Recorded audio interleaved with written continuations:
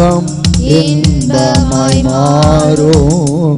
இயேசுவை காணும் போது அவர் பாதம் வீழ்ந்து பணிந்து ஆனந்த கண்ணீர் படித்தே எந்த ஓட்டம் ஜெயத்துடன் முடியோ. அந்த நாடு சுதந்தரிப்பே. எந்த ஓட்டம் ஜெயத்துடன் முடியோ அந்த நாடு சுதந்தரிப்பே இந்த தேகம் அழியும் கூடாரம் இதை நம்பியார் பிழைப்பார்? இந்த தேகம் அழியும் கூடாரம் இதை நம்பியார் பிழைப்பார் என் பிதா வீட்டில் வாசஸ்தலங்களுண்டு இயேசுவோடு நான் குடியிருப்பேன். என் பிதா வீட்டில் வாசஸ்தலங்களுண்டு இயேசுவோடு நான் குடியிருப்பேன். கொஞ்ச காலம் இயேசுவுக்காக கஷ்டப்பாடு சகித்ததினா. இன்னல் துன்பம் இன்பமாய் மாறும். இயேசுவை நான் காணும் போது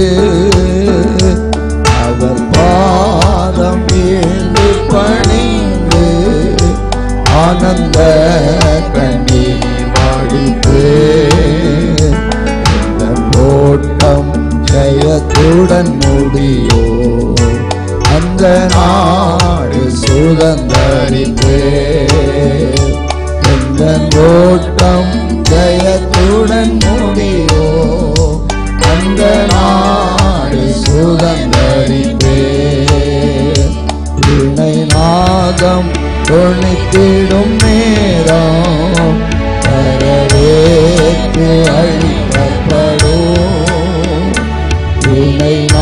தந்தம் தொழித்திடும் நேரம் வரவேற்பு அளிக்கப்படும்.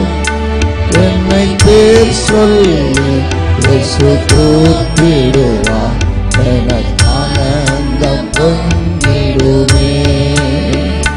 என்னை பேர் சொல்லி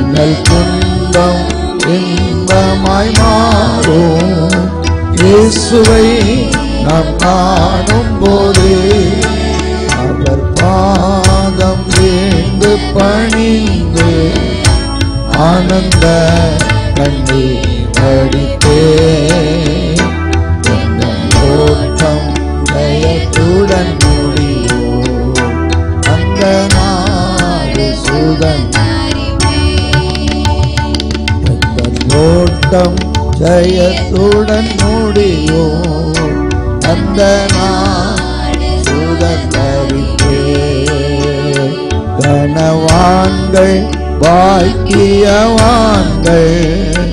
கத்தருக்குள் மறிப்பவர்கள். கனவான்கள் பாக்கியவான்கள் கத்தருக்குள் மறிப்பவர்கள்.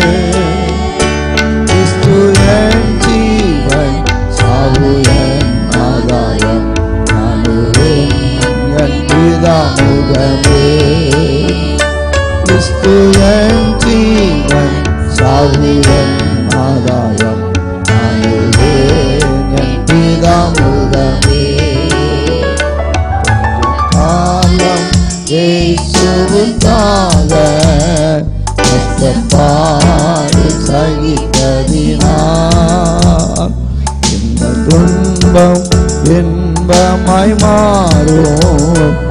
இயேசுவை காணும் போது அவர் பாதம் பணிந்து ஆனந்த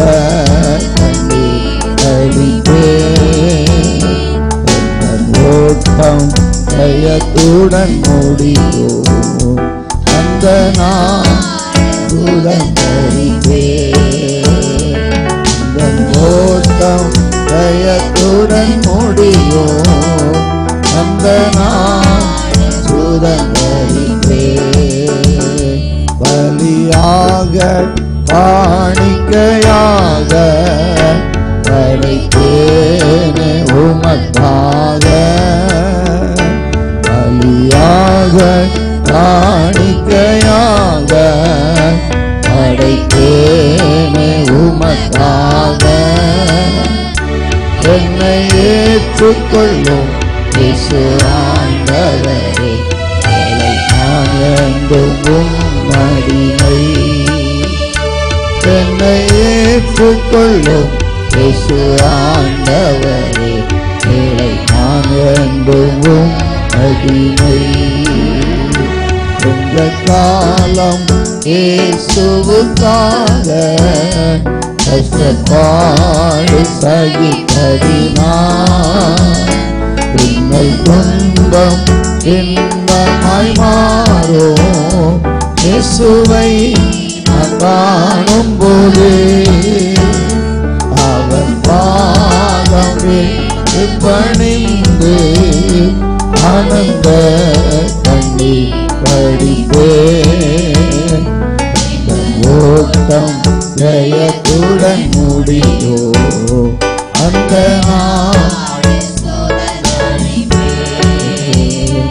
எங்கள் ஓட்டம் ஜெயத்துடன் முடியோ அந்த நாள் சுதந்தரித்தே கனவான்கள் பாக்கியவான்கள் கத்தருக்குள் மறித்தவர்கள். கனவான்கள்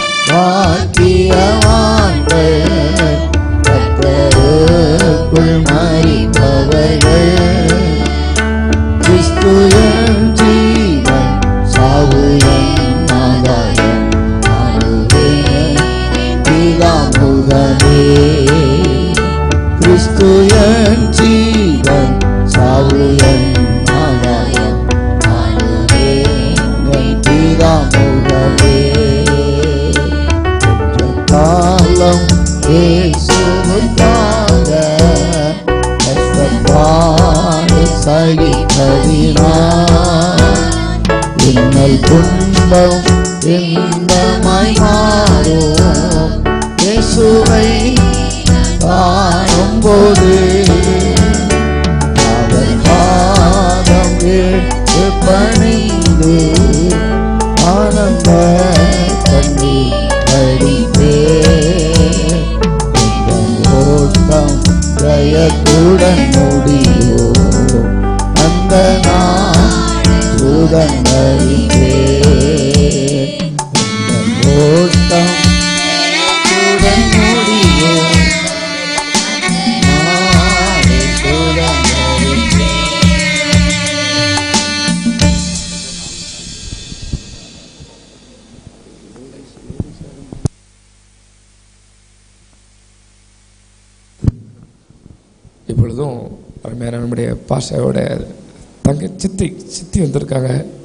சொந்தங்கள் எல்லாம் வந்திருக்கிறாங்க.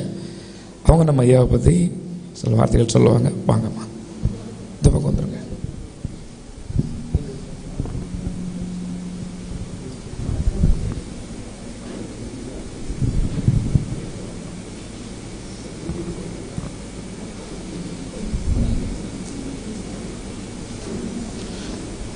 கத்துடைய பரிசுத்த நாமத்துக்கு சூத்திரம் உண்டாவதாக.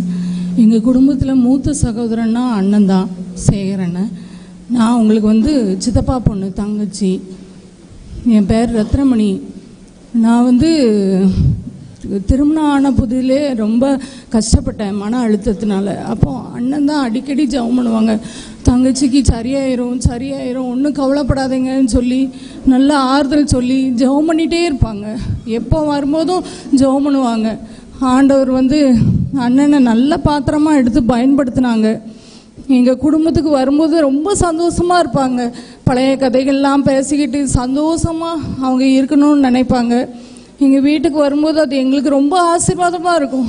ஒவ்வொரு முறையும் வரும்போது சந்தோஷமாக இருக்கும். எங்கள் அண்ணன் மாதிரி எல்லாருமே சேகரனை வந்துட்டாங்க சேகரனை வந்துட்டாங்கன்னு அப்படி இதாக நல்லா ஒற்றுமையாக இருந்த மாதிரி இருக்கும். ஆனால் இப்போ கத்தருக்குள்ளே நித்திரை அடைஞ்சிட்டாங்க. அண்ணன் எங்களுக்காக ஜெபித்த ஒரு உயிர். தேவனுடைய நாமம் மகிமைப்படுவதாக. வேற வரீங்களாம்மா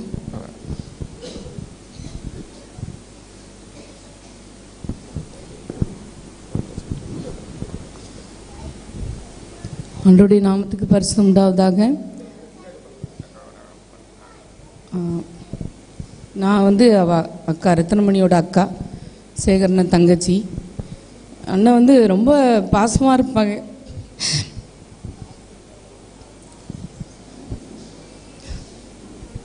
இங்கே வந்தப்புறம் ஒவ்வொருத்தரையாக பார்க்கும்போது எங்களுக்கு மாத்திரம் இல்லை. எத்தனையோ ஆயிரக்கணக்கான ஜனங்களுக்கு அப்பாவா அண்ணனா ஐயாவா எவ்வளோ காரியங்கள் ஆண்டவருக்காக வந்து அண்ணன் வந்து செஞ்சுருக்காங்க.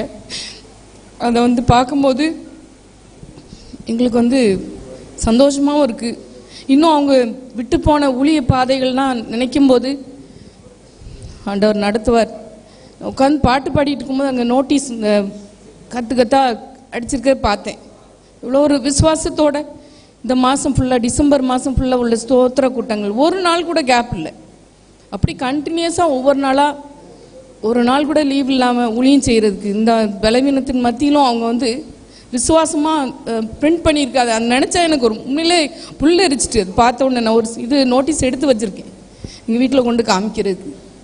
அவ்வளோ ஒரு விசுவாச ஊழியம் விசுவாச ஓட்டம். இதில் வந்து எவ்வளோ ஒரு நிந்தைகள் எவ்வளோ ஒரு அவமானங்கள் எவ்வளோ ஒரு குறைவுகள் கவலைகள் எல்லாத்தின் மத்தியிலும் ஆண்டவரை இதுவரைக்கும் சாவு மட்டும் அண்ணன் வந்து உறுதியாக பிடிச்சிருக்காங்க. அது வந்து நல்ல ஒரு ரோல் மாடல் நமக்கு. அப்புறம் அண்ணனை இழந்து தவிக்கிற ஒவ்வொரு உறவுகளையும் ஆண்டவர் வந்து ஆறுதல் படுத்தணும் என்னென்னமோ பேசணும்னு நினைச்சேன். எனக்கு வந்து இப்போ வார்த்தைகளே வரமாட்டி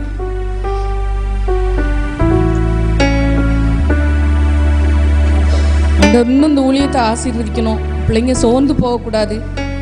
ஆண்டவருக்குள்ள இன்னும் பலப்பட்டு ஆண்டருடைய வருகை பரியந்தம். நம்ம வந்து சகோதர சகோதரிகளாக அன்றைய ச- நம்ம காணப்படணும். அன்றைய நாமத்துக்கு ஸ்தோத்திரம் உண்டாவதாக. அடுத்த ஒரு சால்ட்டு சால்ட்டு ஐயாவை பற்றி சால்ட்டு சொல்லக்கூடியவங்க நீங்கள் பெற்ற நன்மை சொல்லக்கூடியவங்க அப்படி இந்த பக்கம் வரலாம் இல்லை, வாங்க ரெண்டு ரெண்டு வர வாங்க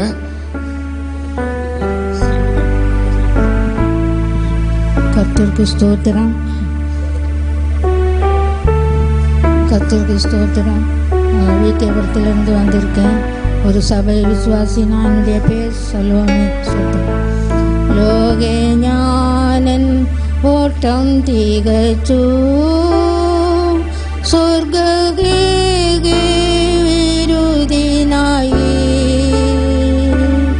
ലോകെ ഞാനൻ ഓട്ടം തികച്ചു. സ്വർഗീരുദിനായി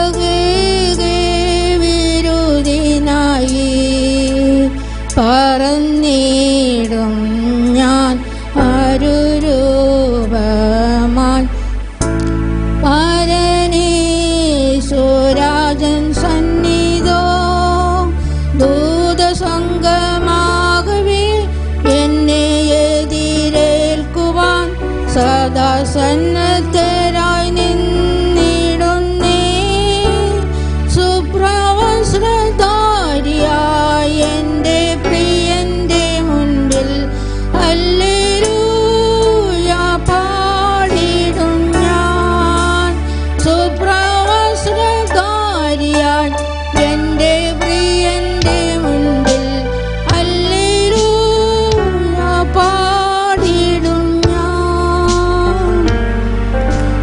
கர்த்தருடைய பரிசுத்த நாமத்துக்கு ஸ்தோத்திரம். ஐயாவை குறித்து நானும் அவர் மூலமாக ஒரு நன்மை பெற்றிருக்கிறேன். நான் என்னுடைய மகளுக்கு இரண்டாவது மகளுக்கு அநேக நாட்களாக ஒரு கல்யாண வரன் வராதபடிக்கு அதிக துக்கத்தோடு பாரத்தோடு நான் ஜெபித்த நாட்கள் உண்டு. அப்படி ஜெபித்த வேளையில் ஐயா மூலமாக கர்த்தர் ஒரு மாப்பிள்ளை எங்களுக்கு கொண்டு வந்து மகளுக்கு திருமணத்தை முடித்து வைத்தாங்க. கர்த்தருக்கு ஸ்தோத்திரம். இன்னும் ஐயாவை குறித்து அதிகமாக நான் சந்தோஷமான காரியங்களை கேள்விப்பட்டிருக்கேன். ஒரு குறைவான ஒரு காரியத்தை யாரும் சொன்னதில்லை. இப்போ ஒரு இருபது இருபத்தஞ்சி வருஷத்துக்கு முன்னே இந்த திருமணம் வீட்டில் நடந்தது. அதற்காக கர்த்தரை நன்றியோடு ஸ்தோத்திருக்கிறேன். கர்த்தருடைய பரிசுத்தவான்கள் எல்லாரும் ஜெபத்தின் மூலமாக இந்த திருமணம் நடந்தது. கர்த்தருக்கு ஸ்தோத்திரம். என்னன்னா ஐயாவை குறித்து சந்தோஷமாக சொல்ல காரியங்கள் உண்டு கர்த்தருக்கு சோத்திரம் இன்னும் இந்த ஊழியத்தை கர்த்தர் அதிகமாக ஆசீர்வதிக்கணும் இந்த அந்த இவங்களோடு சேர்ந்து ஊழியம் செய்கிற எல்லா பரிசுத்தவான்களும் இந்த ஊழியத்தில் கை கொடுத்து ஊக்கமாய் ஊழியத்தை செய்யணும் அதற்காக கர்த்தர் நன்றியோடு ஸ்தோத்திரிக்கிறேன் வேறு எனக்கு இந்த பெரிதான நன்மையை கர்த்தர் செய்தபடியால் நன்றி உள்ளவளாக இந்த நாளில் இந்த சாட்சியை சொல்ல கர்த்தர் எனக்கு தந்த தருணத்திற்காக கர்த்தருக்கு ஸ்தோத்திரம் ஒவ்வொருவரும் நீங்கள் சால்ட் சொல்லுவாங்க கொஞ்சம் சுருக்கமாக சொல்லுங்கள் மறுபடியும் அடக்காராதனை இருக்குது நானேக பரிசுத்தவான்கள் வந்துக்கிட்டு இருக்கிறாங்க. இவ்வளோ தரமையான பால்ராஜ் ஐயா கிணங்குளத்தில் இருந்து வந்திருக்காங்க. நம்முடைய பாசாபதி சால்ட் சொல்லுவார்கள். பிரைஸ்லால் சூத்திரம். ஆண்டுடைய நாமம் மைமைப்படுவதாக நாங்கள் சுத்திரம் அன்பான பாஸ்டராக்களே சேகர் நல்லத்தம்பி ஐயாவை குறித்து ஆயிரத்தி தொள்ளாயிரத்தி எண்பத்தி மூணாம் ஆண்டிலே நாட்களில் சோத்திரம். நாட்கள் அவர்களை திறந்து கொண்டேன். அந்த பேய்க்குளம் வட்டாரத்தில் ஒரு ரெண்டு நாள் கூட்டம். நாட்களே அங்கே ஒழுங்கு செய்யப்பட்டிருந்தது. அங்கே ஒரு ஊழியக்கார் ஒழுங்கு செய்திருந்தால் அது கத்துடைய தாசன் வந்து கத்துடைய வார்த்தையை பிரசங்கித்தார்கள். அவர்கள் பிரசங்கித்ததான அந்த பகுதியிலே நாட்களில் சோத்திரம். அவங்க வார்த்தையை நாம் கேட்கும்போது பரிசுத்த ஆவியானுடைய நிறைவும் அபிஷேகமும் நிறைவாக இருக்கிறதை நான் கண்டுகொண்டு அந்த எண்பத்தி மூணாம் வருடத்திலிருந்து தொடர்ந்து நாட்கள் அவர்களோடு கூட ஐக்கியப்படவும் அநேக இடங்களிலே சென்று ஊழியங்களை செய்யவும் கத்தர் பாராட்டின கிருவை பெரிது. ஆகவே அருமையான நாங்கள் ஐயாவை குறித்து நாங்கள் சொல்லக்கூடுமானால் ஏராளமான சாட்சிகள் இருக்கிறது எங்களுடைய குடும்பத்திலும் சாட்சி எங்கள் சபை ஊழியங்களிலும் சாட்சி. நாங்கள் சோதரம் நிறைய காரியங்கள் இருக்கிறது நாங்கள் சோதரம். ஆகவே நாங்கள் சோதரம் அவங்க செய்த நல்ல கிரியைகள் மற்ற காரியங்களெல்லாம் நாட்களே சோதரம் நம்ம சிந்தித்து யோசித்து பார்க்கும்போது மனசுக்கு கொஞ்சம் சங்கடமான ஒரு காரியம்தான். நாட்கள் சுத்தம் கூடும். இருந்த போதிலும் நாட்களே சோத்திரம் வேத வசன வார்த்தையின்படி நாட்களே சோத்திரம் நம்ம எல்லாருடைய கண்களுக்கு முன்பாக அவர்கள் மறித்து விட்டார்கள் என்பதான ஒரு ஏக்கம் நமக்குள்ளே இருக்கிறது. ஆனால் மறி அது மரணம் அல்ல இது ஒரு நித்திரை என்பதான ஒரு காரியம். வேதத்தில் ஒரு வசனத்தை நாம் அதை வாசிக்கிறோம். அஹ், சுவிசேஷம் அந்த முதலாம் அதிகாரம் இருபத்தி மூணாம் வசனம் விவிதமாக சொல்லுகிறது. நாட்களை சோதரம் அவன் தன்னுடைய ஊழிய நாட்களை நிறைவேற்றி தன்னுடைய வீட்டிற்கு போனான் என்று சொல்லி நான் அந்த வேதத்தில் நான் வாசிக்கிறோம். நாட்களே சோதரம் ஆகவே நாட்களே அதை யாரை குறித்து சொல்லப்பட்டிருக்கு? சகரியாவை குறித்து சொல்லப்பட்டிருக்கிறது. நாட்கள் சோதரம் சுதம் இந்த நிலையில் நாட்களே அருமையான கத்துடைய தாசன் அவர்கள் அவர்கள் கொடுக்கப்பட்ட இந்த ஊழியத்தை அவர்கள் முடித்துவிட்டு அவர்களுக்கென்று நியமிக்கப்பட்ட ஒரு நித்திய வீட்டிற்கு அவர்கள் போயிருக்கிறார்கள் என்பது நாக்கள் சோதரம் அந்த வேதம் நாட்கள் தெளிவுபடுத்துகிறது அந்த வசனத்தின்படியாகவே நாட்களே சோதரம் நாம் ஆறுதல் அடையவும் நாம் தேர்தல் அடையவும் கத்த நமக்கு கிருவை பாராட்டுவார். ஆகவே நித்திய வீடு அவர்களுக்கு கொடுக்கப்பட்ட அந்த இடத்துக்கு கத்தர் அவர்களை அருமையாய் சேர்த்து கொண்டார். நாட்களே ரெண்டு குருந்தியர் நாட்களை ஐந்து ஒன்றில் பார்க்கும்போது அந்த நித்திய வீட்டை குறித்து நாம் வாசிக்கிறோம். இதுவரை இங்கே பர்சனல் அருமையான வீடு அவர்களுக்கு கட்டியிருக்கார்கள் குடியிருக்கிறதுக்கு. எவ்வளோ அழகான ஒரு வீடாக இருந்தாலும் இந்த கூடாரம் தவிப்பான ஒரு கூடாரம். நாங்கள் சொல்லும் தவிப்பு தத்தளிப்பு வேதனை சோதனை நிறைந்த ஒரு கூடாரம். ஆனால் இதை விட்டு ஒரு நித்திய வீடு. அந்த வீட்டில் மகிமையான ஒரு கூடாரம் மகிமையான ஒரு வீடு. அங்கே கண்ணீர் கிடையாது கவலை கிடையாது கஷ்டம் கிடையாது துன்பம் கிடையாது துயரம் கிடையாது. அப்படிப்பட்ட அந்த மேன்மையை அவர்கள் விசுவாசித்து நாட்கள் சதம் நடந்தார்கள். அதே மாத்திரமல்ல பல ஆயிரக்கணக்கான ஆத்துமாக்களை அந்த நித்திய வீட்டுக்கென்று ஆயத்தப்படுத்தியிருக்கிறார்கள். அவர்களை கொண்டு கத்த செய்த மகத்துவமான கிரிகள் ஏராளம். கணக்கில் சொல்ல முடியாது. அவ்வளோ பெரிய காரியங்கள். அதை நினைத்து தான் நான் மகிழ்ச்சி அடைய வேண்டிய ஒரு காரியம். இப்போ நமக்கு ஒரு பாரம் என்னென்னால் இவர் பாஸ்டருடைய பின்னால் சொந்த பிள்ளைகள் எப்படி இந்த ஊழியத்தை செய்வார்கள் எந்த சிலருக்கு ஒரு ஏக்கம் இருக்கலாம். ஆனால் ஊழியம் கர்த்தருடையது. ஆனால் கர்த்தர் தம்முடைய அவங்களுடைய ஸ்தானத்தில் அவங்களுக்கு நல்ல கிருபையும் பலனையும் கொடுத்து நாட்களில் சுதம் அற்புதமாக கத்தை நடத்துவார். சுதமாகவே நாம் செய்ய வேண்டிய ஒரு காரியம் என்ன? பாச விட்டு போனதான இந்த ஊழியங்களுக்காக நம்ம ஜெபிக்க கடமை உள்ளவர்களாக இருக்கிறோம். அதை குறித்து யோசித்து அதற்கு செய்ய வேண்டிய உதவி நம்மளால் என்ன உதவியோ அதை நான் செய்ய கடமை இருக்கிறோம் என்பதை ஞாபகப்படுத்தி எனக்கு கொடுக்கப்பட்ட அந்த வார்த்தையை நான் முடிக்கிறேன். கத்தர் ஆசீர்வதிப்பாராக. சோத்திரம். பாஸ்டர் டானாவிலிருந்து சங்கரையா வந்திருக்கிறார்கள். வாங்க.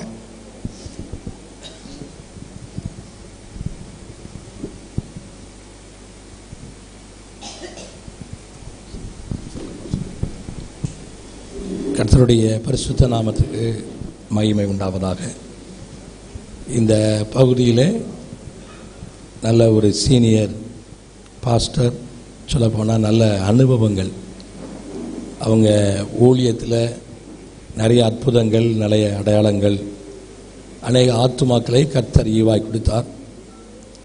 இயேசுவானவர் சொன்ன மாதிரி நீங்கள் பூமிக்கு ஒப்பாக இருக்கிறீர்கள் உலகத்துக்கு வெளிச்சமாக இருக்கிறீர்கள் என்று சொல்லப்பட்ட வார்த்தையின்படி இந்த நாள் வரையிலும் இந்த பூமிக்கு உப்பாக உலகத்துக்கு வெளிச்சமாக இருக்கிற ஒரு பெரிய பாக்கியத்தை பெற்று இன்றைக்கு இந்த வெளிச்சம் பிரகாசம் குன்றி இங்கே படுத்திருக்கிறது. ஆனாலும் வெறும் சரீரம் மாத்திரமே இங்கே இருக்கிறது. தேவனுடைய இவனுடைய ஆவி தேவனோடு கூட இருக்கிறது என்று வேதம் தெளிவாக சொல்லுகிறது. ஒரு வார்த்தையை நான் சொல்ல விரும்புகிறேன். லூக்கா முதல் அதிகாரம் இருபத்தி நான்காவது வசனம். நான் வாசிக்கிறேன். அவனுடைய ஊழியத்தின் நாட்கள் நிறைவேறின உடனே தன் வீட்டுக்கு போனான். இந்த வேத வார்த்தை சகரியா அவனை குறித்து சொல்லப்பட்ட வார்த்தை. அவனுடைய ஊழியத்தின் நாட்கள் நிறைவேறினது அப்பொழுது அவன் தன் வீட்டுக்கு போனான். அருமையான கனத்துக்குரிய பாஸ்டர் சேகர் நல்லத்தம்பி ஐயா அவர்கள் இந்த ஊழியத்தின் ஆட்கள் அவர்களுக்கு நிறைவேறினது என்று இந்த வேத வார்த்தையின் மூலமாக நாம் அறிந்து கொள்ள முடிகிறது. அவங்க திருமணமாகாமல் ஒரு தியாகமான ஒரு ஊழியத்தை செய்தார்கள். ஆனால் எத்தனையோ பிள்ளைகளை விசுவாச பிள்ளைகளை எத்தனையோ குடும்பங்களை ஆதரித்து அவர்களுக்கு அவர்களை அரவணைத்து தன் குடும்பத்தைப் போல நேசித்து அருமையான ஒரு ஊழியத்தை அவர்கள் செய்தது. இந்த பட்டணம் மாத்திரமல்ல அநேக பகுதிகளிலும் அருமையான ஐயாவுடைய பெயர் இன்றைக்கும் விளங்கி கொண்டிருப்பதை நம்மால் அறிய முடியும்.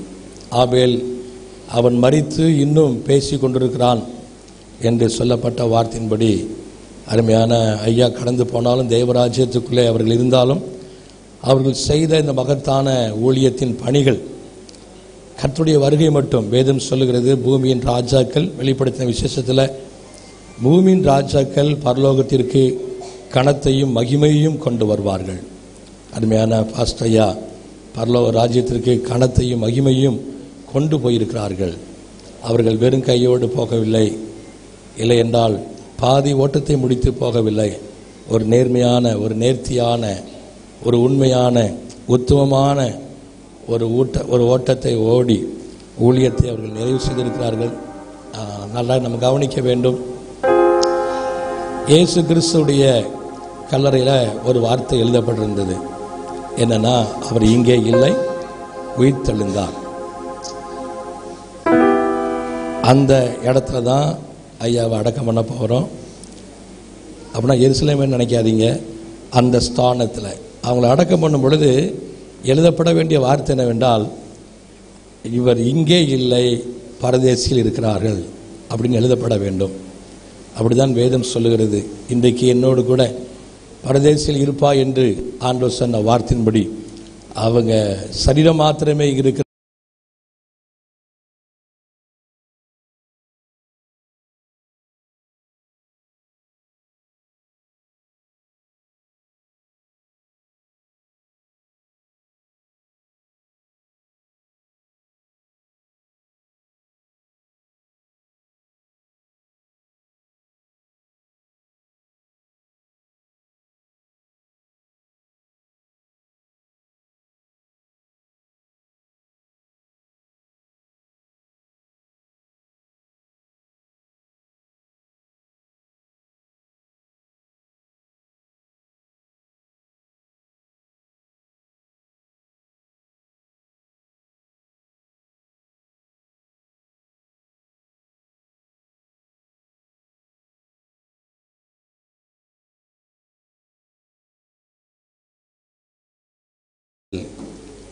இடறியவோ இடறி போகவோ இல்லை என்றால் ஏன் எதுக்கு இப்படி நடந்தது என்று கேள்வி கேட்கவோ கூடாதபடி தேவனுக்குள் நீங்கள் பலப்பட வேண்டும்.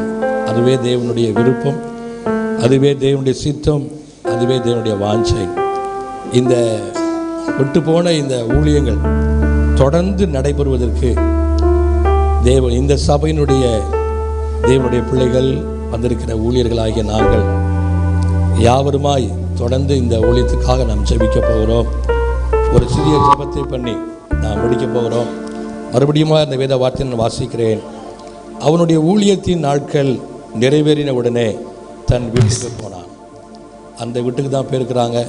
ஸோ தேவனுடைய வீடு அங்கே கண்ணீர் இல்லை துக்கம் இல்லை அழுகை இல்லை. அருமையான ஒரு வீட்டுக்கு போயிருக்கிறாங்க. நேர்த்தியான வீடு. வேதம் அதை குறித்து நிறைய சொல்லுகிறது. சங்கீதக்காரன் தாவி சொல்லும் பொழுது நேர்த்தியான இடத்தில் எனக்கு பங்கு கிடைத்தது. ஆகவே நேர்த்தியான இடத்துல அவங்க போயிருக்கிறாங்க. கண்களை மூடி ஒரு சிறிய ஜபம் பண்ணுவோம். நல்ல பிதாவே அருமையான பாஸ்ட் ஐயாவுக்காக நாங்கள் ஜெபிக்கிறோம்.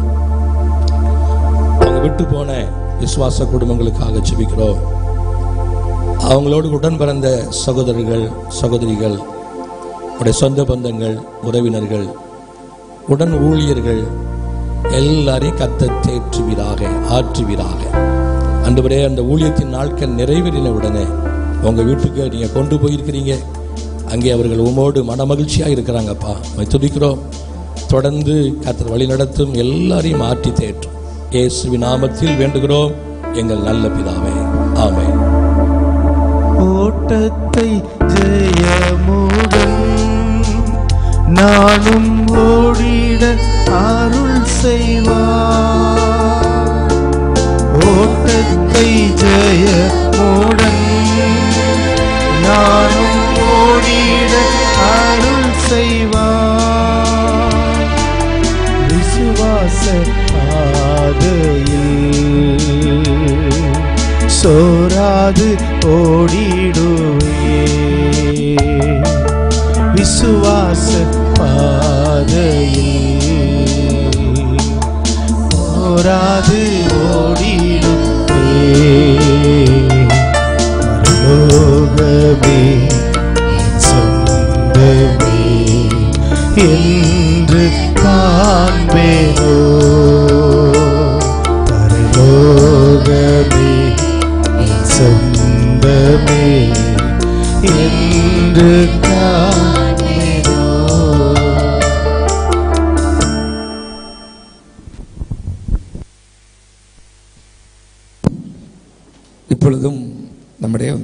என தூத்துக்குடியிலிருந்து பாஸ்டர் ஜான் பாலையா வந்து சில வார்த்தைகள் பேசுவார்கள். ஸ்தோத்திரம். தேவனுக்கு மகிமை உண்டாவதாக. பாஸ்டர்லே அநேக வருடங்களாக எனக்கு தெரியும். ஐந்து வருடங்களுக்கு முன்பாக தூத்துக்குடி பிஎன்டி காலனியில் உள்ள பெந்தகூசே சபைக்கு நாங்கள் கன்வென்ஷனுக்கு அழைத்திருந்தோம். அந்த கன்வென்ஷனில் மிகவும் ஆசீர்வாதமாக நடத்தி கொடுத்தார்கள். அதே போல் இங்கே சில வருடங்களுக்கு முன்பு ஊழியர் கூட்டம் இங்கே நடந்த பொழுது நான் வந்து கலந்து கொண்டிருக்கிறேன். மிகுந்த சிரித்த முகத்துடன் அன்பாக பேசி பழகுவார்கள். அவருடைய கத்தருக்குள் அவர்கள் நித்திரையடைந்ததை கேட்ட பொழுது எனக்கு மிகுந்த பாரமாக இருந்தது. ஆனாலும் அவர் நித்திரையில் இருப்பது போலவே மகிமையான பிரகாசத்தோடு இருப்பதை பார்க்கும் பொழுது கத்தருடைய பரிசுத்தவானுடைய மரணம் அவருடைய பார்வையில் எவ்வளவு அருமையானது என்ற வார்த்தையை நினைவு கூறுகிறேன். கத்தர் நாமே ஊழியங்களையும் எல் உடன் ஊழியர்களையும் குடும்பத்தாரையும் தேவன் ஆசீர்வித்து நடத்துவாராக. நாம் தொடர்ந்து ஜெபிக்கிறேன். ஸ்தோத்ரம். இயேசு என் நம்பிக்கையா? இந்த பூமியும் சொந்தமல்ல. இயேசு என் நம்பிக்கையா இந்த பூமியும் சொந்தமல்ல. பரிசுத்த சிந்தையுடன் இயேசுவை பின்பற்றுவே பரிசுத்த சிந்தையுடன் இயேசுவை பின்பற்றுவே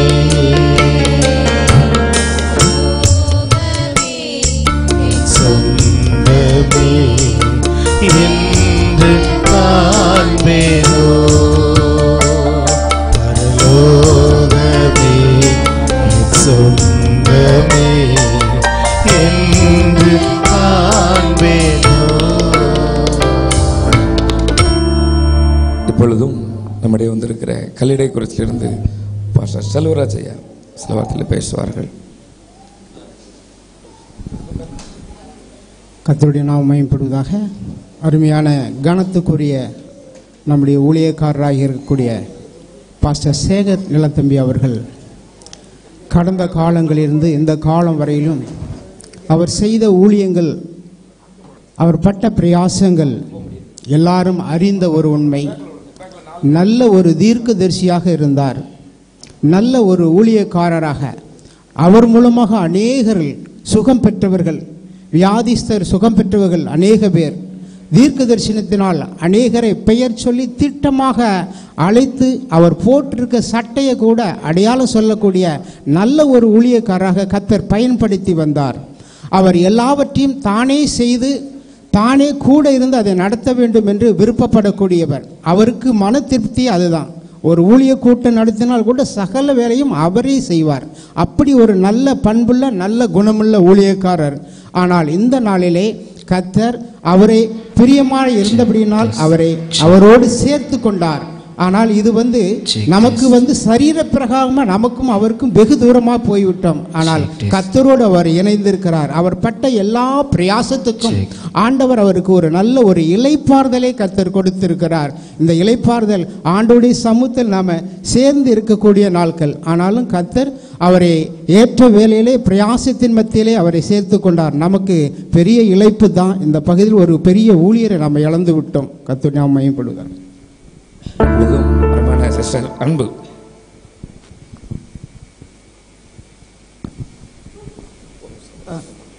பரிசுத்த நாமத்துக்கு ஸ்தோத்திரம். நாங்கள் இருக்கிறது பெங்களூரில் இருக்கோம். ஆனால் இந்த இடத்துல நாங்கள் வரும்போது ஒரு தாய் வீடுன்னா எனக்கு அது அப்பா வீடு தான் எப்பயுமே நாங்கள் இங்கே வருவோம். அதுக்கு முக்கிய காரணம் என்னென்னா ரெண்டாயிரத்தி ஒம்போதில் எங்கள் குடும்பத்தில் நடந்த பிரச்சனை நிமித்தமாக நிறைய பிசாசின் கிரியல் நிமித்தமாகவும் என் மக மக மனநல பாதிக்கப்பட்டு கால் விலங்கோடு இந்த பகுதியில் வந்து நாங்கள் இருந்தோம். ஆனால் முக்கியமாக நாங்கள் திருநெல்வேலி பகுதியில் என் தம்பி எங்களை இறக்கி விட்டுட்டு போகும்போது எனக்கு என்ன செய்யணும்னு தெரியாது. அந்த நிமிஷத்தில் ஆண்டவர் கொடுத்த பேர் தான் அப்பாவோட பேர். நான் ஃபோரே ஒரு ஃபோன் மட்டும் பண்ணேன் அப்பா என்ன செய்யணும்னு தெரியலன்னு. அப்பா நான் இருக்கேன் நீ ஏம்மா கவலைப்படுற? நீ அங்கேயே இரு நான் கார் எடுத்துகிட்டு வரேன்னு சொல்லி எங்களை கூப்பிட்டு வந்து மூணு மாதம் இந்த ரூமில் எங்களை தங்க வச்சு எங்களை அப்படி பாதுகாத்து என் மகளுக்கு நல்ல நிலைமையை கொண்டு வந்து அவளுக்கு எத்தனையோ பேர் கூட ஊழியத்துக்கு அசிங்க நீங்க வெளியில அனுப்புங்கன்னு கூட சொன்னாங்க. ஆனா அப்பா சொன்ன ஒரே ஒரு வார்த்தை. அந்த பிள்ளைக்குள்ள இருக்கிற விசுவாசத்தை நான் பார்க்குறேன். நான் வச்சிருப்பேன். அந்த பிள்ளைய நான் வச்சு பாதுகாப்பேன்னு சொல்லி எங்களை மூணு வருஷம் ஒரு தாயை போல தகப்பன போல எல்லாரும் கைவிடப்பட்ட நிலைமையில எங்களை வச்சு பாதுகாத்து எங்களை என் மகளுக்கு ஞானஸ்தானத்தை கொடுத்து இன்னைக்கு ரெண்டு குழந்தைங்களோட அவ சந்தோஷமா பெங்களூர்ல வாழ்ந்துட்டு இருக்கான் எனக்கு அப்பா விடன இதுதான். இப்போ எங்கள் அப்பா போயிருந்தாலும் ஒரு நாள் நாங்கள் சந்திப்போம். அந்த இடத்துல சந்திச்சு நாங்கள் ஆண்டர் எங்களுக்கு தருவார்ன்ற ஒரு நிச்சயத்தை ஆண்டவர் எங்களுக்கு கொடுத்துட்டு போயிருக்காரு. இந்த வருஷம் ரெண்டாவது தேதி எங்கள் வீட்டில் வந்து ஒரு கூட்டத்தை ஆயத்தப்படுத்தி அந்த இடத்துல ஒரு கிளவு ஊழியத்தை ஆரம்பிக்கணும்ன்ட்டு பேசிட்டு போனாங்க. வெள்ளிக்கிழமை தான் பேசிட்டு போனோம். கர்த்தர் அதையும் அவங்க எங்கள்கிட்ட கொடுத்துட்டு போன அந்த இதை நாங்கள் கண்டிப்பாக நிறைவேற்றுவோம். கர்த்தர் நாம் மகிமைப்படுவதாக. இப்பொழுதும் அருமையான நம்முடைய பாஷையா சொந்தங்கள். தூத்துக்குடியிலிருந்து Jayakodi and Vimala and Sharada sister வாங்க முன்னோர் வாங்க. ஒவ்வொருத்தராக ஷால்ட் வாங்க.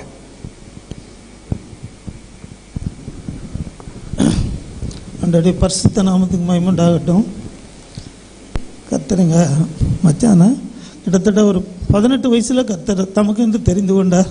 இன்றைக்கு வரைக்கும் உண்மையும் உத்தமமான ஒரு ஊழியக்காரனாக வாழ்ந்து கத்தடைய சமூகத்தில் சென்றிருக்கிறாங்க. கத்தடைய நாமத்துக்கு மகிமை உண்டாகட்டும்.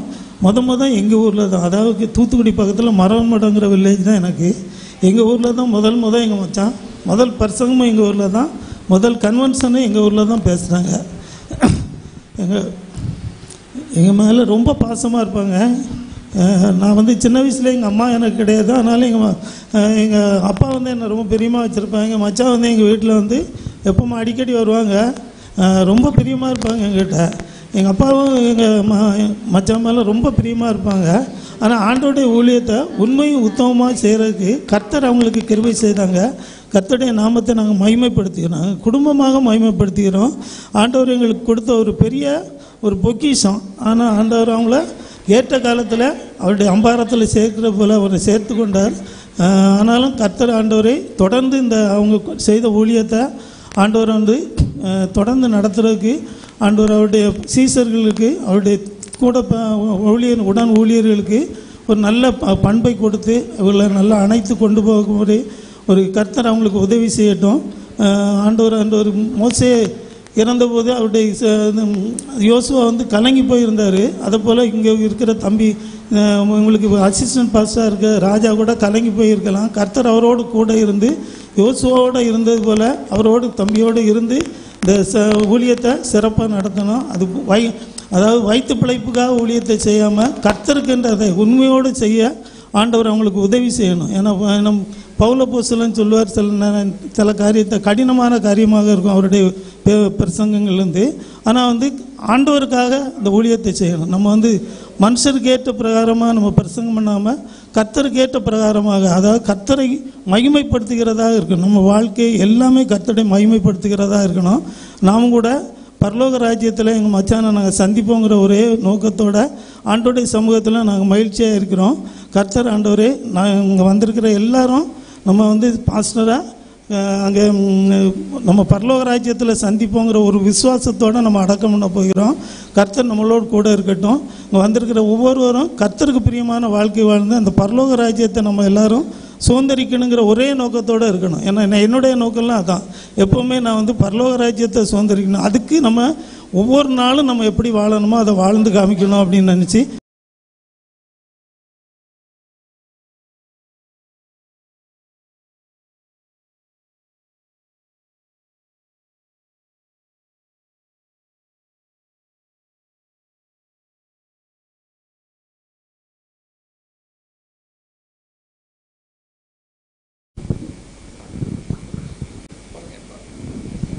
கர்த்தருடைய பரிசுத்தமுள்ள நாமத்திற்கு மகிமை உண்டாவதாக.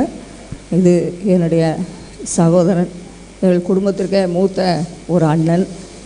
இந்த பெந்தேகோசே ஊழியத்திற்கென்று கண் திறக்கப்பட்டதற்கு முக்கிய காரணம் அண்ணன் தான். நாங்கள் பாரம்பரியமான சிஎஸ்ஐ சபையை சார்ந்தவர்கள் மிகவும் பக்தி வைராக்கியமாக வளர்க்கப்பட்டவர்கள். முதல் முதல் ஊழியத்திற்கென்று காலடி எடுத்து வைத்து இந்த பெந்தேகோசை ஊழியத்தை வைராக்கியத்தோடு செய்தார்கள். இந்த பெந்தை பெந்தைகோசை அனுபவத்தில் நாங்கள் குடும்பமாக குடும்பம் குடும்பமாக நாங்கள் ஊழியம் செய்து கொண்டிருப்பதென்றால் அண்ணனுடைய முதலுடைய முதல் ஊழியம்.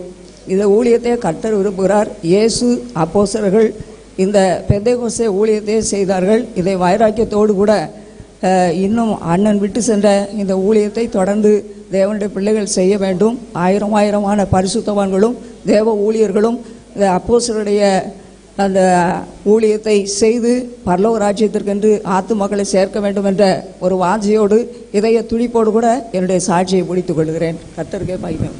ஆமென். இப்பொழுது நம்முடைய பாஷாவுடைய சொந்தம் திரு ஸ்டார் விமலா வந்திருக்காங்க. கர்த்தருடைய பரிசுத்த நாமத்துக்கு ஸ்தோத்திரம். அண்ணன் என்னுடைய அப்பாவுக்கு அண்ணன் மகன் எங்களுடைய அம்மாவுக்கு அக்கா பையன் எங்கள் குடும்பத்துக்கே மூத்த பையன் அண்ணன் தான். என் குடும்பத்தில் எல்லாருமே நாங்கள் அக்கா தங்கை அண்ணன் தம்பி பாசம் மிகுந்தவர்கள். அண்ணனுடைய பாசம் வந்து சொல்லியே முடியாது. எங்கள் குடும்பத்துக்கு விளக்காக இருந்த அண்ணன் இப்போது இப்படி இருக்கிற பார்க்கும்போது ரொம்ப கஷ்டமாக இருக்கிறது. அவங்களுக்கு ஏஞ்சியோ பண்ணும்போதெல்லாம் ஒன்றுமே இல்லை இருக்கக்கூடாது கடவுளேன்னு எல்லாரும் ஃபாஸ்டிங் போட்டு ஜெபித்தோம். அதே மாதிரி கடவுள் ஒன்றும் இல்லாத இல்லாமல் இருக்க பண்ணினார். ஆனால் இந்த முடிவு எப்படி வந்தது என்று எங்களுக்கு தெரியவில்லை. இன்னும் இதை நம்புவதே எனக்கு கஷ்டமாக இருக்கிறது. அண்ணன் இந்த ஊழிய காரியங்களில் இருப்பது எங்களுக்கு ரொம்ப மகிழ்ச்சியை கொடுத்தது. இந்த ஊழியங்கள் இன்னும் சிறப்பாக நடக்க கடவுளை வேண்டிக் கொள்கிறேன். கடவுளுடைய பரிசுத்த நாமத்துக்கு நன்றி உண்டவதாக. இப்பொழுதும் நம்முடைய வந்திருக்கிற தூத்துக்குடி செல்லையா பாஷையா வந்து பேசுவார்கள். செல்லத்துறை செல்லத்துறை பாஷையா.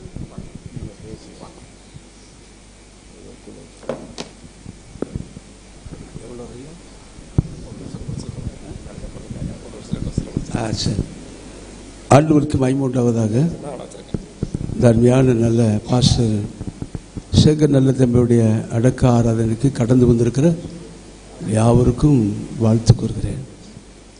பாஸ்டர் சேகர் நல்ல தம்பி அவர்களே பல ஆண்டு காலமாக தெரியும். நான் தூத்துக்குடியில் போதகராக இருக்கிறேன். என் வீட்டுக்கு அருகில் தான் அவருடைய குடும்பம் இருந்தது.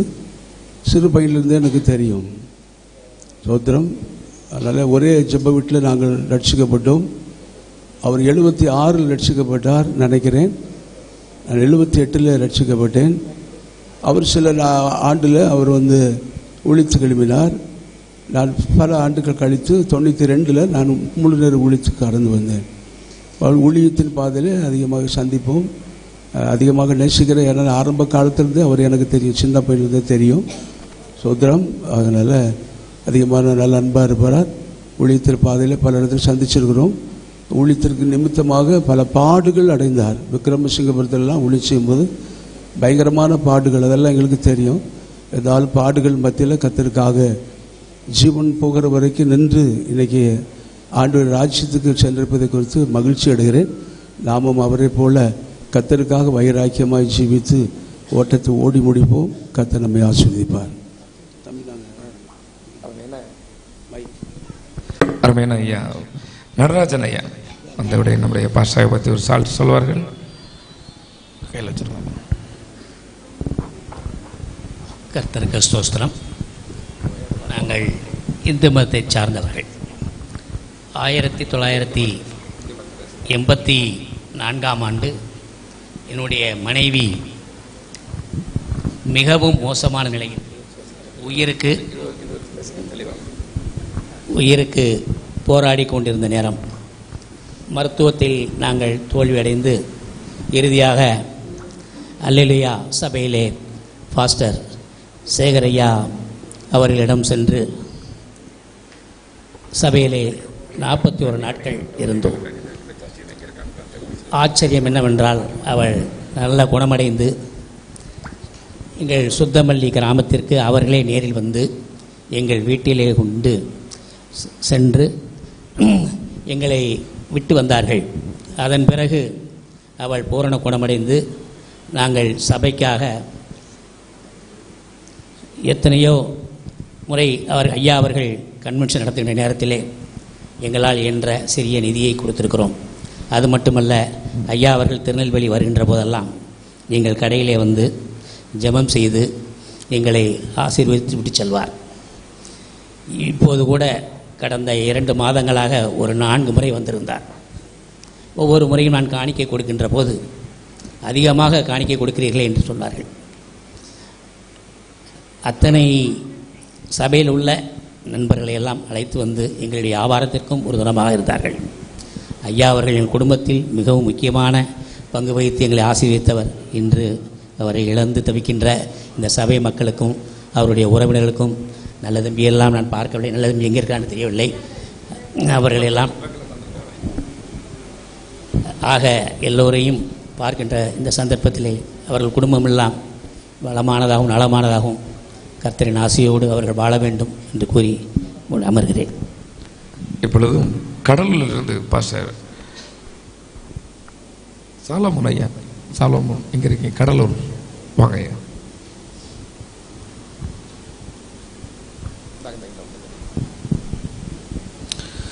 கர்த்தருடைய பரிசுத்த நாமத்திற்கு ஸ்தோத்திரம் உண்டாவதாக. இந்த இடத்திலே சாட்சி சொல்லும்படிக்கு கத்தர் பாராட்டின கிருபைக்காக என ஆண்டவருக்கு நன்றி செலுத்துகிறேன். ஆயிரத்தி தொள்ளாயிரத்தி எண்பத்தி நான்காவது ஆண்டு என்னுடைய தாயார் பிசாசின் பிடியினாலே பாதிக்கப்பட்டு எல்லாவித சிகிச்சைகளிலும் அவர்கள் தோல்வியுற்றவர்களாய் அல்லிலியா ஜப விடு விக்ரமசிங்கபுரத்திலே கடந்து வந்தார்கள். சர்ச்சில் இருக்கும்போது அம்மா நல்லா இருப்பாங்க. வீட்டுக்கு பக்கத்தில் அருணாச்சலபுரத்தில் இருந்தாங்க. கூட்டிகிட்டு வந்துட்டால் திரும்பவுமாக அந்த பிசாசோட போராட்டம் அவர்களுக்குள்ளே இருந்தது. அவங்க அந்த சர்ச்சுக்குள்ளார வர்றதுக்கு முன்னாடி என்னுடைய தகப்பனார் மிகவும் மிகவும் கொடுமையான ஒரு நபராக இருந்தார். அவங்க கடுமையான ரோம கத்தோலிக்கத்தை பின்பற்றுகிறவர்களாக இருந்தார்கள். அப்போது தாத்தா வளர்க்குற நிறைய கோழி எல்லாம் அவர் திருடி சாப்பிட்ருவார் அந்த நேரத்தில் தான் அம்மாவுக்கு அந்த மாதிரி ஒரு சூழ்நிலை. சர்ச்சில் வச்சே தான் நான் பிறந்தேன். ஆயிரத்தி தொள்ளாயிரத்தி எண்பத்தி நான்கில் நான் சர்ச்சில் பிறந்தேன். நிறைய இடங்களிலே அருமையான தகப்பனார் அதை சாட்சியாக அறிவிக்கிறது உண்டு. அந்த நாளிலிருந்து இந்த நாள் வரைக்கும் கத்தர் எங்களுடைய குடும்பங்களை ஆசிர்வதித்து வருகிறார் கிருபையாய் நடத்தி வருகிறார். நான் அதற்காய் ஆண்டவருக்கு நன்றி செலுத்துகிறேன். அந்த ஞாயிற்றுக்கிழமை ஆராதனையில் அவங்க தீர்க்க தரிசனமாக சொல்லியிருக்கிறாங்க புதன்கிழமை ஒரு குமாரனை கத்த தருவார். அவனுக்கு சாலமன் சுதந்திரம் என்று சொல்லி பெயர் வைக்க வேண்டும் என்று சொல்லி அதன் அடிப்படையிலே ஆண்டவர் சொன்ன வார்த்தையின்படியே அருமையான தகப்பனாருக்கு கத்தர் கொடுத்த தீர்க்க தரிசன வார்த்தையின்படியே புதன்கிழமை பிறக்கவும் அவர்கள் எனக்கு சாலமன் சுதந்திரம் என்று சொல்லி பெயர் வைக்கவும் அவன் ஊழியக்காரனாய் வருவான் என்று சொன்னாங்க. நான் ஸ்கூலில் படிக்கிற நாட்களிலே சென்ட் மேரிஸில் தான் படித்தேன் நான் டென்த்து லெவன்த்து டுவெல்த்தெல்லாம் என்னுடைய வாழ்க்கை முற்றிலும் மாறுபட்ட ஒரு ரீதியில் காணப்பட்டது. அப்போது எங்கள் அம்மா சொல்லுவாங்க தாத்தா உன்னை ஜெபம் பண்ணி நீ ஊழியக்காரனாக வருவேன்னு சொன்னாங்க. ஆனால் வாழ்க்கை முற்றிலும் வேறுபட்ட ஒரு ரீதியில் காணப்படுகிறது என்று சொல்லி. பக்கத்தில் ஸ்கூல் இருந்ததுனால நான் அடிக்கடி போவேன். அப்போ நான் விளையாட்டாக சொல்லுவேன் உங்கள் தீர்க்க தரிசனம் இதுதான் பொய்யா இருக்கும். நான் கட்டாயமாக ஊழியக்காரனாக வரமாட்டேன். அப்படின்ட்டு. கடுமையாக எங்களை திட்டுவாங்க சில காரணத்திற்காக. அதே டைமில் அதிகமாக எங்களை நேசிக்கிற ஒரு நல்ல தகப்பனார். ஆனால் நாட்கள் கடந்தோடினது ஆண்டவர் சொன்ன வார்த்தையின்படியே இந்த நாளிலே கத்தருடைய ஊழியத்தை நிறைவேற்றும்படிக்கு கத்தர் கிருபையாய் நடத்தி வருகிறார். பல இடங்களுக்கு போகும்போதெல்லாம் நான் நினைப்பேன் நான் தான் ஊழியக்காரனாக இருக்கிறேன்ட்டு. மும்பைக்கு போயிருக்கும்போது அங்கே ஒரு ஆன்ட்டியை பார்த்தேன். ஜாய்ஸ் அப்படின்னு சொல்லி ஒரு ஆன்ட்டி வல்லமையாக ஊழியத்தை செஞ்சிட்டு இருந்தாங்க. அப்போ அவங்க கேட்கும்போது அவங்க புத்தி சரியில்லாமல் விலங்குகளோடு கூட இங்கே வந்ததாகவும் ஆண்டவர் அற்புதம் செய்து இந்த நாளிலே மும்பை பட்டணத்திலே ஒரு பெரிய ஊழியத்தை செய்து வருகிறார்கள். கத்த நல்லவர். இந்த நாளிலே எங்கள் பக்கத்தில் பாஸ்டர் டேவிட் ஜீவா அப்படின்னு சொல்லி சர்ச் ஆஃப் கார்டில் ஒரு டிஸ்ட்ரிக்ட் பாஸ்டராக இருக்கிறார். அவரும் இதை போலவே புத்தி சரியில்லாமல் இங்கே இருந்த நாட்களிலே கத்தரால் தொடப்பட்டு கத்தருடைய ஊழியத்தை செய்து வருகிறார். என்னுடைய சார்பாகவும் சபையின் சார்பாகவும் குடும்பத்தின் சார்பாகவும் எங்களுடைய இரங்கலை தெரிவித்துக் கொள்கிறோம். அநேக பரிசுத்தவான்களை அநேக ஊழியர்களை உருவாக்கின ஒரு தெய்வ மனுஷன். இந்த நாளிலே உண்மையான தகப்பனாருடைய அடக்க ஆராதனையிலே பங்கு கொள்ளும்படிக்கு அடி எனக்கு கத்தர் பாராட்டின கிருபைக்காய் நான் ஆண்டவருக்கு நன்றி செலுத்துகிறேன். இப்பொழுதும் சுத்தமொழியிலிருந்து வந்திருக்கிற அருமையான பாஷர் அமிர்தகுமார். அமிர்தகுமார் சுத்தமொழி பாஷர் எங்கே இருக்கீங்க ரைட் என்ன ஆசிரியப்பராக அடுத்தபடியாக பாஸ்டர் ஷாம் தச்சநல்லூர்ல இருந்து வந்திருக்கீங்க. அதுக்கு முன்னாடி நம்முடைய பாஷையுடைய தம்பி. கொஞ்சம் பேசிட்டு வாங்க.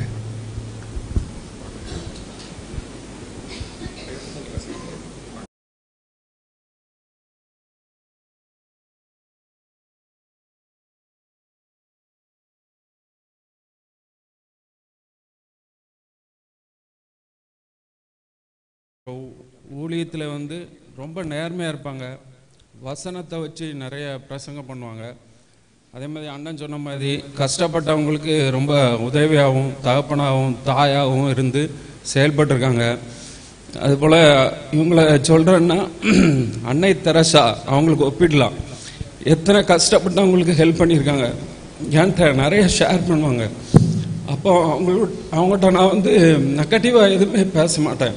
பாசிட்டிவாக தான் அவங்கள்ட்ட சொல்லுவேன் ஏன்னா நீங்கள் மனுஷங்களை யாரும் நம்பாதீங்க. உங்கள் கூட இருக்க ஒரு ஆண்டவர் பெரிய ஒருத்தர் இருக்கார். அவரை மட்டும் நம்புங்க. அதனால் நீங்கள் தைரியமாக ஊழியம் செய்யுங்கண்ணே. எந்த வித பலவீனமும் உங்களுக்கு வரக்கூடாது. அதை மட்டும் நாங்கள் இது பண்ணிக்கிறோம். அப்படிங்கிற மாதிரி அவர்கிட்ட அப்பப்போ சொல்லுவேன். ஒவ்வொரு தடவை உடம்பு சரியில்லை ஆஸ்பத்திரி போகும்போதெல்லாம் என்கிட்ட சொல்லுவாங்க. அதுபோல் ஆஸ்பத்திரியிலேருந்து டிஸ்சார்ஜ் ஆகி வெளியே வரும்போதும் எனக்கு ஃபோன் பண்ணி சொன்னாங்க. என்ன உங்களுக்கு பத்து வயசு கம்மியாக இருக்குண்ணே. உங்கள் வாய்ஸை பார்த்து பத்து வயசு கம்மியாக இருக்குன்னு சொல்லியிருந்தேன். ஆனால் அது நம்ம சொல்கிறது ஒன்று ஆண்டவர் வந்து தீர்மானம் அது டிஃப்ரெண்ட்டாக இருக்குது ஆனால் அவர் விட்டு சென்ற அந்த குணநலங்களை திருப்பி இப்போ நம்ம அடுத்த ஊழியத்தில் வர்றவங்க நல்லபடியாக கடைப்பிடிக்கும்போது அன்போடு கேட்டுக்கணும் ஐயா வாங்க ஐயா.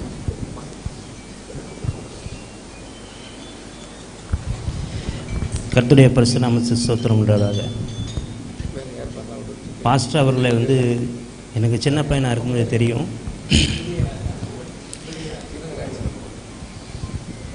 தச்சநல்லூரில் எங்கள் வீட்டில் நிறைய மீட்டிங் வந்து நடத்தியிருக்கிறாங்க. அவங்க கரையேற்பில் ஊழியர் செய்கிற காலகட்டங்கள்லேருந்து எங்கள் வீட்டில் வந்து கிட்டத்தட்ட ஆயிரத்தி தொள்ளாயிரத்தி எண்பது காலகட்டங்கள்லேருந்து நிறைய மீட்டிங்ஸ் வந்து வீட்டில் நடத்தியிருக்கோம். எங்கள் குடும்பத்தில் நிறைய பேருக்கு ஆசீர்வாதமாக இருந்தாங்க. அண்ணன் வந்து சோமில்லாமல் இருந்தாங்க.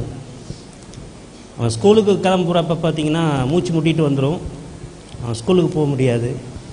அப்படி வந்து ரொம்ப கஷ்டப்பட்டுட்டு இருக்கப்ப ஜெபத்தில் உபவாச ஜெபத்தில் அப்போ முழுவதும் ஜெபம் நடக்கும் அருணாச்சலபுரத்தில் அப்போ வந்து அண்ணன் வந்து அங்கே வருவான். எங்கள் வீட்லேயே ரெகுலராக ப்ரேயர் வந்து நடத்துவோம். அப்படி எங்கள் குடும்பத்துக்கு எல்லாருக்குமே பார்த்திங்கன்னா ஆறுதலாக இருந்தவங்க. அண்ணன் தான் நான் உங்களை கூடுவேன். முந்தா நாள் ஒன்றரை மணிக்கு ஃபோன் பண்ணாங்க. தம்பி நான் திருநெல்வேலி வந்திருக்கேன்ப்பா. முடியல எனக்கு. டாக்டர் ராதாகிருஷ்ணனை பார்க்கணும் அப்படின்னு சொல்லிட்டு வந்திருக்கிறேன் அப்படின்ட்டு ஃபோன் பண்ணாங்க. ரிப்போர்ட்லாம் அனுப்புகிறேன் அப்படின்னாங்க. எனக்கு என்னன்னு தெரியல. ஸோ அன்றைக்கி மொபைல் எனக்கு வந்து அது வந்து ஒர்க் ஆகலை. ஸோ அதுக்கப்புறம் வந்து அண்ணனை காண்டாக்ட் பண்ண முடியல. ஸோ கடைசி நேரத்தில் வந்து என்ன ஞாபகம் வச்சு அண்ணன் கூப்பிட்ருக்காங்க ரெண்டாவது அவங்களோட ஊழியத்தை பொறுத்தளவில் பார்த்தீங்கன்னா அதாவது வெளிநாட்டு பணத்தை வச்சு ஊழியம் பண்ணக்கூடாது அப்படிங்கிற ஒரு எண்ணத்தில் இன்றைக்கி வந்து பெரிய அளவில் வந்து பார்த்திங்கன்னா அவங்க பண்ணி செஞ்சுருக்கிற காரியங்கள் சொல்லி மாளாது. அதாவது விதவைகளையும் ஏழைகளையும் வந்து நினைக்கணும்னு ஆண்டவர் வந்து சொல்லியிருக்கிறாரு. அதுக்கு வந்து அண்ணன் வந்து எடுத்துக்காட்டு. யாருக்குனாலும் சரி உதவி செய்வாங்க. கர்த்தர் எல்லாத்தையும் நடத்துவார் அப்படின்னு சொல்லுவாங்க.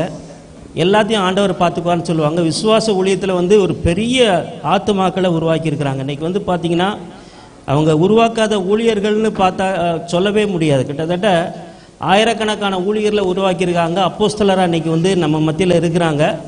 அவங்களோட ஊழியம் வந்து பெரிய அளவில் இன்றைக்கி வளர்ந்துருக்குது. இன்றைக்கி இந்த அடக்க ஆராதனையில் வந்திருக்க எல்லாருமே வந்து பார்த்திங்கன்னா கர்த்தருக்குள்ளே நம்ம மகிழ்வோம். இன்றைக்கி வந்து அவங்களோட மரணம் நமக்கு வந்து இழப்பாக இருந்தாலும் கர்த்தருடைய பரிசுத்தவான்களின் மரணம் அருமையானதுன்னு வருஷ வசனம் சொல்கிறது போல் அவருடைய ஊழியத்தை நாம நிறைவேற்றும் கர்த்தர் தாமே இந்த அடக்க ஆராதனை ஆசீர்வதிப்பாராக. அருமையான பாஷம் அவர் சாட்சியை கர்த்தருக்கு சோத்திரம் உண்டாவதாக. இந்த ஊழியக்கார மகனை எனக்கு முப்பத்தி மூணு வருஷமாக நான் அறிமுகமாகவேன். நான் அறிமுகமாக இருந்தேன். அண்ணன் அதிகமாய் பாசு பா நல்ல பாசம் உள்ளவர்கள் என் திருமணம் முடிந்த நாட்களிலே என்னை வீக்கப்புறத்தில் அவர்கள் ஊழியம் செய்யும்போது விருந்தெல்லாம் போட்டு என்னை உபசரிக்கிற ஒரு தகப்பனார். அவருடைய ஆறுதலான வார்த்தை என்னுடைய குடும்பத்துக்கு எத்தனையோ தேவையாக இருந்தது. அதே போல நான் பலகீனமாய் பூசணி மன்னன் கண்டு அதிகமாக வியாதிப்பட்டிருந்தேன். அப்பொழுதும் என்னை அவருடைய மாடி வீட்டிலே வைத்து என்னை அதிகமாய் கவனித்து என்னை காப்பாற்றின அந்த ஊழியக்கார மகனை நினைத்து நான் இப்பொழுது அதிகமாய் துக்கத்தோடு காணப்படுகிறேன். போன வேலைக்கிழமை அவர்கள் ஆஸ்பத்திரியிலிருந்து வந்திருந்தார்கள். வந்த பிறகு நான் அவர்களோடு பேசினேன். அவர்கள் என்னோடும் அன்பாக நானும் என்ற கணவர் வந்திருந்தோம் அன்பாக அதிகமாய் பேசினார்கள். அதன் பிறகு சனிக்கிழமை வந்தோம் அப்பொழுது அவர்கள் சிரித்து பேசி எங்களிடத்தில் அதிகமாக இருந்தார்கள். நாங்கள் எல்லாரும் ஒன்றாகவே இருந்து சாப்பிட்டோம் இப்படி அதன் பிறகு என்னுடைய ஊழியத்திலையும் நான் அடைக்கலப்பட்டணத்திலே ஊழியம் செய்கிறேன் இந்த ஊழியத்திற்கு உதவியாக எனக்கு அநேக நேரம் வந்து கன்வென்ஷன் நடத்தியிருக்கிறாங்க ஊழியத்திலே போராட்டமாக இருக்கிறது என்று சொன்னால் தனித்து வந்து ஜெபித்திருக்கிறார்கள். என்னுடைய கல்யாண நாள் இருபத்தைந்தாவது வருஷம் நடக்கும்போது வந்து சிறப்பாக கூட்டங்களை வைத்து அப்பொழுதும் என்னை ஆறுதல் படுத்தி சந்தோஷப்படுத்தினார்கள். ஒரு தாய் உள்ள கொண்ட ஒரு மகன் இந்த மகனை தவித்து நாங்கள் இழக்கும் போது அது அதிகமான வேதனையை கொடுக்கிறது. இப்படிப்பட்ட ஊழியக்கார ஒரு தீர்க்கதரிசியை எங்களால் பார்க்க முடியாத நிலையிலே நாங்கள் துக்கத்தோடு இருக்கிறோம். இந்த குடும்பத்துக்காக நாங்கள் ஜெபிக்கிறோம். இந்த ஊழியத்தையும் கர்த்தர் ஆசீர்வதிப்பாராக நினைத்து. ஆமேன். திருப்படத்திலே ஊழியர் செய்கிறார் மேல பாஸ்டர் ஜீவா. வாங்க.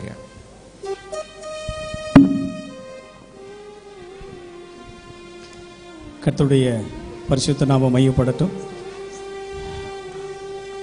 பாஸ் அவர்களுக்காக அறுபத்தி ஐந்து வயது இப்பொழுது முடிந்திருக்கிறது. அடிக்கடி எங்கிட்ட சொல்லுவாங்க பலத்தின் மிகுதினால் எண்பது வருஷம். கண்டிப்பாக நான் எண்பது வயசு வரைக்கும் நான் இருப்பேன்டே அப்படின்னு அடிக்கடி இடத்தில் சொல்வது அதிகமாக உண்டு. நான் எப்படியும் இன்னொரு பதினஞ்சு வருஷம் கண்டிப்பாக இருப்பாங்கன்னு தான் நினைத்தேன். இருப்பினும் ஒரு மரண சம்பவம் நேரிட்டது. கிட்டத்தட்ட அவங்க அவங்க கூட ஒரு பத்தொம்பது வருஷம் கூட இருந்தேன். மிகவும் கஷ்டங்கள் துன்பங்கள் வேதனைகள் எல்லாவற்றையும் அதிகமாய் அனுபவித்தவர்கள். அடிக்கடி அவங்க சாட்சியில் சொல்லுவாங்க ஐம்பது பைசாக்கு கவா பாய் கவா பாயாசம் வாங்கி குடிச்சிட்டு அம் கல்டைக்குறிச்சியிலேருந்து பரமதேசம் வரைக்கும் நடந்து போயிருக்கேன்னு அடிக்கடி சொல்லுவாங்க. நிறைய நடந்திருக்கிறாங்க நிறைய சைக்கிளில் போயிருக்கிறாங்க. அதுக்கப்புறம் கத்தர் பைக்கு கார் எல்லாம் கொடுத்தாரு. அவங்களே பாத்திரம் தேய்ச்சி நல்ல மீனை வந்து எல்லாரும் கூட இருக்கும்போது காய்கறி வாங்கிட்டு வருவாங்க. அவங்களே காய்கறி வெட்டி அவங்களே சமையல் செய்து அவங்களே பாத்திரம் எல்லாம் தேய்ச்சி தனக்கு செய்ய வேண்டிய கடமையை வேற யாரும் செய்ய யாராவது செய்யணும்னு சொல்லி நினை நினைப்பதே கிடையாது. அவங்களுக்கு செய்ய வேண்டிய கடமையெல்லாம் அவங்களாகவே எல்லாத்தையும் அவங்க செய்வாங்க. கடைசி வரைக்கும் அப்படியே தான் அவர்கள் செய்து கொண்டே இருந்தார்கள். எத்தனையோ பண கஷ்டங்கள் வரும்போது கூட யார்ட்டையும் போய் நிற்கிறது மாதிரிலாம் இல்லை. அதிகமான விசுவாசம் அவரிடத்தில் கற்றுக்கொண்ட விஷயங்கள். அவருடைய சமையல். ரொம்ப சூப்பராக சமையல் பண்ணுவாங்க. நாங்களும் கூட சமையல் அவரிடத்துலேருந்து நாம் கற்றுக்கொண்டோம். அப்புறம் அதிகமான மன உறுதி. நல்ல மன உறுதி.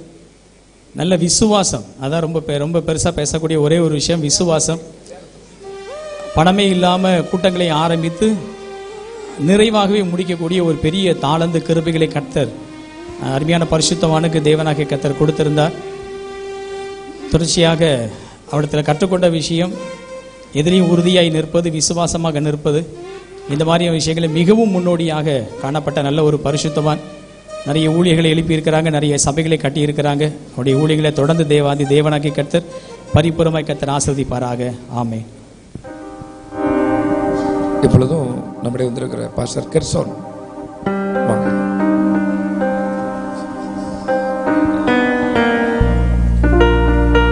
ஆண்டவருடைய நாமம் மகிமைப்படுவதாக.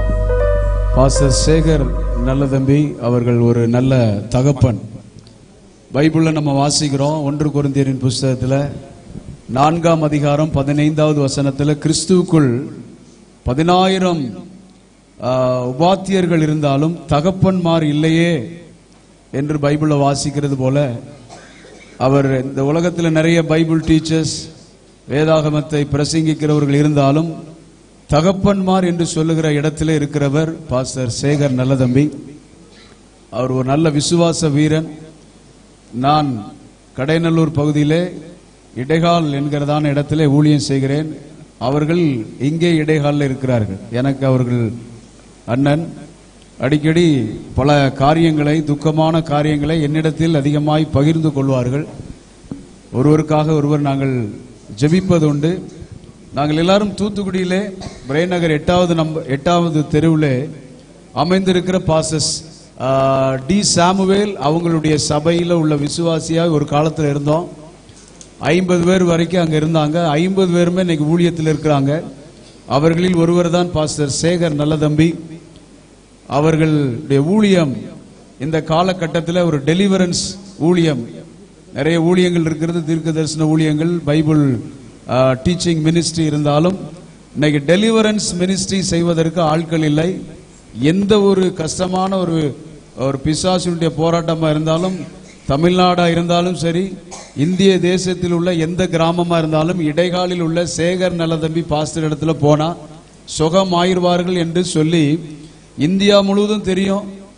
ஈவன் வெளிநாட்டில இருந்து கூட என்கிட்ட சொல்லியிருக்காங்க. சீனாயில இருந்து சீனா தேசத்துல இருந்து கூட ஒரு குடும்பத்திற்காக ஜோம் பண்ண வேண்டியது இருந்தது. அவர்களுக்கு நான் ஜெபம் பண்ண ஜோம் ஜெபம் பண்றதுக்கு முன்னாலே அந்த பிசாஸ் அவங்களை விட்டு ஓடினது என்று அவர்கள் ஒரு நல்ல டெலிவரன்ஸ் மினிஸ்ட்ரி ஆண்டவர் அவர்கள் இவ்வளவு சீக்கிரமாக அவர்கள் இந்த உலகத்தை விட்டு கடந்து செல்வார்கள் என்று எதிர்பார்க்கவில்லை. ஆனால் அவர்கள் இன்றைக்கு தேவனுடைய ராஜ்யத்திலே இருக்கிறார்கள்.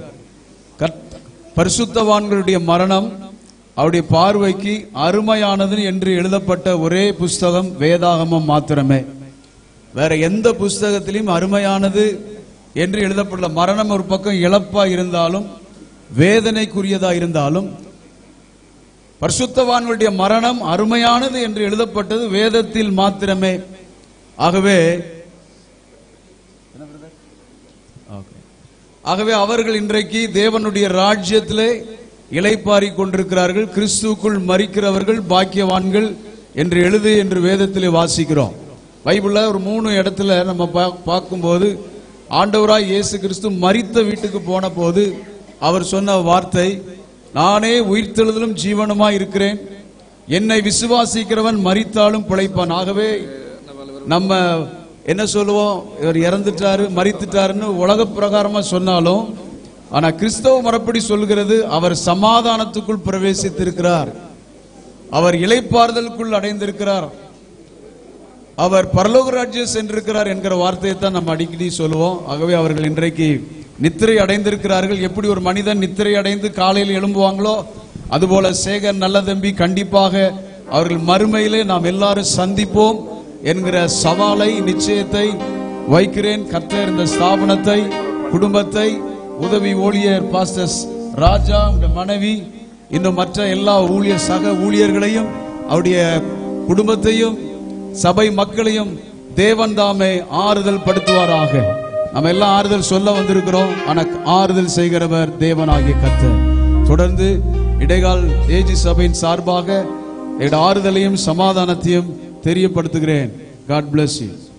நம்முடைய பாஷாவை அதிகமாக நேசிக்கிற அருமையான பாஷர் சென்னையிலிருந்து குமார் வந்திருக்கிறார்கள். அடிக்கடி எங்களிடத்தில் சொல்லுவார்கள் அதிகமாக நேசிப்பார்கள் என்று. ஆண்டவராகிய ஆண்டவராகிய இயேசுவின் நாமத்தினாலே ஒரு வாழ்த்துக்களை தெரிவித்துக் கொள்கிறேன் இந்த செய்தி எங்களுக்கு எங்கள் எங்கள் குடும்பங்களுக்கு ஒரு பெரிய துக்கமான செய்தி. இந்த ஸ்ரீலங்காவில் என்னுடைய சகோதரர்கள் எல்லாரும் எதிர்பார்த்து கொண்டிருந்தாங்க. ஐயா சொன்னாங்க எனக்கு கொஞ்சம் மனசு கொஞ்சம் கஷ்டமாக இருக்குது குமார். அதனால் நம்ம ஜனவரி பிப்ரவரி மாதம் ஸ்ரீலங்காவுக்கு போயிட்டு நம்ம வீட்டோடு இருக்கணும் என்று சொல்லிட்டு அருமையான பாஸ்டர் அவர்களை நம்ம வீட்டுக்கு வருவாங்க. டாக்டர் அகஸ்டின் அவங்க எல்லாருக்கும் தெரியும் இசையமைப்பாளர் அவங்கள வீட்டுக்கு வந்து அவங்க தங்கி இருக்கிற காலத்தில் அவர் ஒரு பெரிய ஒரு ஊழியக்காரராக இருக்கிறதுனால நான் அவரை அவ்வளோ வந்து பார்க்க மாட்டேன் சந்திக்க மாட்டேன். அந்த கடைசி ஜெபம் நேரத்தில் மாத்திரம் வந்து ஜெபித்துட்டு போவோம். ஒரு ஒரு காலகட்டத்தில் இங்கே வருவதற்கு ஒரு சந்தர்ப்பம் ஏற்பட்ட பொழுது நான் வந்த பொழுது அவரோடு பழகி சிநேகித்த பொழுது எனக்கு அவர் மேலே ஒரு சரியான ஒரு பிரியம் ஒன்று ஏற்பட்டது. அப்போ ஐயாட்ட நான் சொன்னேன் ஐயா நான் ஸ்ரீலங்காவில் ஒரு மூன்று நாள் கன்வென்ஷன் கூட்டம் செய்கிறேன்.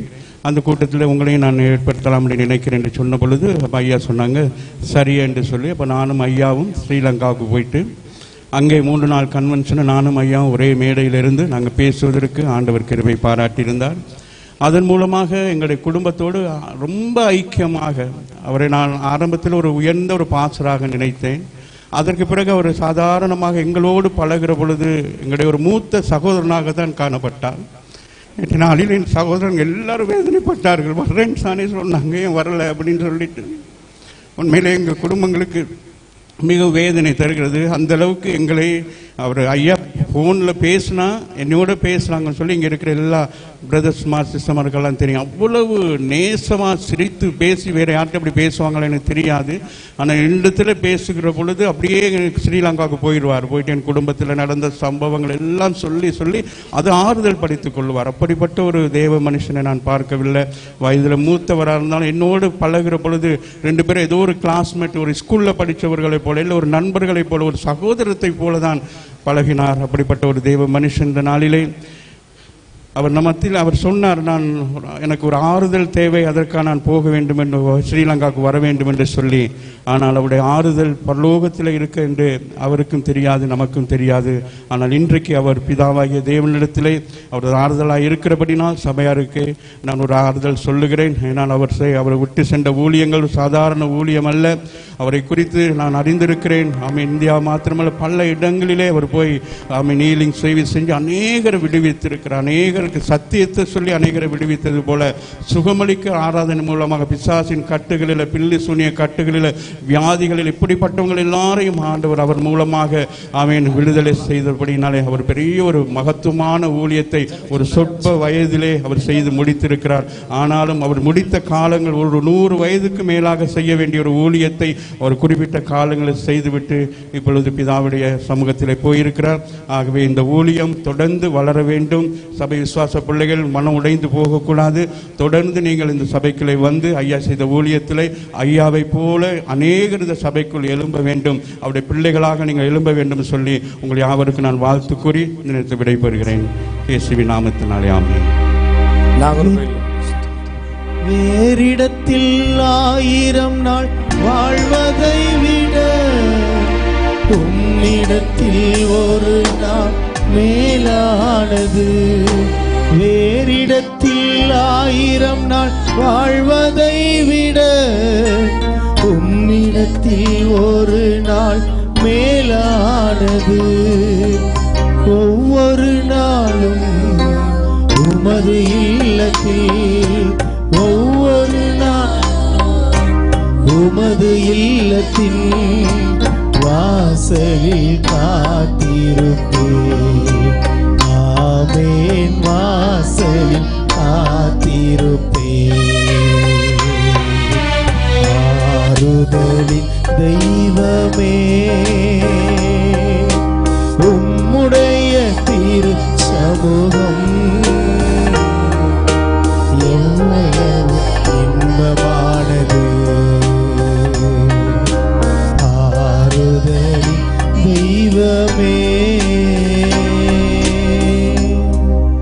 வாசலில் நிற்கவங்க கொஞ்சம் வழி விடுங்க. ஐயாவை பார்த்தவங்க.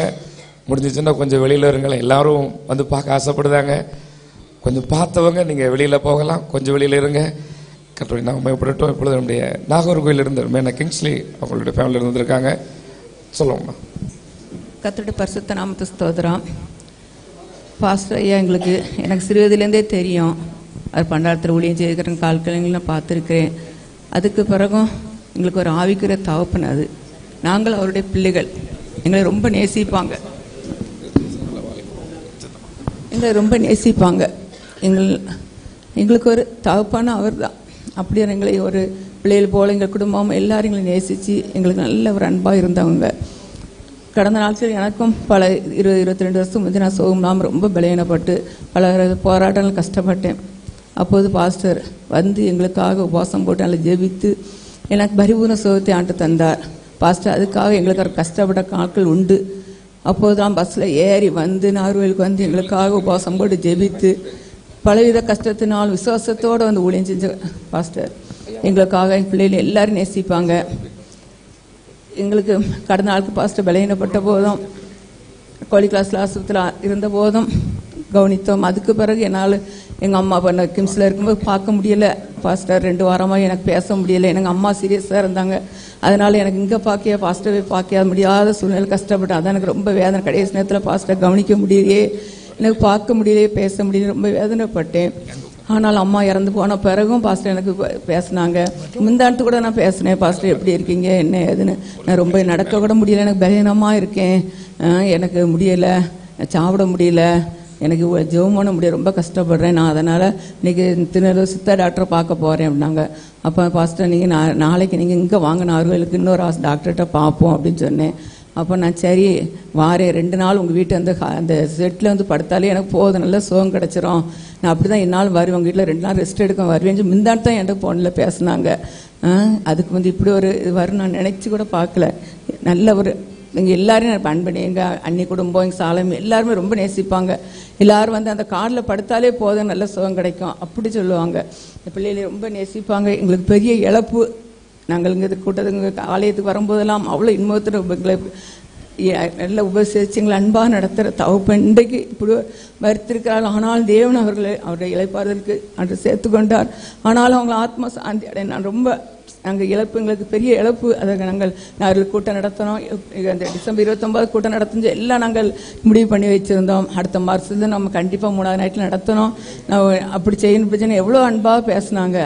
ஆனால் அந்த கிம்ஸில் இருக்கும் பார்க்க போக முடியாது ஒரு ஏக்கம் குடும்பத்தில் எல்லாருக்கும் இருக்குது நாங்கள் அப்படி பாஸ்டர் பார்ப்போம். ஆனாலும் அவங்களுக்கு வரவில்லையேன்னு சொல்லி ஒரு ஏக்கம் இருந்திருக்கோம். நாங்கள் ஆனாலும் எனக்கு ஒரு சூழ்நிலை அப்படி ஆகிட்டது அது இன்றைக்கி எனக்கு மனசு ஒரு பாரமாக இருக்கிறது.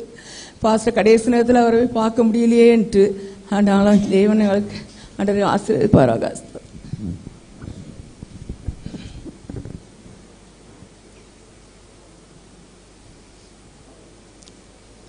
கர்த்தருடைய பரிசுத்த நாமத்துக்கு மகிமை உண்டாகட்டும். அருமையான பிரியமான பாஸ்டரை கர்த்தருடைய பிள்ளைகளை ராஜ்யத்தில் எடுத்துக்கொண்டார். வேத வசனம் சொல்லுது தீங்கு நாள் வராதுக்கு முன்னே நீதிமான் எடுத்துக்கொள்ளப்படுதான்னு சொல்லிட்டு. எனக்கு அருமையான கர்த்தருடைய பிள்ளைகளை ஆரம்ப நாட்களிலே நாங்கள் ரொம்ப சிநேகமாக அடிக்கடி எங்கள் சபைக்கு வருவார். நானும் அடிக்கடி இங்கே வந்து நல்லா ஐக்கியமாக இருந்தோம். இப்போ ஒருவருக்கு கத்தவுடைய பிள்ளை ஊழிய பொறுப்புகள் இருக்கிறபடினால அதிகமாக நாங்கள் ஒருவருக்கோடு கலந்து கொள்ள முடியலை. நான் கத்தருடைய பிள்ளைகளை நேற்று கூட ஒரு அடுக்காக போக வேண்டிய சூழ்நிலை வந்துட்டு அப்போ நான் கேள்விப்பட்டது சங்கடமாக இருந்தது.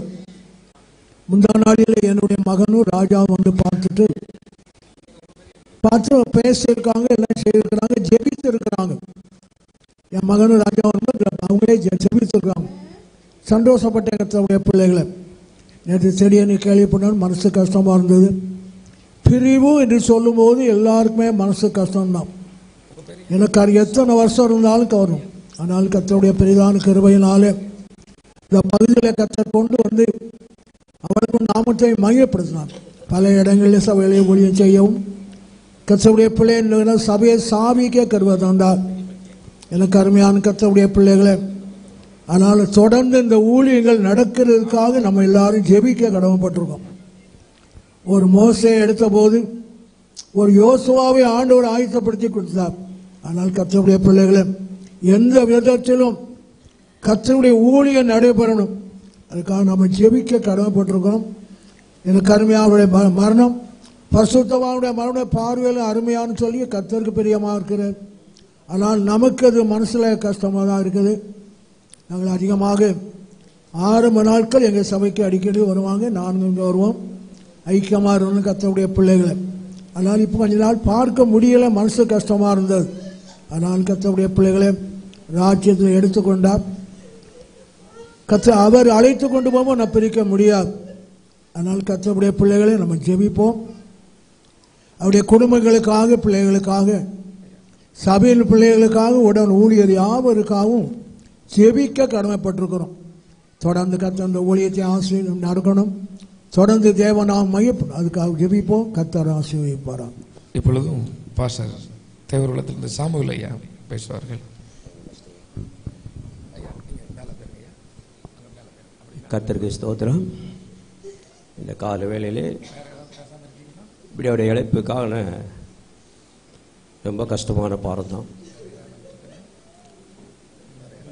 அவர் கிட்டத்தட்ட என்னுடைய மேரேஜுக்கு முன்னாடியே பழக்கம் எங்கள் ஊர்லேருந்து உக்கராண்ட கிராமத்துலேருந்து அவங்களுக்கு தானியங்கள்லாம் கொண்டு வருவோம். கொண்டாந்து கொடுப்போம். அப்புறம் முதலாவது ஊழியம் எங்களுடைய மாமனார் வீட்டை தான் டாட்டாமேட்டை தான் ஊழியம் ஆரம்ப ஊழியம்.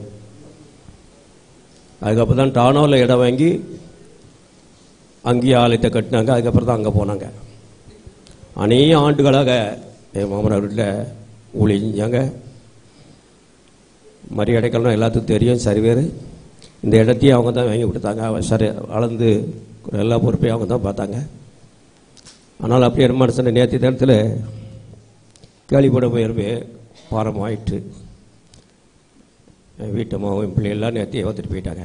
அங்கே சபையில் உபவாசம் கொண்டிருக்கனால அங்கே நடத்தினால போயிட்டாங்க. இப்படியான இழைப்புகளை இப்படியான பாஸ்தவங்கள் அநேக ஊழியரை கொடுக்காருங்க ஒரு ஒரு ஒரு எட்டு உள்ள கிடையாது. கடந்த நாள் கூட நான் வெளிநாட்டு போயிட்டு இருந்தேன் சாமி வெளியிட்டார் நீங்கள் எல்லா நாட்டுக்கு போய் ஆண்டடிக்கிற ஊழியம் நல்ல சிறப்பாக சத்துரு போராட்டங்கள்னாலும் சாசு கட்டில்னாலும் பில்லிசூர் கட்டில் எல்லாத்தையும் இங்கே வந்து செவித்துக்கு போகும்போது விடுதலையோடு கடந்து போவாங்க. நல்ல சாட்சி.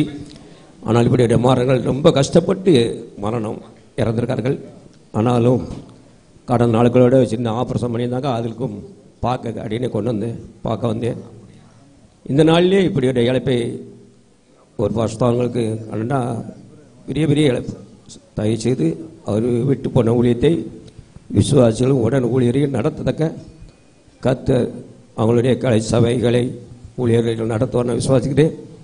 அது மட்டும் இல்லை இந்த டானாவில் ஊழியத்தையும் கத்த நாம் மயமே கண்டு அதை செய்யத்தக்க அநேக பிராஞ்சுகளை உருவாக்கியிருக்கார்கள். ஒரு நல்ல இந்த இடத்துல இந்த பகுதியில் வந்து தேவசித்த நிறைவேறுக்காக ஊழியம் செஞ்சார்கள் ஊழியத்தையும் அதையும் அவர் இந்த இடத்துல வேகனை இதிலே இந்த இடத்துலே அவரை அடக்கம் பண்ண போகிறார் அது ரொம்ப எனக்கு மகிழ்ச்சியாக இருக்குது. வெளியே எங்கே வைக்கக்கூடாது. நான் நேற்றையே நினைச்சேன். அதே போல் முன்னால் நல்ல அவர்களுக்கு கல்லறையை கட்டிருக்காங்க. கத்திரி ஸ்தோத்திரம் ஒரு மரணம். நமக்கு இலைப்பார்த்தாலும் கத்துடைய பார்வைக்கு அது அழகாக இருக்கிறது. எல்லாத்துக்கும் மரணம் உண்டு. மரணம் யாருக்கும் மரணம் இல்லை. பரசுதாங்களுக்கு மரணம் உண்டு. பாவிகளுக்கும் மரணம் உண்டு. ஆனாலும் மரணத்துக்கு முன்னாலே நம்ம நம்மளை ரொம்ப ரொம்ப ரொம்ப பயத்தோடு நடுக்கத்தோடு கத்தோடைய ஊழியம் செய்யும்போது கத்த நல்ல ஒரு மரணத்தை கொடுத்து தேவர் ஆட்சியத்துக்கு எடுத்துக்கிடுவாருங்க கத்த தாமே இந்த சாட்சி ஆசீர்வாருங்க தேங்க்யூ அடுத்தபடியாக திருநெல்வேலிருந்து ஈசாக்கு பாஸ்டர் கத்தருக்கு ஸ்தோத்திரம். நாளிலும்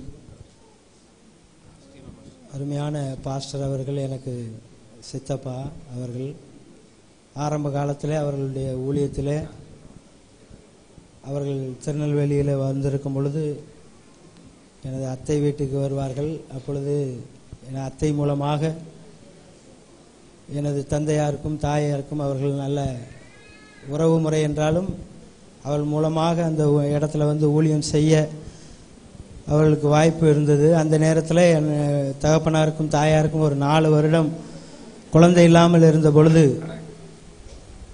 அருமையான சித்தப்பா அவர்கள் வந்து ஜெபித்து வெறும் வயிற்றில் உனக்கு உங்களுக்கு நல்ல ஒரு ஆண்மகன் ஆண்டவர் தருவார். அவனுக்கு ஈசாக் என்று பெயரிடுங்கள் என்று வெறும் வயிற்றிலே பெயர் வைத்தவர்கள் அருமையான பாஸ்டர் அவர்கள் நிச்சயமாகவே அவர்களுடைய ஜெபத்தினால தான் நான் இந்த இடத்துல நான் நிற்கிறேன். நிச்சயமாக அவர்கள் மூலமாக ஒரு பெரிய ஊழியத்தையும் எங்கள் பகுதியில் கட்டுவதற்கு அவர்கள் நல்ல உறுதுணையாக இருந்தார்கள். அநேக காரியங்களை என்னுடைய தகப்பனாருக்கு ஆலோசனை சொல்வதற்கு என்னுடைய குடும்பம் ரட்சிக்கப்படுவதற்கும் சிஎஸ்சி குடும்பத்திலிருந்து ரட்சிக்கப்படுவதற்கும் அவர்கள் உறுதுணையாக இருந்தார்கள். அநேக ஆலோசனைகளை சொல்லி இருக்கிறார்கள் அநேக காரியங்களை என்னுடைய திருமணத்தை அவர்கள்தான் முன்னின்று நடத்தி வைத்தார்கள். என் தகப்பனாருக்கு மேலாக அவர்கள்தான் முன்னின்று நடத்தி வைத்தார்கள். எனக்கு என் தகப்பனாருக்கு இணையான ஒரு தகப்பனாரை போல அவ்வளவு அன்பு உள்ளவர்களாக அவர்களோடு நாங்கள் எல்லா இடத்திற்கும் பைக்கில் நான் வாங்கின ப பிறகு தான் அவர்கள் வாங்கினார்கள். அந்த பைக்கிலே நாங்கள் ஊழியங்களுக்கு நிறைய இடங்களுக்கு செல்வோம். ஊழியத்திற்கு என்னை அழைத்து சென்றார்கள். அநேக நேரங்களில் ரொம்ப அன்பாக பேசுகிறவள் ரெண்டு மூன்று நாட்களுக்கு முன்பாக தான் பேசி இப்படி சித்தப்பாவுக்கு உடம்பு சரியில்லைப்பா அப்படின்னாங்க. நான் வார சித்தப்பா அப்படின்னேன் நீ ஃபோன் பண்ணிட்டு வா அப்படின்னு. ஆனால் அவங்ககிட்ட ஃபோன் பண்ணதுக்கு என்னால் முடியல. நிச்சயமாக அது ஒரு வருத்தம் தான் ஆனாலும் எனக்கு ஒரு நல்ல ஒரு மகிழ்ச்சி என்னன்னா நிச்சயமாக அவர்கள் இந்த உலகத்தில் இருக்கிற பாடுகள் எல்லாவற்றையும் கடந்து அவர்கள் ஒரு மகிழ்ச்சியான இடத்திற்கு சென்றிருக்கிறார்கள். ஆண்டவரோடு இருப்பதுதான் நமக்கு எல்லாருக்கும் மகிழ்ச்சி. நமக்கு அவர்கள் ஒரு இழப்பாக இருக்கிறது ஒரு வருத்தமாக இருந்தாலும் நிச்சயமாகவே அவர்களுக்கு இது ஒரு இலைப்பாறுதலின் நாளாய் ஆண்டவர் அவர்கள் கொடுத்திருக்கிறார் என்ற ஒரு விசுவாசம் எனக்கு இருக்கிறது. அவர்களோடு நானும் செல்வேன். அவர்களை போய் நாமளும் ஒரு நாள் பார்ப்போம் என்கிற அந்த விசுவாசம் இருக்கிறது. நிச்சயமாகவே கத்தர் அந்த விட்டு போன அந்த ஊழியத்தில் அவர்கள் விட்டு போன இந்த ஊழியத்தை தொடர்ந்து நடத்துவதற்கு அவருடைய உடன் ஊழியர்களுக்கு தேவன் பலனை தருவார் சத்துவத்தை தருவார் என்று நான் விசுவாசிக்க கத்ததாமே அவளுடைய ஆத்மாவுக்கு இழைப்பாறுதலை தருவாராக. ஆமென். தோத்திரம் அருமையான நம்முடைய பாஷையோடு இருந்து ஊழியம் செய்த அருமையான பால்துறை பாஷை கத்தனுடைய நாமம் மகிமைப்படுவதாக இப்பொழுது கூட நாம் நிற்பது தேவனுடைய கருவை அதுக்கு பின்பு நம்ம பாஸ்டர் சேகரையா அவர்களுடைய தயவு. ஆகையினாலே நான் ஆயிரத்தி தொள்ளாயிரத்தி எண்பத்தி ஒன்பதாம் வருடம் நான் இந்துவாக இருக்கிற பொழுது கல்கோரி நடத்திருக்கும்போது எனக்கு செய்வனை வச்சுருந்தாங்க அந்த செய்வனை கட்டிலிருந்து எனக்கு விடுதலை தரும்படிக்கு அங்கே அருணாச்சலபுரம் ஜப வீட்டுக்கு சென்ற பொழுது அங்கே எனக்குள்ள இந்த செய்வனை கிரிகள் எல்லாம் அழிக்கும்படி அவருடைய ஜெபத்தின் மூலமாக வெளிப்பட்டு அந்த ஜெபத்தின் மூலமாக அந்த செய்வன கட்டுகள் எல்லாம் அகன்று அதன் மூலமாக நான் இன்றைக்கு உயிரோடு இருக்கிறேன். அது மட்டுமல்ல எனக்கு வருகிற சமயங்கள் எல்லாம் அன்பாய் என்னை அண்ணேன்னு சொல்லி கூப்பிடுவாங்க. கூப்பிடும் பொழுது நான் ஒரு விசுவாசியாக இருந்தேன். விசுவாசியாக இருந்த சமயத்தில் கிட்டத்தட்ட எண்பத்தி ஒம்பது லாஸ்ட்டில் ஏழில் ஒம்பது எண்பத்தி ஒம்பது ஏழாம் மாதம் சர்ச்சுக்கு வந்து சர்ச்சில் வந்து அங்கே இருந்து அதுக்கப்புறம் தொண்ணூறில் அன்றைக்கு ஞானஸ்தானம் பெற்று சர்ச்சிலே அங்கத்தினராக இருந்து அதுக்கு பின்பு கருவந்தாவுக்கு ஊழியத்துக்கு போங்க என்று சொல்லி அவருடைய வாயின் மூலமாகவே எனக்கு போக முடியாது தெரியாது படிப்பு தெரியாதுன்னு சொன்னேன் நீங்கள் போங்க கர்த்தர் நடத்துவார் சொல்லி என்னை ஜெபம் பண்ணி அனுப்பினாங்க. அன்றைய தினத்தில் இருந்து கர்த்தருடைய ஊழியத்தை செய்யும்படிக்கு கர்த்தர் அனுக்கிரகம் செய்தார். ஆனால் அவர் எப்படி ஊழியம் செய்கிறாரோ அதே போல ஊழியம் செய்வதற்கும் கர்த்தர் எங்களுக்கு அனுக்கிரகம் செய்திருக்கிறார். கர்த்தருடைய நாமம் மகிமைப்படுவதாக அது மட்டுமல்ல இன்றைக்கு அவர் மறித்திருக்கிறார் ஆனால் இவருடைய ஜீவனோ கிறிஸ்துவுக்குள் மறைந்திருக்கிறது என்று கொலைஸ்தர் புஸ்தகத்தில் சொல்லப்பட்டபடி இவருடைய ஜீவன் கிறிஸ்துவுக்குள் இருக்கிறது. ஆகிலும் அவர் வரும்பொழுது கர்த்தருடைய ஆரவாரத்தோடு சத்தத்தோடும் தூதர்களோடும் பரிசுத்தவான்களோடும் வரும்போது இந்த பரிசுத்தவானும் வருவார்கள். வரும்பொழுது நாமும் அவரை காண்போம். அப்படிப்பட்ட அனுபவத்தை கர்த்தர் இவருக்கு கொடுத்து வழிநடத்த இருக்கிறார் நல்ல போராட்டத்தை போராடி ஓட்டத்தை முடித்து இன்றைக்கு கர்த்தருக்குள் நினைத்திரடைந்து இழைப்பாரி கொண்டு இருக்கிறார் ஆகையினாலே நாமும் ஒரு நாள் மறிப்போம் ஆகையினாலே ஒரு நாள் பரலோகத்தில் வரும்பொழுது அவரை காண்போம். நாமளும் அவரோடு இணைந்திருக்க கர்த்தர் அனுக்கிரகம் செய்வாராக. கர்த்தர் அவருக்கு கொடுக்கப்பட்ட ஊழியத்தை பதினாறு வயதிலிருந்து இந்த வரு- நாள் இந்த நாள் வரைக்கும் அவருக்கு கொடுக்கப்பட்ட ஊழியத்தை செய்து முடித்தார். ஆகினாலே அவரை போல ஊழியம் செய்வதற்கு நாமளும் தகுதியாக இருக்க வேண்டும். அதற்காக கர்த்தர் கொடுத்த எனக்கும் அந்த ஊழியத்தை கர்த்தர் அவர் மூலமாய் கொடுத்து அன்றைக்கு இன்றைக்கு எப்படி செய்து வந்தாரோ ஊழியத்தை அதே போல நாங்களும் அவருடைய வழியை பின்பற்றி நாங்கள் நடக்கிறோம். கர்த்தர் தாமே இந்த சாட்சியை ஆசீர்வதிப்பாராக. ஆமென் ஆமென். நம்முடைய அருமையான தெய்வ மனிதர் அநேக மனநலம் பாதிக்கப்பட்டவர்களுக்கு ஜெபித்து அவர்களை ஊழியராக்கி இருக்கிறார் அநேக பிசாசின் பிடியிலிருந்து பிடிக்கப்பட்டவர்களை தன்னுடைய நாமத்தில் விடுதலை செய்து அவர்களை ஊழியராக்கி இருக்கிறார் இப்பொழுதும் நம்முடைய தூத்துக்குடியிலிருந்து பாஸ்டர் ஸ்டீவன்.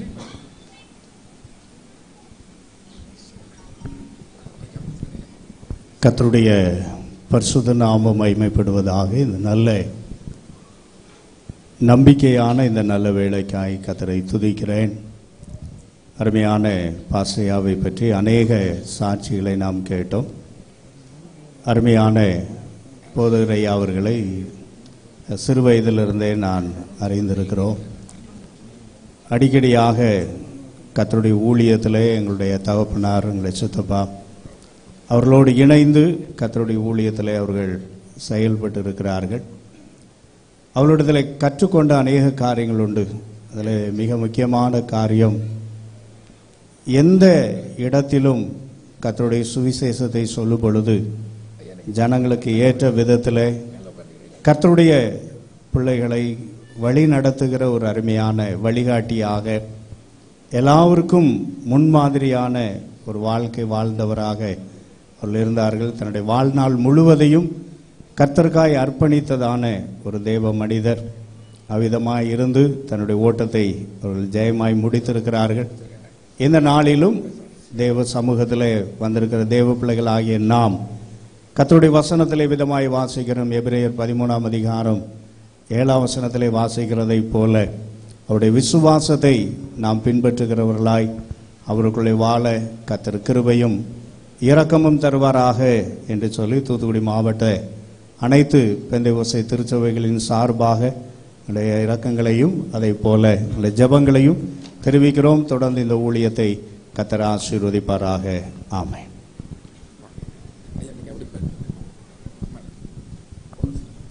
கத்தருடைய நாமத்து பரிசுத்தமாக ஆரம்ப காலத்தில் ஃபாஸ்ட்டு அவங்க குடும்பம்லாம் அங்கே இருக்கையில் நான் பிரேநகரில் நாலாவது தெருல என் ச சகோதரி வீட்டுக்கு அங்கே இருந்திருக்கேன். அங்கே இருந்து வேலைக்கெல்லாம் போயிருக்கேன். ஸ்பெக்கு கப்பல் ஆர்பரில் வேலைக்கு சேர்த்து விடுறதுக்காக என்னை தக ச மச்சனை வந்து கூப்பிட்டு போனாங்க. அங்கே இருந்திருக்கிற அப்போ இவங்க எல்லாம் தெரியும். நான் அவங்க வீட்டு பக்கத்துல எல்லாம் இருந்துக்க வாட. ஆனால் எண்பத்தி ரெண்டில் அவங்க அந்த இடத்துல ஊழியம் பாஸ்ட் சாமுவல் ஐயா அந்த ஜெபம் நடக்கும்போது அவங்க தெருவில் அப்படியே பாட்டு பாடிக்கிட்டு வருவாங்க சொல்லுவாங்க. வேத சிஎஸ் சபையில் உள்ளவங்க. எனக்கு வந்து கணக்கப்பள்ள வலசை எங்கள் அம்மா ஊர். எங்கள் அப்பாவுக்கு ஊர் வந்து கடையநல்லூர் கிருஷ்ணாவரம் நான் இந்து குடும்பத்தில் இருந்து வந்தேன். சின்ன வயசுலேயே பதிமூணு வயசுலேயே விட்டு விட்டு வெளியே போனேன். ஆனாலும் வந்து எங்கெங்க நம்ம எத்தனையோ தேசங்களில் அலைந்து திரிந்து கடைசியாக அந்த இடத்துக்கு ஒரு ஆள் மூலியமாக வந்து இங்கே ஒரு கடையில் வேலை பார்த்துட்டு இருந்தேன். அப்புறம் நம்ம சபையில் தான் என் மனைவியும் இன்னொரு சகோதரி சீலி.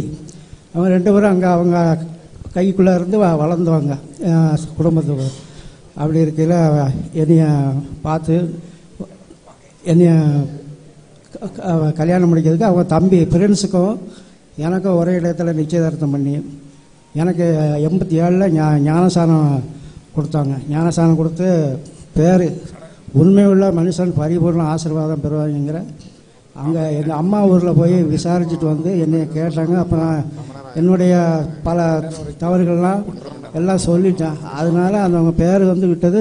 நீதிமொழியில் இருபத்தெட்டு இரு இருபதில் உண்மையுள்ள மனுஷன் பரிபூர்ண ஆசீர்வாதங்க பேர் விட்டு அந்த கல்யாணம் ஜூன் பிரின்ஸுக்கும் எங்கள் ரெண்டுத்துக்கும் ஒரே டயத்தை தான் வச்சுருந்தாங்க. அப்படி இருக்கையில் அவங்க ஆரம்ப காலத்தில் எனக்கு வந்து இது அவ்வளோவா தெரியாது. எங்கள் ஊரில் அந்த வெள்ளக்காரன் வெள்ளைக்காரன் அந்த ஸ்கூல் இருக்குது ஆ. அப்படி இருக்கையில் எனக்கு நான் ஒரு ரெண்டு மூணு வருஷம் அப்படியே பின்ன வந்துக்கிட்டு இருந்து திரும்ப வராமல் இருந்து பிற எண்பது தொண்ணூற்றி ரெண்டில் இருந்து திரும்ப எனக்கு சோம்பலம் ஆகி வந்து அப்படி அவங்க கல்யாணம் பிற ஆரம்பத்தில் இனிய நல்லா அந்த ஆராதனை அவங்க செய்தியை கேட்டு கேட்டு செய்தியை கேட்டு கேட்டு அப்படியே மனசை அவங்க பாடிக்கிற பாட்டு பழைய பாடல்கள் பூரா எனக்கு அப்படியே மனப்பாடமாக அவங்க சொல்கிற செய்தியை பூரா மனசுக்குள்ளே பதிஞ்சு வச்சுக்கிறேன். மற்றவங்கலாம் எழுதுறாங்க. நான் அப்படி எழுத மாட்டேன். என் இருதயத்தில் சின்ன வயசுல இருந்து நான் சினிமா பாட்டு ரொம்ப விரும்பி படிப்பேன். அப்படி இருக்கல நான் முத முத அது படித்த என் இதயம் யாருக்கு தெரியுங்கிற பாட்டு சபையில் முத முத ஆரம்பித்து பாடிச்சு. அப்போ ஆராதனைக்கெல்லாம் தம்பி இன்னும் ரெண்டு மூணு பேர் இருந்து இப்போ ஆராதனைக்கு படிப்போம். அப்படி இருந்து சபை கூட இருந்து அவங்க அவங்கள மாதிரி ஊழியம் செய்துட்டு நான் அவங்க செய்த ஊழியத்தை எத்தனையோ பேரை பார்த்துருக்கேன். ஆனால் கூட எத்தனையோ பேர் இருந்து சுகம் பெற்று போன எல்லாம் போய் உருவாக்கி விட்டுருக்காங்க நிறைய ஊழியக்காரங்க கூட இருந்து இருந்து தனியாக போயிடுறாங்க. நாங்கள் ஆரம்பத்தில் விழுந்து அந்த சபையை விட்டு வேறு எந்த சபைக்கும் போகிறது கிடையாது. எங்களுக்கு தாயும் தகப்பனும் அவர் தான் ஏதோ ஒரு குறைனா அவங்கக்கிட்ட தான் வந்து சொல்லுவோம். நாங்கள் வேறு போலீஸ் ஸ்டேஷனுக்கோ எங்கள் சமூகத்தில் தேவர் சமுதாயத்தில் இருந்து வரியெல்லாம் கேட்டாங்க கோயிலுக்கு சமுதாயத்துக்கு. நாங்கள் அதெல்லாம் கொடுக்க மாட்டோம். நாங்கள் வேத முறைப்படி தான் என் பாஸ்ட்டு அந்த வே வேத முறைப்படி நாங்கள் இருக்கோம். அதனால் எங்ககிட்டலாம் வரிகளாக கேட்காதுங்க. இந்நாள் வரைக்கும் நாங்கள் எந்த இதுவுமே அந்த இந்து கோயில் எந்த இதுவுமே இது பண்ண ஆனால் எனக்கு சில செய்வன கட்டுகள்னால நான் நிறைய கஷ்டப்பட்டு இழப்பில் கிடந்து சுகம் பெற்று வரவே அப்படி அந்த மகனை அதிகமாக நேசிக்கிறார். அதனால அவங்கள பேசுறதுக்கு அந்த மகன் போல எனக்கு ஒரு ஒரு அப்பாவை ஒரு அம்மாவை அன்னைக்கு காலையில் எனக்கு குலசீல சொல்லி வரவு எனக்கு இருதயத்தில் நான் மற்றவங்களாம் கண்ணீர் விட்டு அழுவாங்க. நான் உள்ளுக்குள்ளே அடைக்கி எனக்கு அழு அழுக சரி சரி சரி. கருத்து உங்களை தேற்றுவாராக தேற்றுவாராக.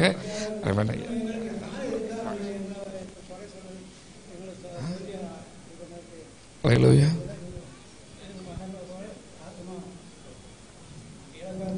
சரி சரி சரி.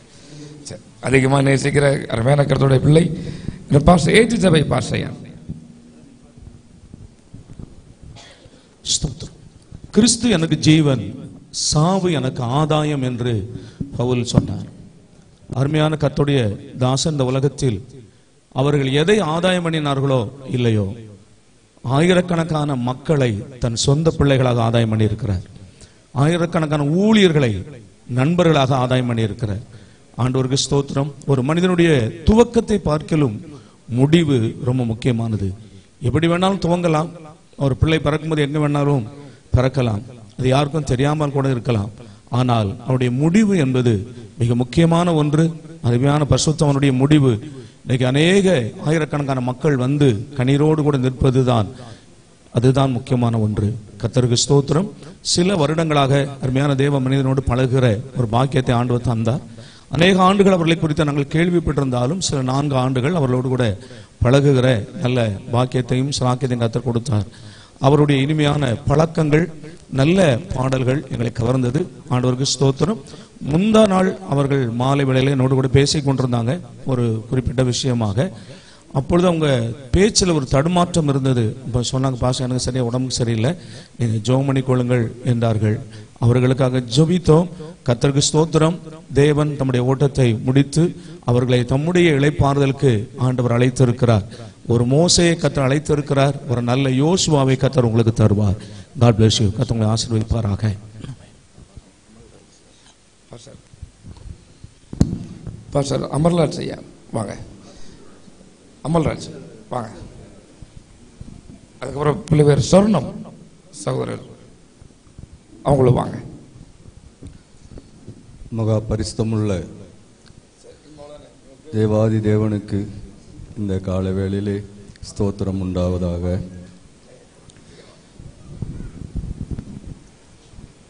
கடந்த முப்பத்தி ரெண்டு வருடத்திற்கு முன்பாக நான் பாஸ்டர் அவர்களை ஒரு பேர் கிறிஸ்தவனாக இருந்து கொண்டு சந்திக்க சென்றேன். பாஸ்டருடைய சபைக்கு பக்கத்தில் இருந்த ஒரு பள்ளியில் ஆசிரியராக இருந்ததினால் அவருடைய அறிமுகம் எனக்கு கிடைத்தது. மெய்யாகவே நான் ஆவிக்குரிய ஒரு தகப்பனாய் பாஸ்டர் அவர்களை பெற்றதற்கு அடிப்படையான காரணம் அவருடைய அன்பு. ஏழைகள் மீது அவர் காட்டின பரிவு. கிறிஸ்தவர் மதத்தை போதிக்கிறவராக அல்ல. அந்த கிறிஸ்துவனுடைய மதிப்பீடுகளை அப்படியே பின்பற்றுகிறவராக அவரை நான் பார்த்தேன். முப்பத்தி ரெண்டு வருடத்துக்கு முன்னால பாஸ்டருடைய சபையில ஒரு உறுப்பினராக நானும் என்னுடைய குடும்பமும் சேர்ந்தோம். எனக்கு மாத்திரமல்ல என் குடும்பத்துக்கு மாத்திரமல்ல என்னை சேர்ந்த அத்தனை அத்தனை பேர்களுக்கும் அவங்க செய்த பெரிய காரியங்களை நினைச்சு பார்த்தா நிச்சயமா வாழ்நாள் முழுக்க மறக்க முடியாது. ஒரு தலைவலின்னா கூட அவர் பாஸ்டருக்கு வந்த தலைவலி மாதிரி நினைச்சு ஜெபம் பண்ணுவார். உண்மையிலே அவரோட பழகக்கூடிய வாய்ப்பு வந்து கிடைச்சதே பெரிய பாக்கியம். ஒரு நீதிமானோட மிகவும் நெருக்கமாக நீண்ட நேரம் பழகக்கூடிய ஒரு வாய்ப்பு எனக்கு கிடைச்சதே தேவன் எனக்கு கொடுத்த ஒரு பெரிய ஸ்லாக்கியம்னு கருதுறேன். அவர் காட்டிய அந்த பாதையில் நிச்சயமா தொடர்ந்து நடந்து நிச்சயமா ஆண்டவருடைய நாமத்துக்கு மகிமையுள்ள மகனாய் வாழ இந்த நேரத்தில் உறுதி எடுத்துக் கொள்கிறேன். நன்றி. வள்ளியூர்ல இருந்து பாஸ்டர் சாலமோன். கர்த்தருடைய பரிசுத்த நாமத்துக்கு சோத்திரம் உண்டாவதாக. நமது மிகவும் அருமைக்குரிய பாஸ்டர் அவர்களை இழந்து மிக வருத்தத்தோடும் துக்கத்தோடும் நாம் இருந்தாலும் மற்றவர்களைப் போல நாம் நம்பிக்கையற்றவர்கள் அல்ல. ஒரு நாளிலே நாம் ஆண்டவரோடு அவரையும் சேர்த்து சந்திக்கப் போகிறோம் என்கிற நிச்சயத்தோடு ஒரு சில வார்த்தைகள்.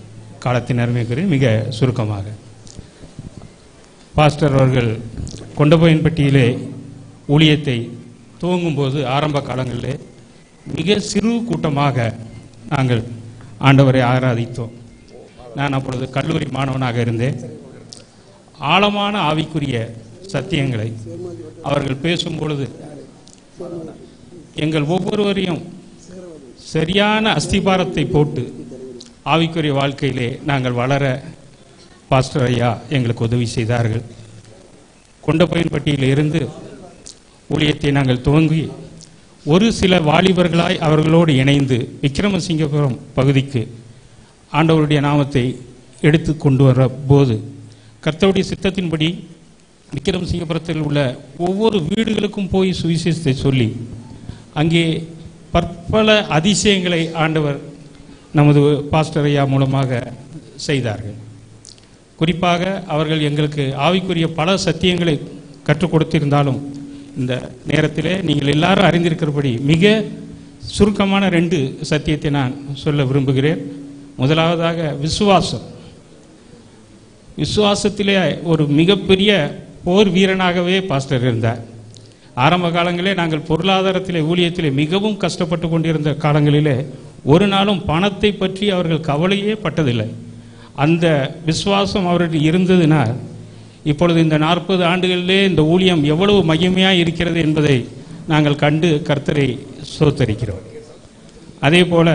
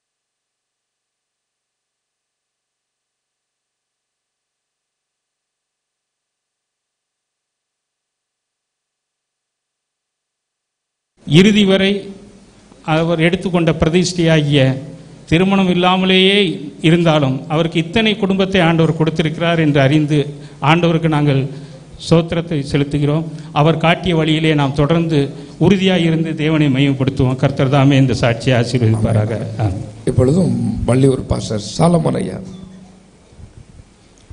கர்த்தருடைய பரிசுத்தமுள்ள நாமம் மகிமைப்படுவதாக இந்த நல்ல காலை வேளைக்காய் துதிக்கிறேன். அருமையான பாஸ்டர் அவர்களுடைய மரணத்தை குறித்து நேற்று கேள்விப்பட்ட போது மிகவும் வேதனையாக இருந்தது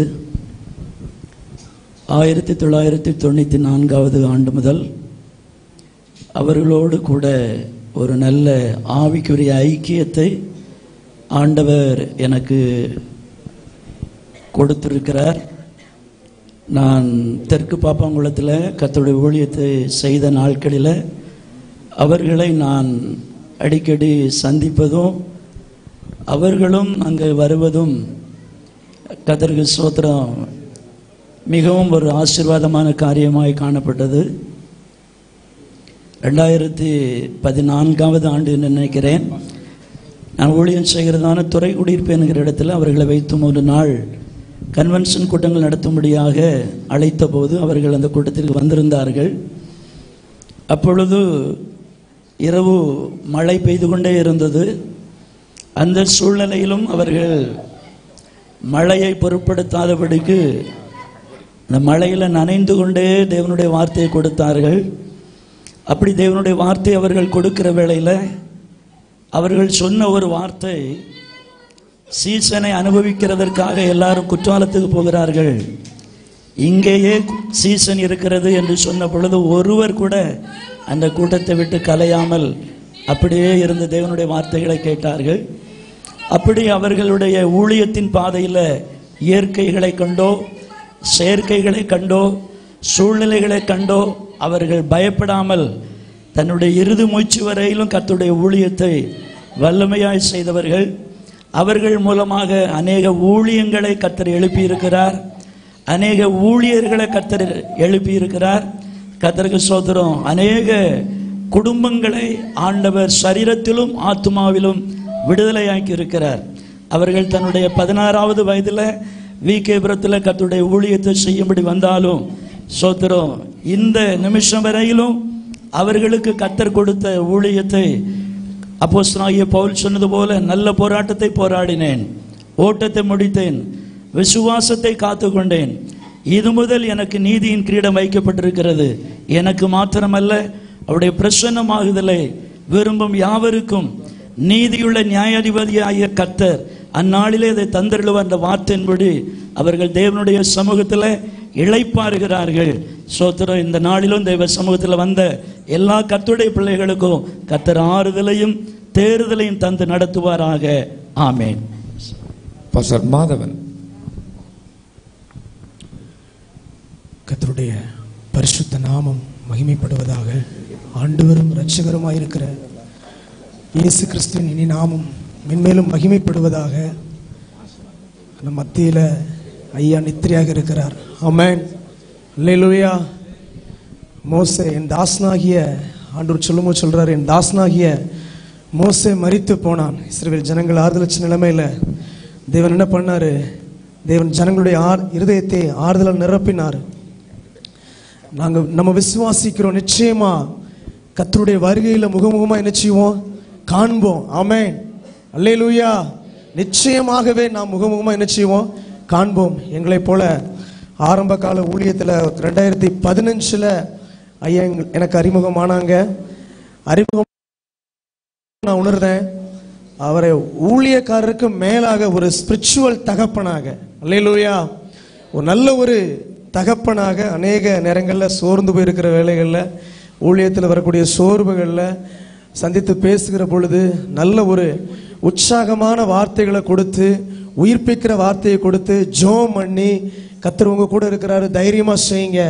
நாங்களும் உங்க கூட இருக்கிறோம் ஜெபிக்கிறோம்னு சொல்லி நல்ல ஒரு ஆலோசனை கொடுத்து மட்டும் பிரயோஜனமா இருந்தாங்க. நிச்சயமா தொடர்ந்து விசுவாச பிள்ளைகளை கத்தர் தாங்க வராங்க பாஸ்டர் செல்லநாதன் சேரன் மகதவி வட்டார போதரைக்கு தலைவர்.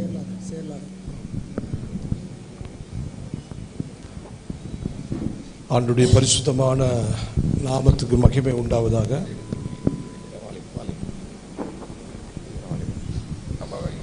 கத்துடி நாமம் அதிகமாய் உயர்த்தப்படுவதாக. அல்லேலுயா ஸ்தாபனங்களுடைய தலைவராக இருக்கிற கணத்துக்குரிய பாச சேகர் தம்பி நல்ல சேகர் நல்ல தம்பி ஐயாவுக்காக கத்தரி ஸ்தோத்தரிக்கிறேன். அவர் இந்த நாட்களிலே ஆண்டவர் கண்டு அவர்களுக்கு கொடுக்கப்பட்டதான ஊழிய பாதையிலே நல்ல போராட்டத்தை போராடி ஓட்டத்தை முடிக்க ஆண்டவர் உதவி செய்திருக்கிறார். அவர்கள் ஆண்டவரை ஏற்றுக்கொண்டிருக்கிறதான அந்த ஊழிய பாதைகளில் அவர்கள் இருக்கிற நாள் வரைக்கும் தெருக்கள் தோறும் கிராமங்கள் தோறும் நகரங்கள் தோறும் பட்டணங்கள் தோறும் போய் இயேசு கிறிஸ்தனுடைய நாமத்தை அறிவித்து அவர்கள் மூலமாக ஆண்டவராக இயேசு கிறிஸ்து ஏற்றுக்கொண்டிருக்கிற விசுவாசிகள் ஆயிரக்கணக்கானவர்கள் உண்டு. அதே போல் அவர்களுடைய உபதேசத்தின் மூலமாய் உருவாக்கப்பட்ட ஊழியர்களும் அதிகமாய் உண்டு என்பதை நான் அறிவேன். சிசமாய் சேர்மாதீவில் நான் என்னுடைய மாரநாத சபைக்கு மூன்று நாள் எழுப்புதல் கூட்டங்களில் வந்து அவர்கள் செய்து கொடுத்திருக்கிறார்கள். நிச்சயமாகவே அந்த செய்தியின் மூலமாக அநேகர் தொடப்பட்டார்கள் ரட்சிக்கப்பட்டார்கள். அது மாத்திரமல்ல எங்கள் சேரை வட்டார ஊழியர் ஐக்கியத்திலும் இரண்டு முறை வந்து கத்தருடைய வார்த்தைகளை அவர்கள் கொடுத்திருக்கிறார்கள். அது ஐக்கியத்திற்கு மிகவும் பலனாக இருந்தது. ஆனால் நேற்று தினத்தில் தான் அவர்கள் ஆண்டருடைய ராஜ்யத்துக்கு போனதை கேள்விப்பட்ட போது வருத்தமாக இருந்தது. ஆனால் அவருடைய ஓட்டத்தை சுகத்தோடு முடிப்பதற்கு ஆண்டவர் உதவி செய்திருக்கிறார். தொடர்ந்து அவர்கள் விட்டு போன பணியை அவர்கள் யாருடைய கரத்தில் கொடுத்திருக்கிறார்களோ அதை செய்வதற்கு ஆண்டவர் உதவி செய்வாராக. தேவநாமம் மகிமைப்படுவதாக. மாஞ்சொலியிலிருந்து வாங்க. தேவனுடைய மகத்தான நாமத்துக்கு சோதரம்.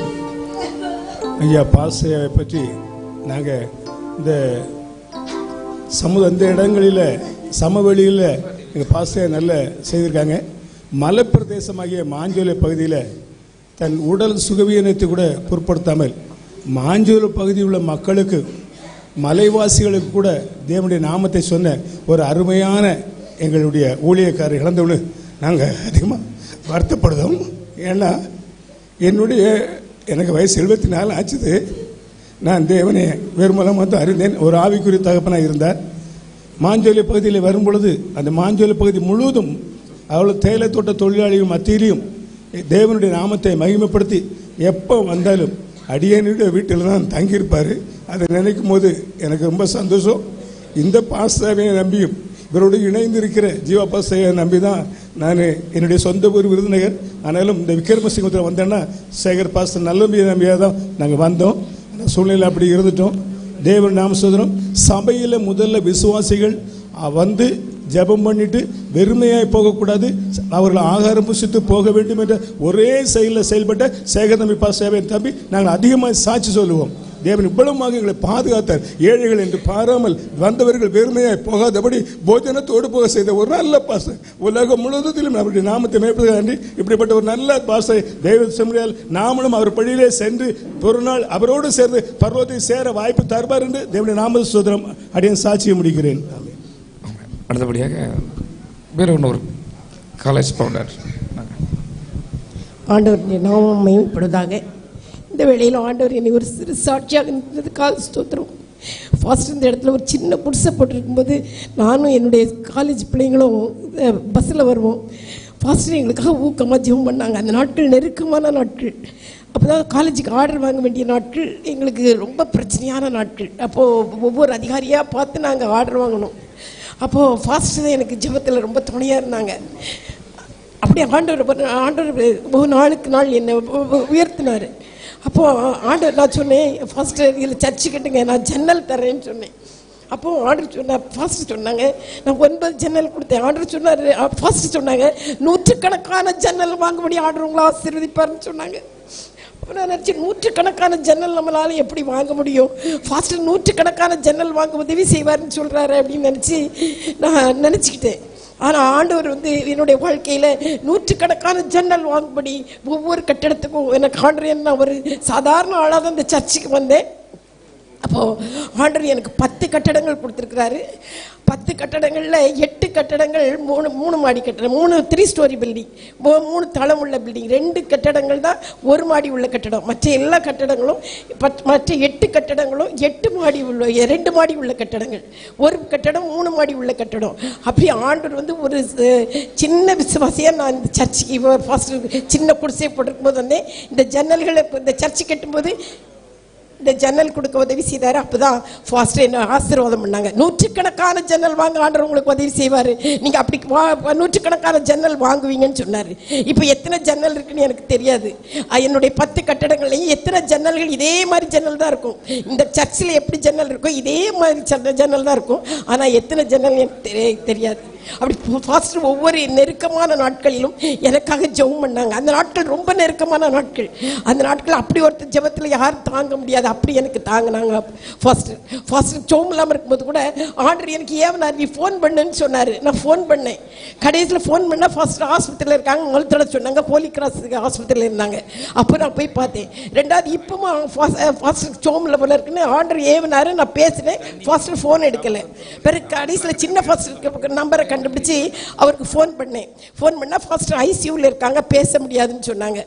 ஆண்டு ஆண்டோடைய நாம் மேம்படுவதாக. அப்படி ஒரு அருமையான ஒரு ஊழியக்காரர் விசுவாசிகளை தாங்குகிற ஒரு ஊழியக்காரர் விசுவாசிகளுக்காக திறப்பின் வாசலில் நின்று ஜெபிக்கிற ஒரு ஊழியக்காரர். அப்படிப்பட்ட ஒரு ஊழியக்காரரை நம்ம இழந்து நிற்கிறோம். இப்படி ஒரு ஊழியக்காரர் நம்ம பிறந்து வருவாங்களான்னு எனக்கு தெரியல. அப்படிப்பட்ட அருமையான ஊழியக்காரர் என்னுடைய வாழ்க்கையில் ஒவ்வொரு நெருக்கங்களையும் ஒவ்வொரு து- துன்பங்களிலையும் ஒவ்வொரு சொட்டு கண்ணீர்லையும் ஃபாஸ்ட் என்னோட கூட பங்கெடுத்தாங்க. ஆண்டவருடைய நாம் ஆண்டவர் தேவனை அவருடைய ஆத்ம சாந்தியடை உதவி செய்வாராக. ஆமீன். தேவன் என்னுடைய திருசாட்சியை ஆசீர்வதிப்பாராக. பாஸ்டர் சத்யநாதன் சத்யநேசன் கடையம். சத்யநேசன். அடுத்தபடியாக ஜபக்குமார் பாப்பங்குளத்திலிருந்து பாஸ்டர் வாங்க. ஜபக்குமார் ஐயா வாங்க. கர்த்தருடைய பரிசுத்த நாமம் மகிமைப்படுவதாக நான் அருமையான பாச சேகர் நல்ல தம்பி பாச அவர்களை ஆயிரத்தி தொள்ளாயிரத்தி தொண்ணூற்றி ரெண்டிலிருந்து நான் அறிவேன். என்னுடைய சொந்த ஊர் கன்னியாகுமரி மாவட்டம். நான் அங்கிருந்து விசுவாசத்தோடு அம்பாசமுத்திரத்தில் வந்து ஊழியம் ஆரம்பித்தேன். அப்பொழுது பாஸ்டர் டானாவலை ஊழியத்தில் இருந்தால் நான் அப்பொழுது இண்டிபெண்டாக தான் இருந்தேன். ஆனால் அருமையான பாஸ்டரை நான் அடிக்கடி சந்திக்க போவேன். அவருடைய நல்ல ஆலோசனைகளை நான் கேட்டு அந்த ஊழியத்தில் நான் என்னை பலப்படுத்திக் கொள்ள தேவன் உதவி செய்தார். அநேக காரியங்கள் அவர் மூலமாக ஒரு நல்ல ஒரு ஆவிக்குரிய தகப்பன் ஆவிக்குரிய ஊழியக்காரர் கர்த்தருக்காக தேவனுடைய ராஜ்யத்திற்காக தன்னையே முழுவதும் அர்ப்பணித்ததான ஒரு உன்னதமான மாமனிதர். அப்படிப்பட்டதான தேவனுடைய மனுஷனிடத்திலிருந்து நாங்கள் கேட்ட வார்த்தைகள் அந்த அனுபவங்கள் எங்களை ஊழியத்தில் நிலைநிறுத்தினது. நான் தேவசபை ஸ்தாபனத்தில் சேர்ந்த பிறகு டிரான்ஸ்ஃபர் ஆகி பல இடங்களுக்கு கடந்து போனாலும் என்னுடைய மூன்று பிள்ளைகள் என்னுடைய மகனுடைய திருமணத்தை பாச சேகர் நல்ல தம்பி பாச வச்சு தான் நடத்தினேன். அது மிகுந்த ஒரு ஆசீர்வாதமாக இருந்தது. ஆனால் இப்படி திடீரென்று அவர் தேவரா சேர்வார் என்று நாங்கள் நம்பவில்லை. ஆனாலும் அவர் அழைத்த தேவனிடத்தில் கடந்து சென்றிருக்கிறார். நான் உங்களுக்கு சொல்வது அவர் விட்டு சென்ற அந்த விசுவாச பாதையை நாமும் தொடர்ந்து பின்பற்றுவோம். அதுவே அவருக்கு செய்கிற மரியாதையாய் காணப்படும். கர்த்தராமே ஆசீர்வதிப்பாரார் வருகிற கருத்துடைய பிள்ளைகள் கொஞ்சம் சுருக்கமாக சொல்லுங்கள் இன்னும் பல நூறு விசுவாசிகள் அருமையான பாஷையம் மூலமாக அற்புதத்தை பெற்று சாட்சி சொல்ல காத்து கொண்டு இருக்கிறார்கள் இப்பொழுதும் பாஷா சிவகுமார் பாப்பாங்குளம். பிரைஸ்லர் நாம மகிமைப்படுவதாக அருமையான ஐயாவை குறித்து இந்த நாளிலே சாட்சி சொல்ல எனக்கு கிடைத்த வாய்ப்புக்காக கத்தரை துதிக்கிறேன். ப்ரைஸ் the இந்த ரெண்டாயிரத்தி இருபத்தி ரெண்டாவது வருஷத்தில் தான் அவர்களோடு கூட மிகவும் ஐக்கியப்படுவதற்கு ஆண்டவர் கிருபை செய்தார். கடந்த சில திருமணங்களிலே அவர்களோடு கூட இணைந்து கலந்து கொண்டு அவர்கள் அவர்களுடைய அனுபவத்தை குறித்து அவர்கள் என்னிடம் அதிகமாக ஷேர் பண்ணாங்க. இந்த இடைக்கால ஊழியத்தை ஆரம்பிக்கும் போது அவர்கள் பட்ட பாடுகள் அவர்களுடைய தியாகங்கள் அவருடைய சூழ்நிலை எல்லாவற்றையும் பகிர்ந்து கொண்ட போது அது எங்களுடைய இந்த ஊழியத்தில் அது எங்களுக்கு மிகுந்த ஒரு சவாலாக காணப்பட்டது. அவர்கள் எப்போவுமே சொல்லுவாங்க நான் நல்லா ஜெபம் பண்ணுங்கள் ஜெபம் பண்ணுங்கள் ஜெபம் தான் அநேக தடைகளை மாற்றுகிறது அப்படின்னு சொல்லி அவங்க அடிக்கடி சொல்கிறத கேள்விப்பட்டிருக்கிறேன். ஸ்தோத்திரம். இன்றைக்கும் அவர்கள் நித்திய இலைப்பாறுதலுக்குள்ளே பிரவேசித்திருக்கிறார்கள். தொடர்ந்து அவர்களுடைய சபையினர் மற்றும் அவரால் ஆசிர்வதிக்கப்பட்டவர்கள் எல்லாரும் ஆறுதலையும் தேர்தலை அடையும்படி நாங்கள் அவர்களுக்காக ஜெபிக்கிறோம். பாப்பாங்குளத்தில் இருக்கிறதான ஏஜி சபை சார்பாக அவர்களுக்கு ஆழ்ந்த இரங்கலை தெரிவிக்கிறோம். கர்த்தர்களை ஆசிர்வதிப்பார். ஆமாம் இப்பொழுதும் ஏஜி சபை பாஸ்டர் ஆரோன் ஐயா. கத்துடைய பரிசுத்தமுள்ள நாமம் மகிமைப்படுவதாக இந்த நாளிலே கத்துடைய ராஜ்யத்துக்குள் பிரவேசித்திருக்கிற அருமையான பாச சேகர் நல்லதம்பி அவர்களை குறித்து சாட்சி சொல்வதிலே நான் மிகவும் மகிழ்ச்சி அடைகிறேன். கர்த்தருக்கு ஸ்தோத்திரம். ஆண்டவுடைய பிரதான கிருபையினாலே ஆயிரத்தி தொள்ளாயிரத்தி எண்பத்தி ஐந்தாம் வருஷம் முதல் அவர்களோடு கூட பழக பேச ஜெபிக்க ஊழியங்களுக்கு கடந்து செல்ல கர்த்தர் எனக்கு உதவி செய்தார்.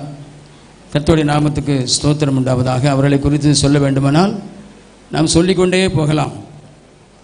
அவர்களை வாழ்த்தவோ அவருடைய காரியங்களை சொல்லவோ நமக்கு வயது போதாது. நல்ல ஒரு ஜெப வீரர் மணிக்கணக்காக தேவ சமூகத்திலே காத்திருந்து ஜெபிக்கிற ஒரு தேவ மனிதர். அது மட்டுமல்ல கர்த்துடைய ராஜ்யத்தின் மேன்மைக்காக ஆண்டவர் அவர்களுக்கு கொடுத்த கிருபைகள் மரங்கள் வல்லமைகள் எல்லாம் அவர்களுக்குள்ளே அதிகமாக செயல்பட்டது. அதனால் அநேகர் சரீரத்தில் விடுதலை பெற்றார்கள் ஆத்தும ரட்சிப்பை பெற்றார்கள். கர்த்துடைய நாமத்துக்கு ஸ்தோத்திரம் உண்டாவதாக. அது மட்டுமல்ல நல்ல ஒரு விசுவாச வீரர். எந்த காரியம் எவ்வளவு தேவைகள் இருந்தாலும் அந்த தேவைகளை மத்தியிலே கத்துடைய சமூகத்திலே காத்திருந்து ஜெபித்து கத்துடைய கரத்திலிருந்து நன்மையை பெற்றுக்கொண்ட ஒரு அருமையான ஒரு தேவ மனிதர். கர்த்தருக்கு ஸ்தோத்திரம். எங்களை ரொம்ப மிகவும் அதிகமாக நேசிக்கிற ஒரு நல்ல தகப்பன். அவர்கள் கடந்த நாட்களிலே சுகவீனப்பட்டு திருவனந்தபுரம் ஆஸ்பத்திரியில் அங்கே சிகிச்சை பெற்று வீடு திரும்பின போது நானும் என் மனைவி வந்து பார்த்தோம். பார்த்து பேசினோம். அப்போ அவங்க சொன்னாங்க சீக்கிரமாக அடிக்கடி வாங்க அப்படின்னு சொன்னாங்க. இதை தொடர்ந்து ஒரு மூணு நாட்கள் இங்கே வந்து அவர்களோடு பேச வைக்க கர்த்தர் கிருபை செய்தார். விசேஷமாக அந்த சனிக்கிழமை என்னால் மறக்க முடியாது. எங்க கூட அவ்வளவு சந்தோஷமாக மிகவும் சிரித்து அவர்கள் பேசி கொண்டிருந்தார்கள். அந்த காட்சி என்னால் மறக்க முடியல. அது மட்டுமல்ல திங்கட்கிழமை இரவு அவர்கள் சுகவீனப்பட்ட போது அந்த ஆலங்குளத்திலே புஷ்பலதா ஆஸ்பத்திரியில் வந்து அவர்கள் இருந்தார்கள். அந்த அந்த அந்த அந்த சமயம் முதல் அவர்கள் மறிக்கிற வரைக்கும் அவர்கள் பக்கத்திலே இருந்து அந்த காரியங்களை பார்ப்பதற்கு ஆண்டவர் உதவி செய்தார். இந்த அல்லேலுயா ஏஜ் சப் அல்லேலுயா ஜபபீட்டனுடைய ஸ்தோத்திரம் தலைமை போதகர் அவர் கர்த்தருடைய ராஜ்யத்திற்கு போயிருப்பது சந்தோஷமான காரியமாக இருந்தாலும் பிள்ளைகளுக்கு உற்றார் உறவினர்களுக்கு நண்பர்களுக்கு போதகர்களுக்கு ஸ்தோத்திரம் ஒரு பெரிய இழப்பு தான் ஆனாலும் ஸ்தோத்திரம் பிதாவாகி தேவனுடைய சித்தத்தை குமாரனாகி இயேசு கிறிஸ்து எப்படி பூமியிலே நிறைவேற்றினாரோ அதுபோல தேவன் கொடுத்த பொறுப்பை அவர் இந்த பூலோகத்திலே அவர் நிறைவேற்றினார் நிறைவேற்றி கடந்து போயிருக்கிறார். ஆகவே அவர் இழந்து தவிக்கிற எல்லாருக்கும் ஆண்டவர் தாமே நல்ல சமாதானத்தையும் ஆறுதலையும் தருவாராக. கர்த்ததாமே ஆசீர்வதிப்பாராக. ஆமை அவன் இப்பொழுது ஒரு பாஸ்டர். அருமையான நம்முடைய இடைக்கால ஜபவீட்டின் ரெண்டு ராஜாக்கள் உண்டு. ஒன்று ஆலங்குள ராஜா இன்னொன்று விகே போகிறோம் ராஜா. ரெண்டு பேரும் வாங்க. கத்துரை பரசுநாம சோதரம் இந்த நேரத்திலே தேவ தேவனுடைய சமூகத்திலே தேவ ஜனங்கள் மத்தியிலே அநேக சுவிசேஷர்கள் மத்தியிலே அருமையான பாஸ்ரையாவை குறித்து நான் சாட்சி சொல்வதற்கு எனக்கு சமயம் சென்றபடியால் நான் மிகவும் அதை மிக மகிழ்ச்சியாக நிற்கிறேன் நான் மதுரையிலிருந்து இந்த பாஸ்டர்ஸ் அல்லலியா ஜெப வீட்டிலே இருக்கிறதான ஒரு ரசிக்க சிஎஸ்ஐ பேக்ரவுண்டிலிருந்து ரசிக்கப்பட்ட ஒரு சகோதரியை தான் கத்தர் எனக்கு இவர் பாஸ்டர் ஐயாவுடைய சபையிலிருந்து ரசிக்கப்பட்ட ஒரு சபையில் எனக்கு மனைவியாக தந்தார். பாஸ்டரே மதுரையில் வந்து அந்த திருமணத்தை ஆசீர்வாதமாக நடத்தி வந்தார். நான் சுருக்கமாக என்னுடைய வார்த்தைகளை சுருக்கிக் கொள்ள விரும்புகிறேன். அப்பொழுது நான் வாலிப வயதிலே என்னுடைய பயங்கரமான ஒரு பாவ கட்டுகளுக்குள் நான் இருந்தேன். அந்த திருமணத்தை பாஸ்டர் ஐயா எங்கள் இந்த ஸ்- நடத்தும்போது நாங்கள் ஒரு எளிமையான குடும்பத்தில் தான் இருந்தோம். நாங்கள் மன மனம் என் மனைவியினுடைய குடும்பத்திலிருந்து எந்த ஒரு வரதட்சணைகளோ எதையோ நான் எதிர்பார்க்கவில்லை. இந்த வரதட்சணை வாங்குவதில் இப்போ வாங்குறதான காரியத்திலே பாஸ்டர் மிகவும் கண்டிப்புள்ளவராக இருப்பார். அதிகமான வரதட்சணை கேட்பு கேட்பவர்களை அவர் கடிந்து கொள்வார். நாங்கள் இந்த வரதட்சணையை எதிர்பார்க்கவில்லை. ஒரு நாள் ஆவிக்குரிய மனைவி கிடைத்தால் போதும் என்று எதிர்பார்த்திருந்தோம். அதன்படியே கத்தர் அவர் எனக்கு என் மீது அவருக்கு அதிகமான ஒரு விருப்பம் உண்டானது.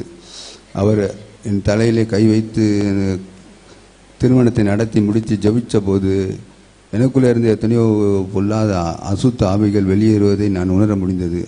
அதிலிருந்து நான் பெரிய என்னுடைய ஆத்மாவிலே பெரிய ஒரு விடுதலை சமாதானத்தையும் பெற்றேன். அது மாத்திரமல்ல இந்த அலையில ஜப வீட்டிலே வந்து நான் எத்தனையோ நாட்கள் தங்கியிருந்தேன். அங்கே அநேக கட்டுகளுக்குள் இருக்கிற ஜனங்கள் விசாசினால் பிடிக்கப்பட்டவர்கள் பல விதங்களிலே நான் அது கிட்டத்தட்ட ஒரு இருபத்தைந்து முப்பது இருபது வருடங்கள் இருக்கும். சங்கிலினால் கட்டப்பட்டவர்களாக அங்கே இருப்பார்கள். அத்தனை பேர்களுக்கும் அவர் ஒரு அமுத சுரபி போல.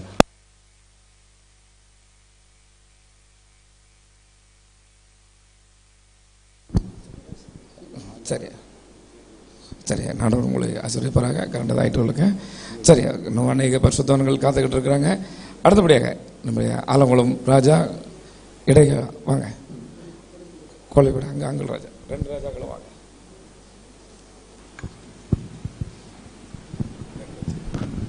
அல்லேலூயா கர்த்தர் ஸ்தோத்திரம். நான் என்னோட சின்ன வயசுலேருந்து எங்கள் அம்மா என்ன எனக்கு விவரம் தெரியாத வயசுலேருந்து கூப்பிட்டு போனாங்க. அப்போ இருந்தே நான் அவங்கள அண்ணன் அப்படின்னு தான் கூடுவேன் அவங்க எல்லாருமே எப்பவுமே என்னைய யார் எது சொன்னாலும் என்னைய விட்டு கொடுத்தே பேச மாட்டாங்க. யார் என்ன சொன்னாலும் என்னைய விட்டு கொடுத்து பேசுறது கிடையாது. அவங்க இருந்த வரைக்கும் நல்ல இப்போ அவங்க இல்லைங்கும்போது என்னால் என்ன பண்ணுறதுன்னு இதில் என் எனக்கு திருமணம் பண்ணி வச்சது என்ன அண்ணன் தான். அடுத்து என்னோட பிள்ளைங்களுக்கெல்லாம் இது பண்ணும்போது என் மகளுக்கு கல்யாணம் பண்ணணும் அப்படிங்கும்போது சொன்னாங்க. நம்ம சபையில் அவ்வளோ பேருக்கு ஒன்று போல் ட்ரெஸ் போட்டு நான் கல்யாணம் பண்ணி வைக்கும்போது மட்டும்தான் ஒயிட் போட்டிருப்பேன். அதுக்கப்புறம் நம்ம எல்லாம் ஒரே மாதிரி போட்டுக்கணும். அப்படின்லாம் சொல்லி இது பண்ணி அப்படி மாப்பிள்ளை பார்க்கணும் இப்படி மாப்பிள்ளை பார்க்கணும் அப்படின்னு சொல்லிட்டு இருந்தாங்க. இப்போ எதுவுமே பார்க்காம அப்படி போயிட்டாங்க. அவங்க இருந்த வர இப்போ அவங்க அவங்க ஒன்று அப்படின்னா பக்கத்தில் இருக்கிற ஜீரோ மாதிரி நான் இருந்தேன். இப்போ அவங்க இல்லைங்கும்போது நான் வெறும் ஜீரோ ஆகிட்டேன் அதிகமாய் நம்முடைய ஐயாவை நேசிக்கிறார் மேன சகோதரர் அடுத்தபடியாக ராஜா அண்ணன். கர்த்தருடைய பரிசுத்த நமக்கு மொழி உண்டாகட்டும். என்னே சாட்சியன் சோத்திருக்கிறேன். ஆயிரத்தி தொள்ளாயிரத்தி எண்பத்தி ரெண்டில் என் சொந்த தகப்பனை இழந்தேன். இப்போ ரெண்டாயிரத்தி இருபத்தி ரெண்டில் ஆவிக்குரிய தகப்பனை இழந்திருக்கேன் வேற ஒன்றும் சொல்ல என் மாற்றம் என் ஜீவியத்தில் பெரிய மாற்றம் இருந்தது எங்கள் பாஸ்டர் கூட நல்ல ஐக்கியத்தில் வந்த பிறகு தான் கர்த்தருடைய நான் மைமுண்டாகட்டும்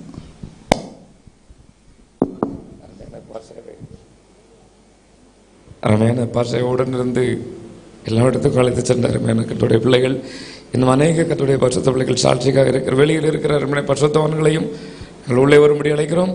கத்தவங்களை ஆசிர்வாக அடுத்தபடியாக நம்முடைய சபையிலிருந்து சால் சொல்ல விரும்புகள் வாங்க சீலி சகோதரி குணசீலி விக்கியபுரம் சபை.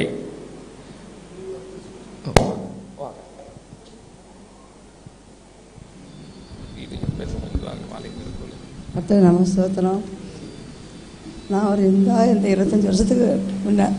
ஆனால் நான் வந்து கடா வெட்டுவேன் பானை பொங்குவேன்.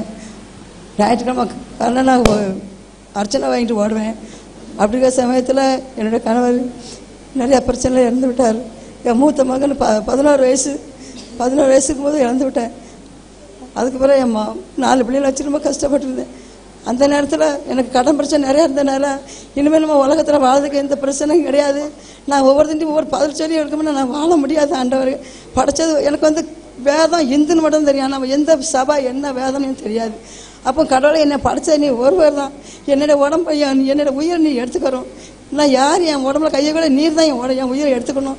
நான் எடுத்தால் நான் வந்து என்னுடைய ஆவி எங்கேயும் அழக்கூடாது உமா கைக்கு தான் வரணும் அப்படின்னு சொல்லி அன்றைக்கி நைட்டு பூரா அழுதுட்டு நான் என்ன அப்போ வந்து ஒரு ரூபா தான் கொடுப்பாங்க. என்னது? இந்த மொய். அதில் ஒரு இளநூறுவா இருந்துச்சு. நாலு பிள்ளையும் கூப்பிட்டு போயிட்டு நான் நாலு பிள்ளையும் கொண்டு போய் தற்கொலை பண்ணி நானும் தண்ணி நிறையா போச்சு விழுந்து தள்ளிட்டு நானும் விழுந்துடும் அப்படிங்கிற எண்ணத்தோட இருந்தேன்.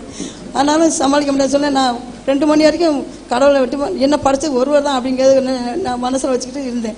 அதனால ரெண்டு மணி மூணு மணி வரைக்கும் நான் அழுதேன். அதனால் தூங்கிட்டேன். அந்த பிரச்சனை ஆண்டவர் வந்து அப்போ எனக்கு வந்து ஒரு தரிசனம் கொடுத்தாரு. எனக்கு வந்து பாவநாசம் மட்டும்தான் தெரியும். அம்பா இடையில உள்ள இது தெரியாது. அப்போ ஒரு தாத்தாவும் ஒரு பொண்ணு வந்துட்டு சொன்னாங்க என் கூட வாரியா? அப்படின்னாங்க. எங்கே? அப்படி வா அப்படின்னாங்க. அப்போ விகேபுரத்தில் எனக்கு சென்ட் மேரிசின்னு ஒரு என் வீடு இருக்கு அங்கே வா அப்படின்னாங்க. எனக்கு இந்த கேள்விப்பட்டதே கிடையாது. அப்போ நான் வந்து அந்த மாதிரி எடுத்தேன். இந்த வேலமான ஒரு பொண்ணு வந்தா என் கூட வந்து கொடுத்து அப்போ சென்ட் மேரிசின்னு எடுத்தேன். எனக்கு தூக்கி வாரியே அடிச்சு போட்டு. என்னடா கனவுல இருந்து சொன்ன மாதிரியே நேரில் கேட்காங்களா? அப்படின்ட்டு நான் ரொம்ப த தட்டு போய் போயிட்டேன். ஆனாலும் அதை வச்சு நிறைய அப்படின்றது அதுக்கடுத்து என் மகனுக்கு சொன்னோடையே கேட்க மாட்டான் சின்ன பையன். பாஸ்டரியா கூட ரொம்ப நாள் இருந்தான். என்று இருக்கிறாரு அதுக்கடுத்து ஜீவா அண்ணனுக்கு கல்யாணம் முடிச்சாங்க நல்ல பொண்ணு பார்த்து முடிச்சாங்க. ஆனாலும் அவங்க கல்யாணம் தன்னுடைய மகனை மாதிரி எங்களுக்கு எல்லா பிள்ளைக்கும் ட்ரெஸ் எடுத்து அந்த நேரத்தில் பிளசர் தான் சொல்லுவாங்க. நிறைய பிளசர் பத்து பிளசர் போய் இங்கே சாப்பாடு போட்டு தன்னுடைய மகனுக்கு எப்படி கல்யாணம் பண்ணாங்களோ அதே மாதிரி அவங்களுக்கும் நல்லா கல்யாணம் பண்ணி நல்ல பொண்ணை பார்த்து முடிச்சாங்க. அதுமாதிரி ராஜானுக்கு நல்ல பொண்ணு பார்த்து முடிச்சிருக்காங்க. ஆண்ட அவருக்கு ஆண்டவர் அவரோட இருக்கணும். அவர் எங்கள் கூட இருக்கணும். எஸ்எப்பா சோத்திரம். இந்த சபை விசுவாசிகள். சால் சொல்ல விரும்புறவங்க முன்னால் அப்படி வந்துடுங்க நீங்கள் குயிக்காக வந்துருங்க. ஒவ்வொரு வருஷத்துல முடிச்சிருங்கம்மா. சீக்கிரம் நம்முடைய ஆராதனை நடக்க இருக்கிறது. வாங்க சொல்லுங்க. கர்த்தருடைய பரிசுத்த நாமத்துக்கு ஸ்தோத்திரம் உண்டாவதாக. இந்த நேரத்திலும் ஆத்தும தகப்பனை நாம் இழந்திருக்கிறோம் இப்படிப்பட்டதான ஒரு ஊழியரை நான் கண்டதே இல்லை. ஆனாலும் கர்த்தர் ஒரு நல்ல மகிமையான ஊழியரை கர்த்தர் நமக்கு தந்திருக்கிறார் தந்தார் ஆத்தும தகப்பனாய் தந்தார் இந்த நாட்களிலே. கர்த்துடைய மகிமைக்குள்ளாக பிரவேசித்திருக்கிறார். நேற்றே முன்தினம் அதிகாலையில் ஒரு சத்தம். இருபத்தி ஒன்பதாம் தேதி அதிகாலை நாலு மணி அளவில் பாஸ்டர் சேகர் நல்ல தம்பி மரணம் அடைந்தார் அப்படிங்கிறதான ஒரு சத்தம் மட்டும் எனக்கு கேட்டுச்சு. முழிச்ச மணி மூணு. தகவலை தெரிந்து கொண்டோம். மூன்றைக்கு சீரியஸாக இருக்குன்னாங்க. நாலு மணிக்கு ராசாட்ட ஃபோன் பண்ணும்போது அழுது கொண்டே பேசினான். கர்த்தர் வெளிப்படுத்தினார். ஆனால் அதுக்கு முன்பதாக ஆண்டவரே ஜீவனை தாரும் என்று சொல்லி கர்த்தருடைய சமூகத்தில் கண்ணீரோடு ஜெபித்தோம் பலவீனப்பட்டோம். ஆனால் அந்த வார்த்தைக்கு அப்புறம் கர்த்தர் பலப்படுத்தினார். விசுவாச பிள்ளைகளுக்கு அறிவித்து இந்த இடத்துல கலந்து வர கர்த்தர் கிருவை செய்தார். கர்த்தருடைய பரிசுத்த நாமத்துக்கு ஸ்தோத்திரம் உண்டாவதாக. ஆண்டுடைய பரிசுத்த நாமம் மையப்படுவதாக கர்த்தர் நல்லவர். இந்த நாளிலும் கூட அருமையான தேவ ஊழியரை நாம் இழந்திருக்கிறோம். பழைய ஏற்பட்டில் பழைய அநேக தீர்க்கு திசைகளை நம்ம வேதாகத்தில் பார்க்கிறோம். எலியா எலிசா மாதிரி இக்காலத்தில் ஊழியம் செய்த தேவனுடைய ஒரு தீர்க்கதரிசி. ஆனாலும் இந்த நாட்களில் தேவனுடைய ராஜ்யத்துக்கு எடுத்துக்கொள்ளப்பட்டார் ஆண்டவர் நல்லவர் இயேசையால சொன்னது போல இந்த கடைசி நாட்களிலே ஆண்டவர் நீதிமான்களை பரிசுத்தவான்களை எடுத்துக்கொண்டிருக்கிறார் அவருடைய விசுவாச பாதை ஊழியத்தின் அடிச்சோட்டில் அவர் பின்பற்றினது போல நாமும் ஊழியர்கள் விசுவாசிகள் அந்த அடிச்சோட்டில் நடப்போம். தேவனை கர்த்தர் நம்மை ஆசீர்வதிப்பாராக. ஆமென். அடுத்தபடியாக ரெட்டர்வட்டி பாஸ்டர் பாஸ்கரன் ஐயா வாங்க. கர்த்தருடைய நாம் மையப்படுவதாக நான் மிகவும் நேசிக்கிற ஒரு ஊழியர். அவரும் என்னை மிகவும் நேசிக்கிறவர். சில முக்கியமான நேரங்களிலே எனக்கு ஃபோன் பண்ணி என்ன தன்னுடைய நிகழ்ச்சிகளை என்னை பங்கு பெறுகிற செய்கிற தேவன்? மிகவும் அன்புள்ளவர் மிகவும் பேசு வெளிப்படையாக பேசுகிறவர் தவறு என்பதை தவறு என்று தைரியமாக சுட்டி காட்டுகிறவர் நெல்லை தென்காசி மாவட்டத்திலே நான் மிகவும் நேசிக்கிற அருமை பாஸ்டர். இந்த மரணம் என்பது எனக்கு மிகுந்த வருத்தம் மிகுந்த நான் நானே நம்பவில்லை. இவ்வளவு சீக்கிரத்தில் நம்மை விட்டு கடந்து போவார்னு நான் நம்பவில்லை. எல்லாரை விட நான் மிகுந்த வேதனைப்படுகிறேன் மிகுந்த கஷ்டப்படுகிறேன். ஒரு நம்பிக்கை இருக்கிறது. ஒரு நாள் நாம் பரலோகத்திலே இவரை சந்திப்போங்கிற ஒரு நம்பிக்கை மட்டும் நமக்கு ஆறுதல் படுத்துகிறது. தேவன் தாமே அவர்கள் விட்டுவிட்ட சபை விசுவாசிகளையும் அனைவரையும் ஆறுதல் படுத்த வேண்டும் என்று ஜெபிக்கிறேன். ஆமென். அருமையான பாசமா லீதியாள் உன் பேருமா?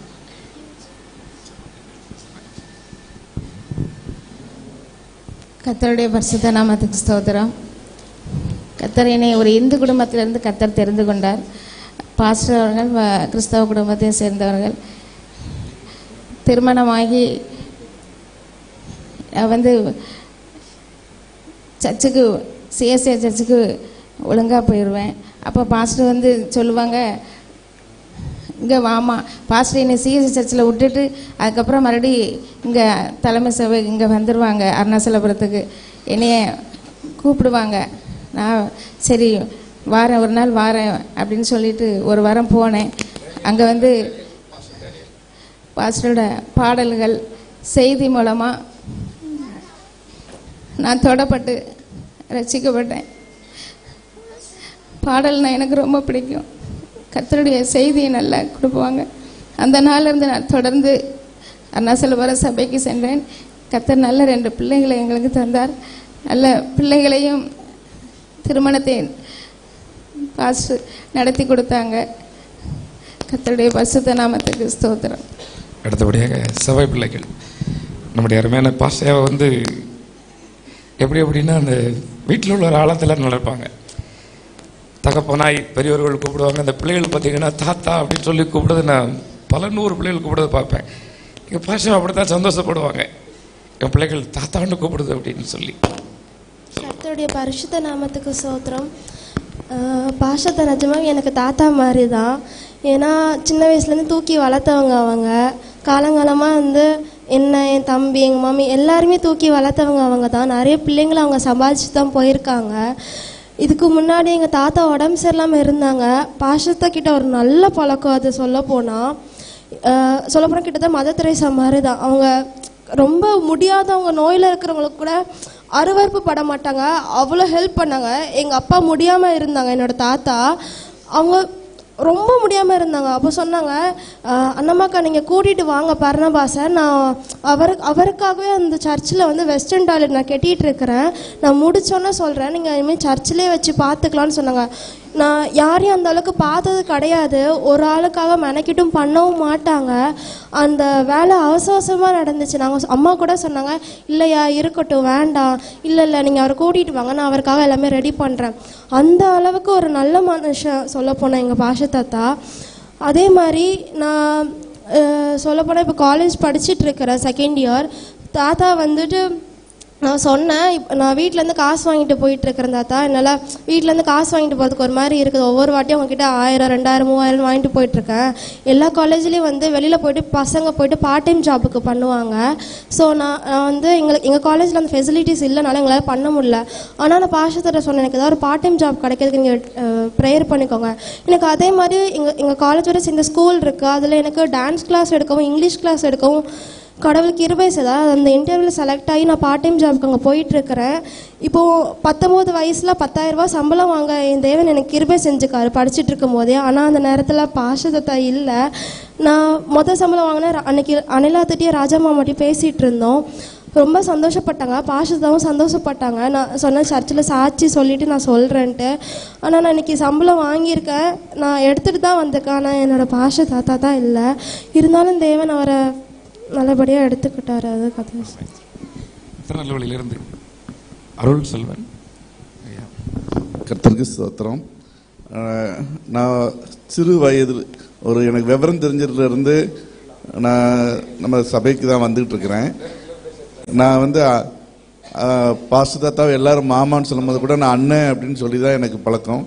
அப்படி எனக்கு அண்ணன் கிடையாது.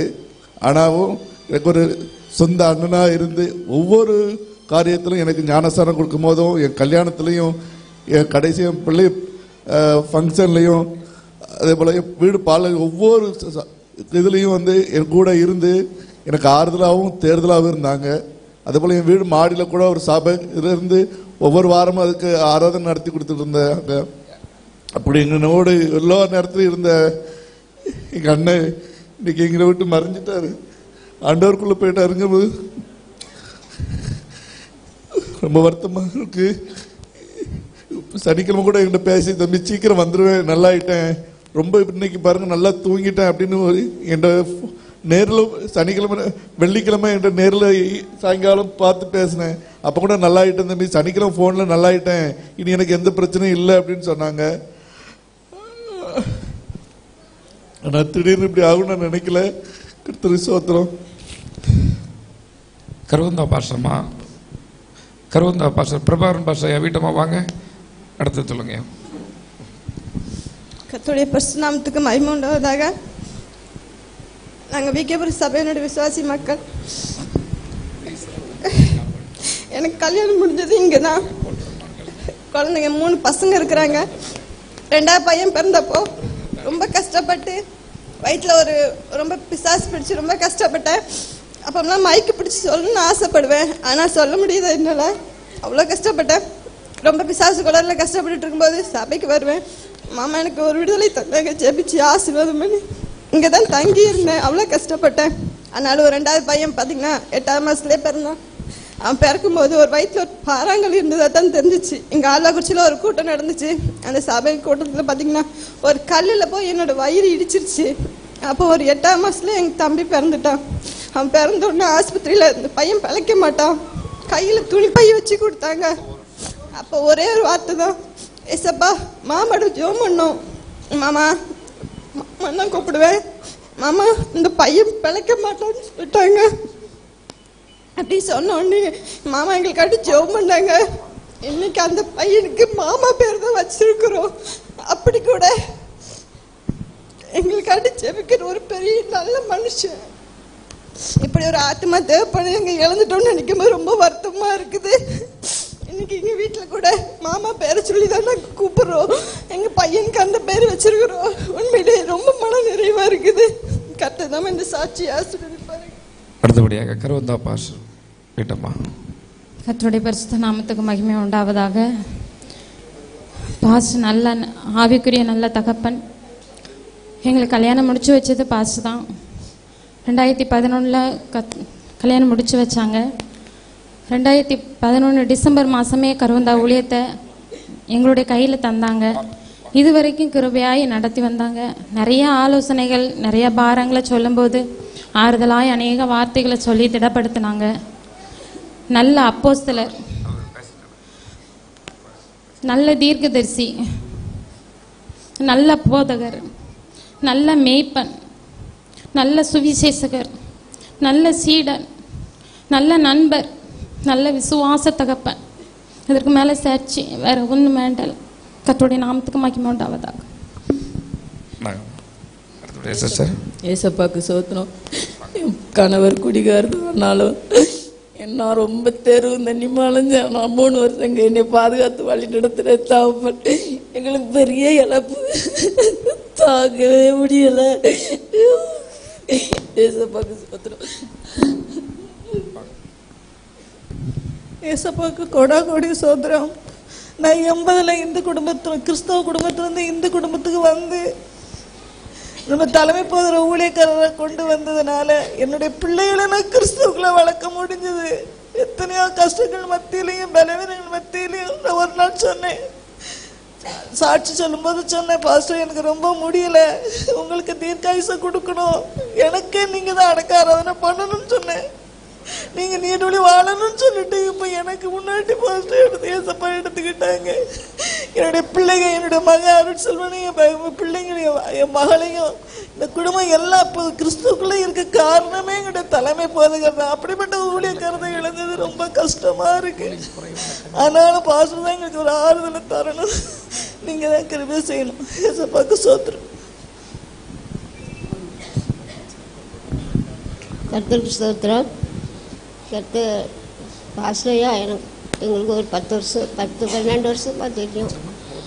எங்கள் குடும்பத்துக்கு நல்ல போத்தராக இருந்து நல்ல வழி நடத்தினார். என் பிள்ளைகளுக்கு மூணு பிள்ளைகளுக்கு கல்யாணம் முடிச்சு வச்சாங்க ரெண்டாவது பிள்ளைகளுக்கு ஒரு பைசா செலவு இல்லாமல் பாஸ்டையா கல்யாணம் முடிச்சு வச்சு இந்த மாதிரி செய்து வச்சாங்க. ஆனால் அப்படிப்பட்ட பாஸ்டர் நாங்கள் வளர்ந்துட்டோம். ரொம்ப கஷ்டமாக இருக்குது இருந்தாலும் மனசு ஒரு கத்தர் எடுக்கிற போய் சேர்ந்தது கத்தர். ரொம்ப சந்தோஷமா இருக்கு. கர்த்தருடைய பெரிதான கிருபைக்கு ஸ்தோத்திரம். கடவுள் எங்களுக்கு நல்ல ஒரு ஆத்ம தகப்பனை தந்திருந்தாங்க. ஆனால் இன்னைக்கு அவங்க பக்கம் அவங்கள கூப்பிட்டுக்கிட்டாங்க முப்பது வருஷத்துக்கு முன்னாலே ஐயாவை நல்லா தெரியும். என்ன ஒரு ஆர்சி குடும்பம். ஆனால் என்னை கட்டி கொடுத்தது எந்தில். ஆனாலும் ஒரு டீச்சர் வெரோனிகா டீச்சர்னு ஒருத்தங்க அமளி ஸ்கூலில் இருக்காங்க. அந்த டீச்சர் மூலமாக பல நெருக்கங்கள் பல பிரச்சனைகள் அந்த இதோட நான் ஜபாட்டில் போய் ஐயாவை தேடி போனேன். அன்னையிலேருந்து என் பிள்ளைங்க ரெண்டும் எனக்கு ஒரு பையனும் பொண்ணும் ரெண்டு பிள்ளைங்களையும் கூட்டிக்கிட்டு போனேன். அதனால் என் பிள்ளைங்களை ஐயா நல்லா பார்த்துக்கிடுவாங்க. சாப்பாடு கொடுப்பாங்க. ரொம்ப ரொம்ப சாப்பாட்டுக்கே வழி இல்லாத ஒரு கஷ்டம். அந்த கஷ்டத்துலேயும் எங்களை தான் வீட்டில் உள்ளவங்க மாதிரியே வச்சு எங்களை கவனிச்சாங்க. வீட்டுக்கு வருவாங்க. அடிக்கடி வருவாங்க. ஒரு டேப் கட்லு பிஞ்ச டேப்பு கட்லு ஒரு நாள் வந்திருக்காங்க. ஐயா நல்ல தம்பி. கோழிப்பண்ண ராஜா. கிங்கு. கடை ஏசுதாஸ் இவ்வளோ பேர் வந்திருக்காங்க. மத்தியானம் போல் வராங்க. வரும்போதே சொல்லிட்டு வராங்க. வர்ணபாஸ் வீட்டுக்கு போனால் நல்ல சாப்பாடு கிடைக்கும் அப்படின்னே சொல்லிக்கிட்டே உள்ளே வராங்க. அன்னைக்கு காப்பிடி அரிசி. காப்பிடி அரிசி கூட இல்லை. அதை விட குறையா பொங்கி வச்சிருக்கேன். ஆண்டவரே அஞ்சு ஆறு பேர் வராங்களே சாப்பாடு என்னையா கொடுக்க? முதல் உள்ள புளி குழம்பு கொஞ்சம் போல இருக்குது மாமியார் அரைக்க அப்படி அரிசி பொங்கி வச்சுருக்குது. அந்தால போனேன் ஐயா வந்தாங்க டேப் கட்டில் படுத்தாங்க. கொஞ்ச நேரம் படுக்க என்ன அப்படின்ட்டு படுத்தாங்க. எங்கள் வீட்டுக்காரங்களும் இருந்தாங்க. அப்போது வந்து சாப்பாடே இல்லை என்ன செய்யணும் அடுப்பாங்கன்னு அழுது பானையில் சுலோ போட்டு ஜெபம் பண்ணிக்கிட்டு இருந்தேன். அப்போ நல்ல தம்பி வந்து கேட்பாங்க அக்கா சாப்பாடு சாப்பாடு நிறைய இருக்குது நல்ல தம்பி அப்படின்னு. ஆண்டவரே ஊழியக்காரங்களாம் வந்திருக்காங்க. இவங்களுக்கு அத்தனை பேருக்கும் சாப்பாடு கொடுத்து என் பிள்ளைங்களுக்கும் சாப்பாடு இருக்கணும் அப்படின்னு ஜெபம் பண்ணி மாமியார் வீட்டில் இருந்து சாப்பாடு தூக்கிட்டு வந்து வச்சு கொடுத்தேன்.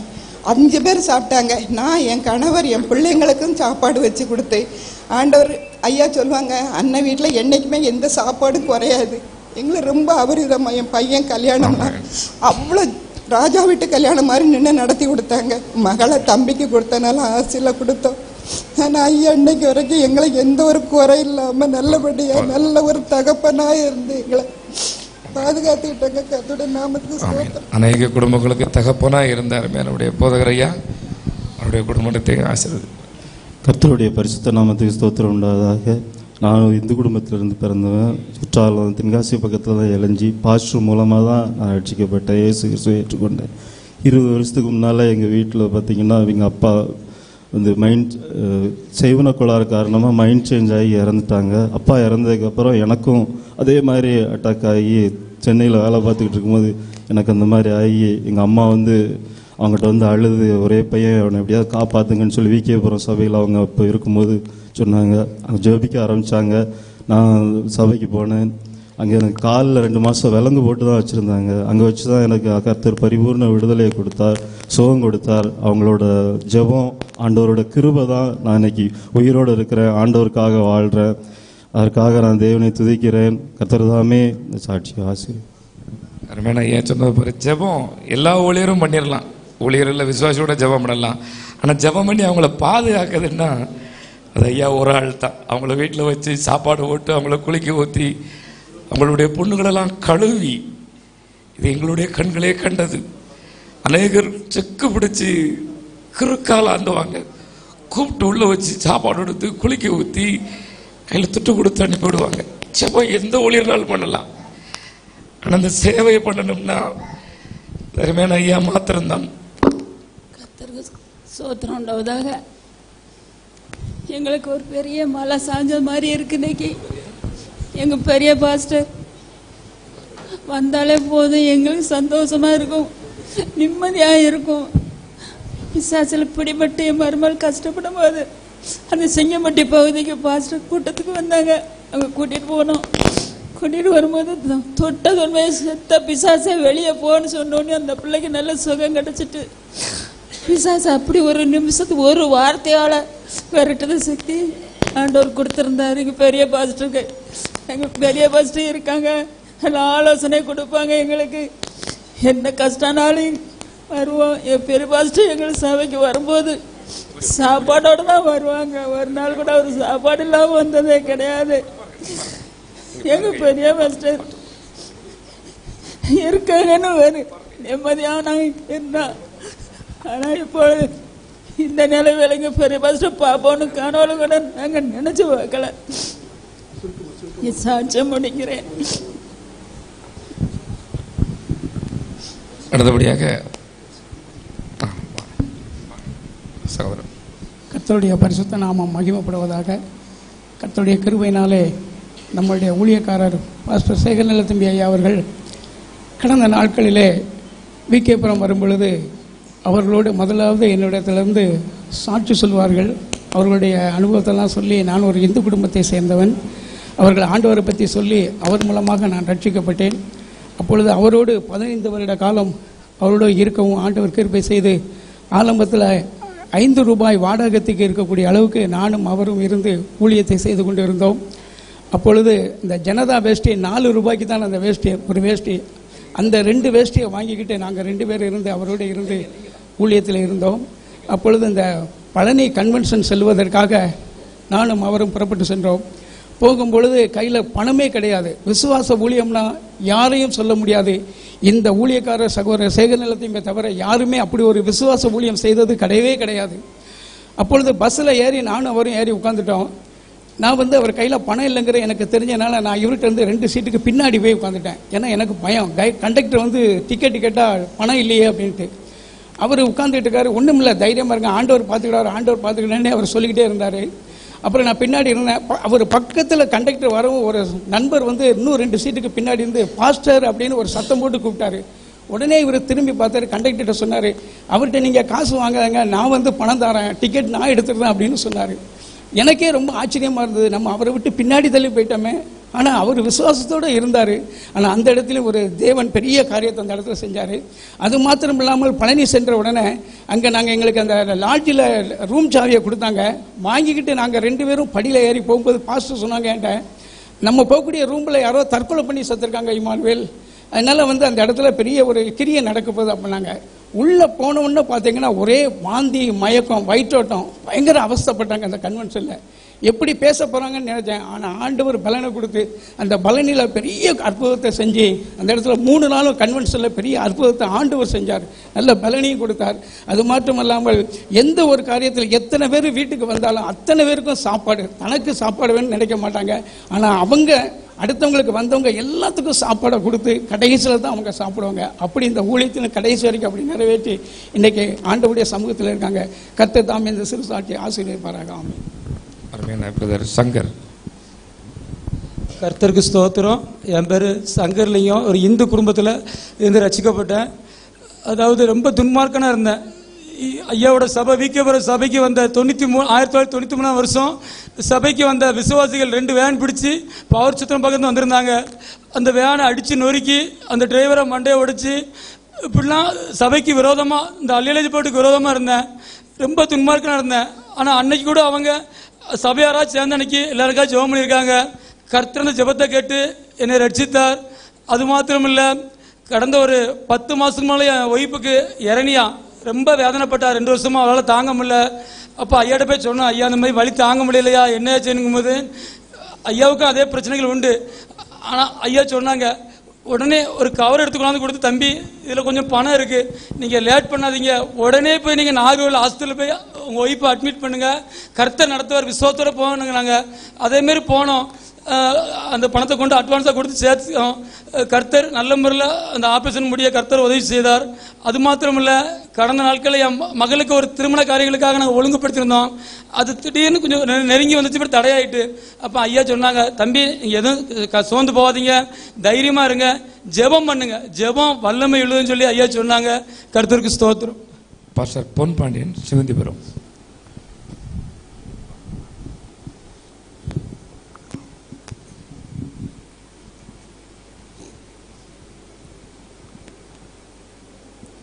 ஆண்டுடைய நாமம் மகிமைப்படுவதாக. பாஸ்டர் சேகர் நல்ல தம்பி அவர்கள் எங்கள் குடும்பத்தை சார்ந்த ஒருவர். அவர்கள் என்னுடைய துணைவியாருடைய சிறு வயது முதல் அவர்களுடைய குடும்பத்தோடு குடும்பமாக இணைந்து ஊழியத்திலே காணப்பட்டவர்கள்.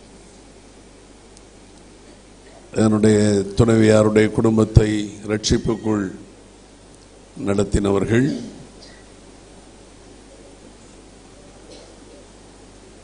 எங்களுடைய திருமணத்தை அவர்கள் தான் எங்களுக்கு செய்து வைத்தார்கள். அவர்களோடு சில காலங்கள் இருக்க கத்தர் எங்களுக்கு உதவி செய்தார். பிற்பாடு நான் ஊழிய அழைப்பை பெற்று ஊழியத்தில் வந்த பிறகு எப்பொழுதாகிலும் எங்களை பார்ப்பதற்கு வருவார்கள். நாங்கள் அவரை போய் பார்க்கறதுக்கு போகலை. ஆனால் அவர் எங்களை பார்க்கறதுக்கு எப்படியும் வருஷம் ஒரு முறை வந்து பார்ப்பார். மிகவும் அன்புள்ள ஒரு தகப்பன் தகப்பனுடைய இருதயம் உடைய குடும்பத்தார் எங்களோடு ஐக்கியம் பாராட்டுவார்கள் இன்றைக்கு இழப்பை கத்தர் எப்படி ஈடு செய்ய போகிறார் என்று எங்களுக்கு தெரியாது. ஒரு பெரிய தேவ மனுஷனை நாம் இழந்திருக்கிறோம். அவரை இழந்த யாவரையும் கத்தர் ஆறுதல் படுத்துவாராக. தேங்க்யூ கொஞ்சம்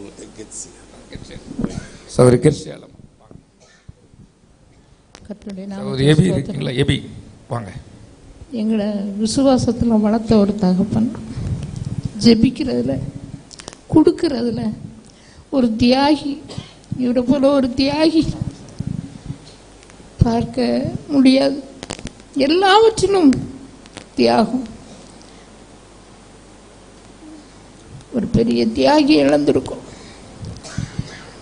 ஜெபிக்கலாம் எங்களை தூண்டி எங்களை ஜெபிக்க வைக்க எங்களை பழக்கி வைத்த அன்றைக்குள்ள அபிஷேகம் இன்றைக்கும் குறைந்து போகாமல் நான் பல வேளைகளில் அண்ணன் தான் சொல்லுவேன். அண்ணனை பெருமையாக சொல்லுவேன். எங்கள் அண்ணன் ஒரு ஜெப வீரன். தேவன் அவருடைய ராஜ்யத்தில் சேர்த்துக்கொள்ள இதே போல் அநேக தியாகிகள் எழும்ப நாம் ஜெபிப்போம். வாங்க சகோதரி வாங்க. சபையில் உள்ள விசுவாசிகள் சாட்சி சொல்ல விரும்பினால் வாங்க. அப்படி முன்னால கொஞ்சம் வந்துருங்க. ஒவ்வொரு நிமிஷத்துல சொல்லி முடிச்சிருங்க. வாங்க. நான் மட்டும்தான் ரட்சிக்கப்பட்டிருந்தேன் ரொம்ப கஷ்டப்பட்டேன். பிசாசில் ரொம்ப கஷ்டப்பட்டேன். ஆனாலும் எனக்கு பிசாசுல இருந்து ஒரு விடுதலை ஆண்டவர் கொடுத்தாரு. பாஸ்டர் அடிக்கடி ஜெபம் பண்ணுவாங்க. உபவாசம் இந்த ஜெபம் பண்ணுமா, செய்யாது. அப்படின்னு சொன்னாங்க. உபவாசம் இருந்து ஜெபம் பண்ணி எனக்கு சொல்லுவேன். திருமணம்னு ஆகுனா எங்க பாஸ்டர் கைனால திருமணம் ஆகணும்னு சொன்னேன். நல்ல ஒரு திருமணம் நட- நடந்தது. குழந்த பிறந்தா பாஸ்டர் கைனால் நான் ஒரு பிள்ளைக்கு பிரதிஷ்டை பண்ணுவேன் பேர் பிரதிஷ்டை பண்ணுவேன் நல்ல ஒரு ஆண் குழந்தைக்கு பிரதிஷ்டை பண்ணாங்க. போன வருஷம் ஜனவரி மாதம் ஆனால் அந்த வருஷம் நல்ல ஒரு தகப்பனாக நாங்கள் இழந்துட்டு எனக்கு ரொம்ப செங்கோட்டை ஜே- சபையில் எனக்கு நல்ல ஒரு சபையில் ஒரு திருமணம் நடந்தது. இந்த இந்த சர்ச்சில் இருந்து திருமணம் நடத்தி கொடுத்தாங்க. நல்ல ஒரு பாஸ்டர் கொடுத்தாங்க. ஆனாலும் எங்கள் போதகரை நாங்கள் இழந்தது ரொம்ப கஷ்டம். ஸ்தோத்திரம். கருத்து உங்களை ஆறுதல் படுத்துவாராக வாங்க மகிமை உண்டாவதாக. இந்த இடத்தில் ஐயாவை சொல்றதுக்கு ஒரு நாவு போதாது. என் பிள்ளைகளுக்கு என் அஞ்சு பிள்ளைகளையும் பார்க்கும்போது நீங்கள் அழகுள்ள பிள்ளைங்களா பெற்று வச்சுருக்கீங்கம்பாங்க. ரெண்டு பிள்ளைகளுக்கு கல்யாணம் முடித்தாங்க நான் ரெண்டு பிள்ளைகளுக்கு ஆர்ச்சியில் முடித்தேன் எப்போ அந்த ஐயாட்ட பேசுகிறாலும் நமக்குள்ளே எந்த கஷ்டம் இருந்தாலும் மாறிடும் ஆனால் ஒரு கல்யாணம் முடியாமல் இப்படி ஒரு ஊழியக்காரரை கடவுள் எங்களுக்கு கொடுத்தபடியால் அவருக்கு கோடான கோடி சோத்திரம். தேவன்கிட்ட இப்போ போயிட்டார். ஆமாம் கர்த்தர் தாமே அந்த குடும்பத்தை ஆறுதல் படுத்துவாராக கர்த்தருடைய நாமத்துக்கே மகிமை உண்டாவதாக. நான் ரெண்டாயிரத்தி பதினேழில் ஒரு செய்வன கட்டினால சபைக்கு வந்தேன். ஐயா சொன்னாங்க செய்வன கட்டுகள் இருக்குமா நீ சபைக்கு ஒழுங்கா வா சபைக்கு நீ வரும்போது சபைக்கு நீ வார வாரம் வரும்போது உனக்கு சரியாக்கிற ஆண்டவர் குணமாக்கிடுவாங்க அப்படின்னு சொன்னாங்க. நான் அவங்க நான் வாரம் சொன்ன ஒரு வார்த்தை நம்பிட்டு நான் வார வாரம் வந்தேன் எனக்கு குணமாகிட்டு ஆண்டவர் நல்ல சுகத்தை தந்தாங்க. ஆனால் நல்ல ஆவிக்குரிய தகப்பன ஆண்டவர் எங்களுக்காக தந்திருந்தாங்க. நாங்கள் வீட்டில் இருந்து எவ்வளோ வேதனையோடு வந்தாலும் ஆண்டவர் அவங்க மூலயமா ஒரு ஆறுதலான வார்த்தையை தந்து ஆனால் அவங்க கதைகளை சொல்லுவாங்க. அவங்க கதையில சொல்லி எங்களை சிரிக்க வைப்பாங்க. அவங்க சிரிக்க வைக்கும்போது எங்கள் வேதனையில் மறந்து ஒரு வீட்டுக்கு போகும்போது ஒரு உற்சாகமாக நாங்கள் போவோம். நல்ல ஆவியக்கூடிய தகப்பனை ஆண்டவர் எங்களுக்கு தந்தாங்க அவங்க கிட்ட யாரும் உதவிட்டு அறியாதவங்க அறியாதவங்க யாரும் உதவிட்டு வரும்போது என்கிட்ட இருந்த ரொம்ப இருந்தாலும் கொஞ்சம் இருந்தாலும் அது எனக்கு என்கிட்ட இருந்த கொஞ்சமாக கொடுத்து நான் அனுப்புவேன். யாரையும் என்னை வெறுங்கையாக அனுப்ப மாட்டேன்ட்டு எங்ககிட்ட நிறைய அவங்க பேசியிருக்காங்க சபையில் பேசியிருக்காங்க. நல்ல ஆவிக்குரிய தகப்பனை நாங்கள் இழந்துட்டோன்ட்டு.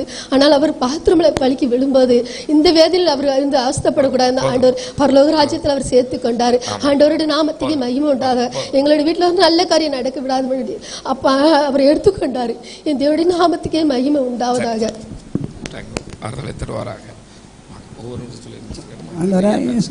சோதனை உண்டாவதாக என்னோட கணவருக்கு ரொம்ப முடியாமல் இருந்தது.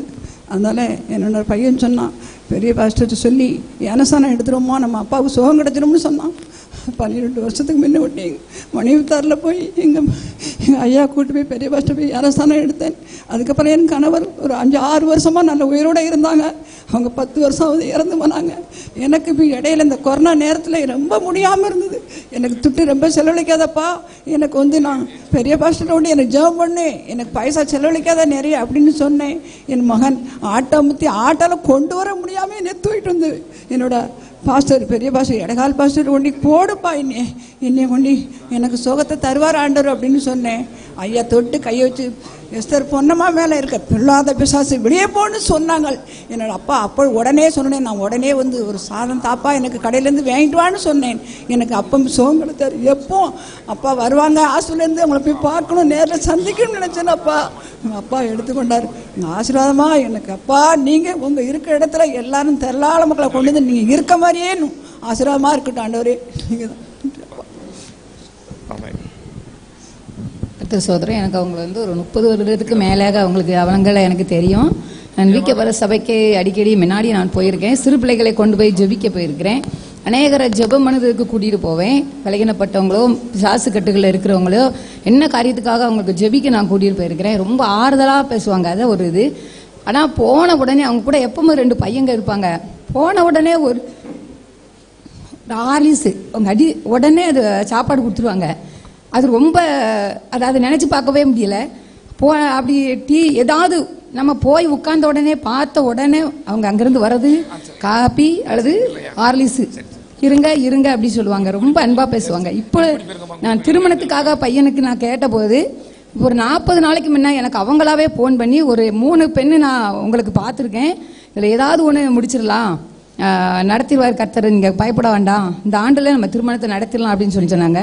ரொம்ப சந்தோஷமாக இருந்தது. நான் நேற்று தினத்தில் நான் கேள்விப்பட்டோன்னே எனக்கு அதிகமாக க கஷ்டமாக இருந்துச்சு. ஐயோ இழந்துட்டோமே அப்படின்னு சொல்லிட்டு.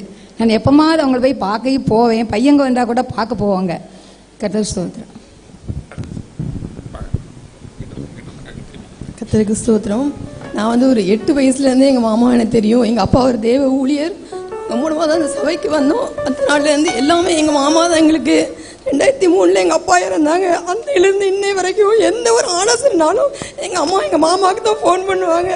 எது சொல்லனாலும் சரி அவங்களுடைய ஆலோசனை மாதிரி எங்களுடைய திருமணத்துலேருந்து எங்கள் அண்ணனுடைய கல்யாணத்துலேருந்து எல்லாமே எங்கள் மாமா தான் எங்களுக்கு. வேற யாரும் கிடையாது. எங்கள் அம்மா கூட பிறந்தவங்களும் யாரும் இல்லை. அந்த நாள் இந்த நாள் வரைக்கும் எல்லாமே எல்லா உதவியும் எங்கள் மாமா தான் பண்ணிட்டு இருந்தாங்க. முந்த நாள் கூட காலையில் ஃபோன் பண்ணி ஏக்கா எனக்கு ரொம்ப உடம்பு முடியல மூச்சு விட முடியல அப்படின்னு சொன்னாங்களாம். சாராட்ட சொல்லுங்க நான் திருநெல்வேலி ஹாஸ்பிட்டலில் பார்க்கணும்னு சொன்னாங்க நான் ஃபோன் பண்ணேன். மாமாவால் பேச முடியல. ஆனாலும் எங்கள் மாமா இழந்து எங்களுக்கு பெரிய ஒரு இழப்பு.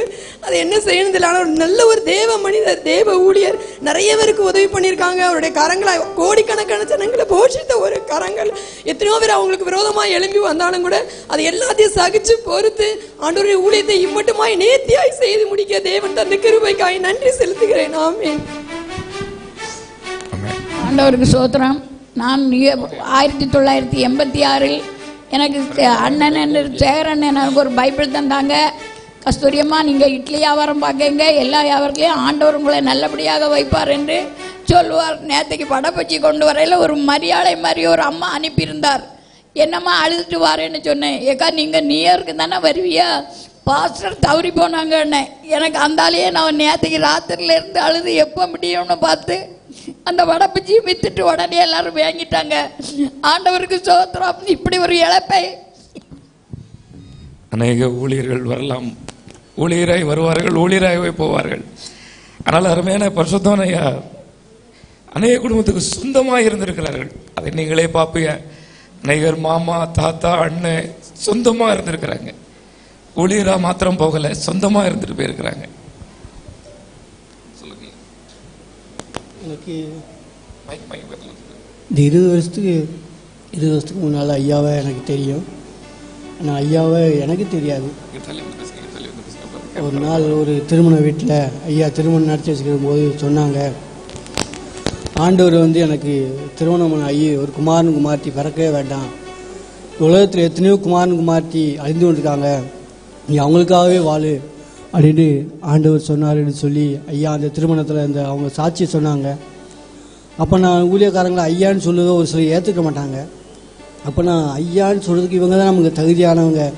இந்த ஐயா பிரசங்கத்தை நம்ம இன்னொரு முறை கேட்டுற மாட்டோமான்னு அந்த திருமணத்துலேருந்து வெளியே போய் நின்று வானத்தை நோக்கி அண்ணாந்து பார்த்து ஆண்டவரே இந்த ஐயா பிரசங்கத்தை நான் இன்னொரு முறை என்னைக்காவது வாழ்க்கை கேட்டுற மாட்டேனா ஏன்டா நான் தேனி மாவட்டம். தேனி மாவட்டத்துலேருந்து வந்து பிரசங்கம் கேட்க முடியாது. போது கேட்கும்போது ஐயா மறுபடியும் வந்து எங்கள் சர்ச்சிலேயும் பிரசங்கம் பண்ண அவங்க சர்ச்சிலேருந்து எனக்கு ஒரு திருமணம் பண்ணி அந்த ஐயா தான் எனக்கு மேரேஜ் பண்ணி வச்சாங்க. மேரேஜ் பண்ணி நான் அந்த தேனி மாவட்டத்தை விட்டு எங்கள் ஐயா சபையும் எங்கள் ஐயாவும் போதும்ண்டு. எங்கள் சொந்தமான எல்லாரையும் விட்டுட்டு சபையும் ஐயாவும் போதும்ண்டு. இந்த பகுதிக்கு நாங்கள் வந்தோம். வந்தபோது ஆண்டவர் இது வரைக்கும் என்னையும் என் மனைவி பிள்ளைகளும் பாதுகாத்து எங்களுக்காக ஜோம் பண்ண எங்களுக்கு ஆலோசனை சொல்ல நானும் ஐயான்னு கூப்பிடுவேன் என் மனைவி மாமான்னு கூப்பிடுவா என் பிள்ளைகளை தாத்தான்னு கூப்பிடுவாங்க அப்படி ஒரு உறவை ஆண்டவர் எங்களுக்கு தந்தார். ஆனால் இந்த சாக்கியத்தை எங்களுக்கு கொடுத்து வைக்கல. ஆண்டவர் தான் நடத்தணும் பாதுகாத்துக்கொள்ளும் இந்த சா இந்த சாட்சி ஆண்டு ஆசிரியப்பாராக தேவனுடைய பரிசுத்த நாமத்துக்கு ஸ்தோத்திரம் உண்டாவதாக. நான் சின்ன வயசுலேருந்து எனக்கு விவரம் தெரிஞ்ச வயசுலேருந்து நம்ம விக்கிற சபைக்கு அவங்க மாமா அவங்க கூட அவங்க சபையில் தான் இருப்போம். சபைக்கு போயிட்டு வருவேன். பதிமூணு வயசுலே சிறு வயசுலே பள்ளிக்கூடத்தை கோச்சி தண்ணி அடித்து பசங்க கூட சேர்ந்து ரொம்ப மோசமான நிலைமைக்கு நான் இருந்தேன். ஆனாலும் அவங்க வந்து சரி நம்ம மாமா மாமான்னு கூப்பிட்றான் நம்ம சபை பிள்ளை ஒரு வாதம் வெட்டு கெட்டு போகக்கூடாதுன்னு சொல்லி இங்கே வந்து கூப்பிட்டு வச்சு விலங்கு போட்டு எப்படியாவது இவனையும் ஒரு மனுஷனை ஆக்கிடணும்னு சொல்லி நல்ல வழியில் நடத்தி ஒரு சபைக்கு இப்போ ஒரு என்ன வேலை பார்க்கறனாலும் அவங்க சொல்ல வேலைகளை செய்கிற அளவுக்கும் என் வீடும் என் மகன் மூலியமாக கடவுள் கட்டிக்கிட்டு இருக்காரு. அதில் பெரிய கிருபைக்கு ஸ்தோத்திரம். அவங்க தான் அதை பிரதிஷ்டை பண்ணணும்னு நினச்சோம். ஏன்னா அஸ்திவாரம் போடும்போது அவங்க தான் வந்து அதை நடத்தினாங்க. பிரதிஷ்டையும் அவங்கள வச்சு இந்த ஜனவரி மாதம் பண்ணணும்னு நினச்சோம். ஆனால் அவங்க எங்களை விட்டு கடவுள்கிட்ட கடந்து போயிட்டாங்க. தேவ சபை மக்களும் தேவசபை ஊழியரும் அதை அவங்களுக்கு பதிலாக வந்து நடத்துவாங்க. அது மட்டும் இல்லை உலகத்தில் யார் தாடியோடையும் சரி கிழிஞ்ச சட்டையோடையும் சரி மன மனநல பாதிக்கப்பட்டு அவங்க ரோட்டுக்கு போனால் அவங்கள கூப்பிட்டு வச்சு முடி வெட்டி குளிப்பாட்டி ஒரு அருவருப்போ அசுத்தமோ படாமல் அவங்களுக்கு நல்ல அந்த ஒரு அற்புதமான காரியங்கள். ஒரு தகப்பன் ஒரு தகப்பன் கூட அதை செய்ய மாட்டாங்க. ஒரு தாய் வந்து சின்ன பிள்ளைக்கு செய்வாங்க பெரிய பிள்ளைக்கு செய்தாங்களா இல்லைன்னு எனக்கு தெரியலை. ஆனால் அவங்க வந்து ஒரு தகப்பன் தாயை விட அவர் ரொம்ப நேசிப்பாங்க பார்த்துக்கோங்க. அவனை வந்து சாப்பாடை வச்சு குளிப்பாட்டி அவங்க போட்டிருக்க துணியை அவனுக்கு கொடுத்து அப்படிப்பட்ட ஊழிய ஊழியக்காரங்களை இந்த சபையும் சபை விசுவாசிகள் நம்ம இழந்திருக்கிறோம். கர்த்தர் நம்மளோடு இருந்து அவர் இழைப்ப நமக்கு சரி கட்ட கர்த்தர் வழி செய்வாராக. கர்த்தருடைய நாமத்துக்கு பரிசுத்தம் உண்டாவதாக. ஒரு பதினஞ்சு வருஷத்துக்கு முன்னாடி நான் பயங்கர ஒரு இந்து குடும்பத்தில் உள்ளவா? நாங்கள் எங்கள் குடும்பம்லாம் பெரிய சாமியாடி இன்னும் அவங்க அதில் தான் இருக்காங்க. ஆனால் அந்த குடும்பத்திலேருந்து என் சகோதரனுக்காக நாங்கள் இயேசப்பாவை நே- நாடி வந்தோம். என்னோட சகோதரனுக்கு திருமணம் நிச்சயமாகி அப்படி நின்றுடுது கல்யாணம் நின்ன உடனே நாங்கள் குடும்பமாகவே தற்கொலை பண்ணக்கூடிய ஒரு சூழ்நிலையில் இருந்தோம். அலையிலியா ஜெப வீட்டு பிள்ளைங்களும் வந்து ஐயா எல்லாரும் சேர்ந்து எங்கள் குடும்பங்களுக்காண்டி ஜெபம் பண்ணி கத்தர் நல்ல ஒரு விடுதலையை கொடுத்திய சகோதரனுக்கு திருமணம் ஆகி இன்னைக்கு பதினஞ்சு வயசில் ஒரு பையன் இருக்கான். அந்த அன்னைக்கு ஆண்டவருக்காக இருந்தேன்னா அவங்க பின்வாங்கி போனாலும் கத்தருக்காக வைராக்கியமாக இருந்த ஐயாட்ட ஞானஸ்தானம் பதினஞ்சு வருஷத்துக்கு முன்னாடி பெற்று இன்னைக்கு எனக்கு சாரதாங்கிற பேரை சாரால் என்ற பேரை என் தகப்பனார் வைத்தார். நல்ல ஒரு ஆவிக்குற தகப்பனாரை நாங்கள் இழந்து விட்டோம். ஒவ்வொரு புது வருஷத்துலேயும் ஐயா எங்களை ஆசீர்வாதம் பண்ண வருவாங்க. இந்த வருஷம் என் ஐயா பிடித்திரையாக இருக்காங்க. என்னால் இந்த துக்கம் தாங்க முடியல. இருந்தாலும் ஆண்டவர் ஐயா ஆத்மா சாந்தி அடைய வேண்டும் கர்த்தருக்கு ஸ்தோத்திரம். கர்த்தர் பதினஞ்சு வயசுலேருந்தே எங்கள் அப்பா எனக்கு நல்லா தெரியும். ரொம்ப பாசமாக இருப்பாங்க. சாட்சி சொல்லுகிற சபையின் பிள்ளைகள் அப்படி வந்து வருஷத்தில் மது- அவ்வளவு பலவீனத்துல மதுரையில வந்து நடத்தி தந்தாங்க லாஸ்டா மனசார வாழ்த்துவாங்க விசாரிப்பாங்க. பிள்ளைங்க எப்படி இருக்காங்க? அவங்களோட விசாரிக்கக்கூடிய அந்த தன்மை இனிமே எங்களுக்கு யாரும் இல்லை. எங்களுக்கு எங்க ஆத்ம தகப்பன் இல்லாம போனது எங்களுக்கு ரொம்ப கஷ்டமா இருக்கு. ரொம்ப தாழ்மையா இருப்பாங்க. நல்ல சேர் கூட வேண்டாம? சாதாரண சேர ஸ்டேஜில் போடுன்னு சொல்லி அவ்வளவு தாழ்மையா வந்து பிள்ளையோட திருமண காரியத்தை நடத்தி இப்ப நேத்து முந்தா நாள் கூட விசாரிக்காங்க. அவ்வளவு அன்பா விசாரிக்க என் தகப்பன் எங்களுக்கு இல்லை. கர்த்தருக்கு கொடான கூடி ஸ்தோத்திரம்.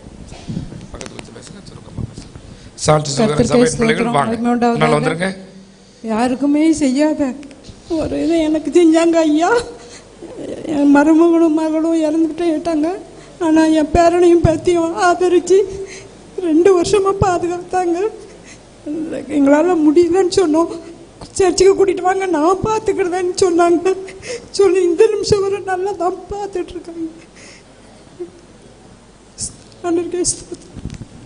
கர்த்தராசன் கத்தரை நாம் பரிசுத்தப்படுவதாக.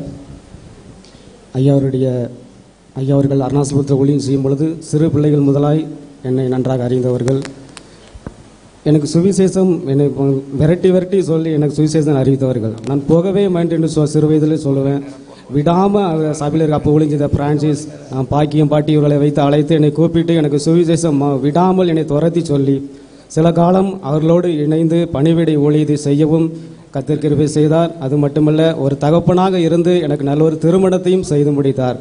தானே பொறுப்பேற்று மு- என்னை நம்பி இந்த பெண் கொடுக்குன்னு சொல்லி அவர் த முழு பொறுப்பை எடுத்து செய்தார். அதை என்னை வாழ்நாள் முழுவதும் என்னால் மறக்க முடியாது. ஒவ்வொரு நாளும் அவர் நினையாத நாளே கிடையாது. தூரமாக இருந்தாலும் அவருக்காக ஜெபிப்பேன். ஒவ்வொரு விசுவாசிகளும் எப்படி இருக்காங்கன்னு கேட்கவும் வழக்கம் உண்டு. ஒரு இழப்பு என்னால் தாங்கவே முடியல. கத்ததாமே நல்ல ஒரு ஆறுதலை ஒவ்வொருவருக்கும் தருவாராக கர்த்தருடைய நாம மகிமைப்படுவதாக என்னையும் கூட இந்த இடத்துல ஒரு சிறு சாட்சியாக நிறுத்தினதற்காக என் தேவனை துதிக்கிறேன். அண்ணனை நாற்பது வருஷத்துக்கு முன்பதாக அருணாசலபுரம் ஜெப வீட்டில் அல்லையே ஜெப வீட்டில் இருந்தாங்க.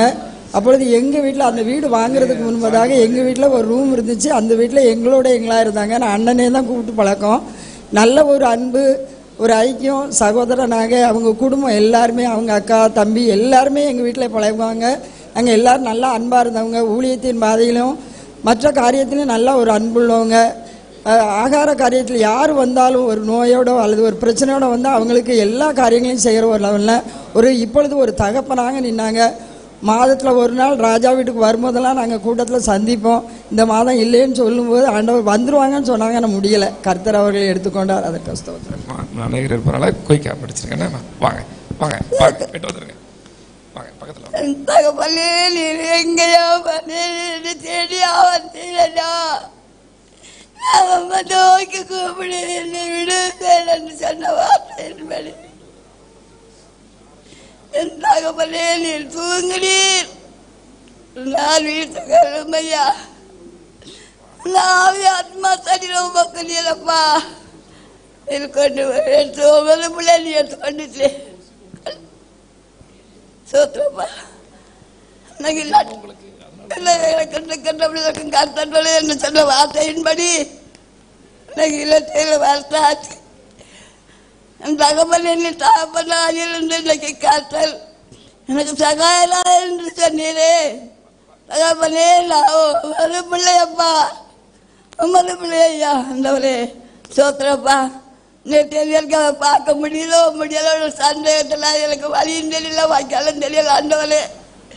அப்பா எனக்கு ஊருக்கு ஆட்டு பண்ணார் கோயில் இந்த கிராமங்க மக்கள் வசிக்க நல்ல மக்களுக்காக ஜெபிங்களப்பா இந்த மக்களுக்காக ஜெபிங்க கஷ்டம் இந்த பார்க்க கொடுத்த கிருமைக்காக இந்த அவளை பார்க்கணும் இல்லை எங்கிருந்து ஓடி வந்து இந்த அவளை பார்க்க என்று நான் வேலி வந்தேன். ஒரு மூத்த பார்த்துட்டு சொல்லுவோம் துதிக்கல ஓகே சொல்லிட்டுக்கல இயேசுவின் நாமத்தில் கேட்குறோம். இல்லாவே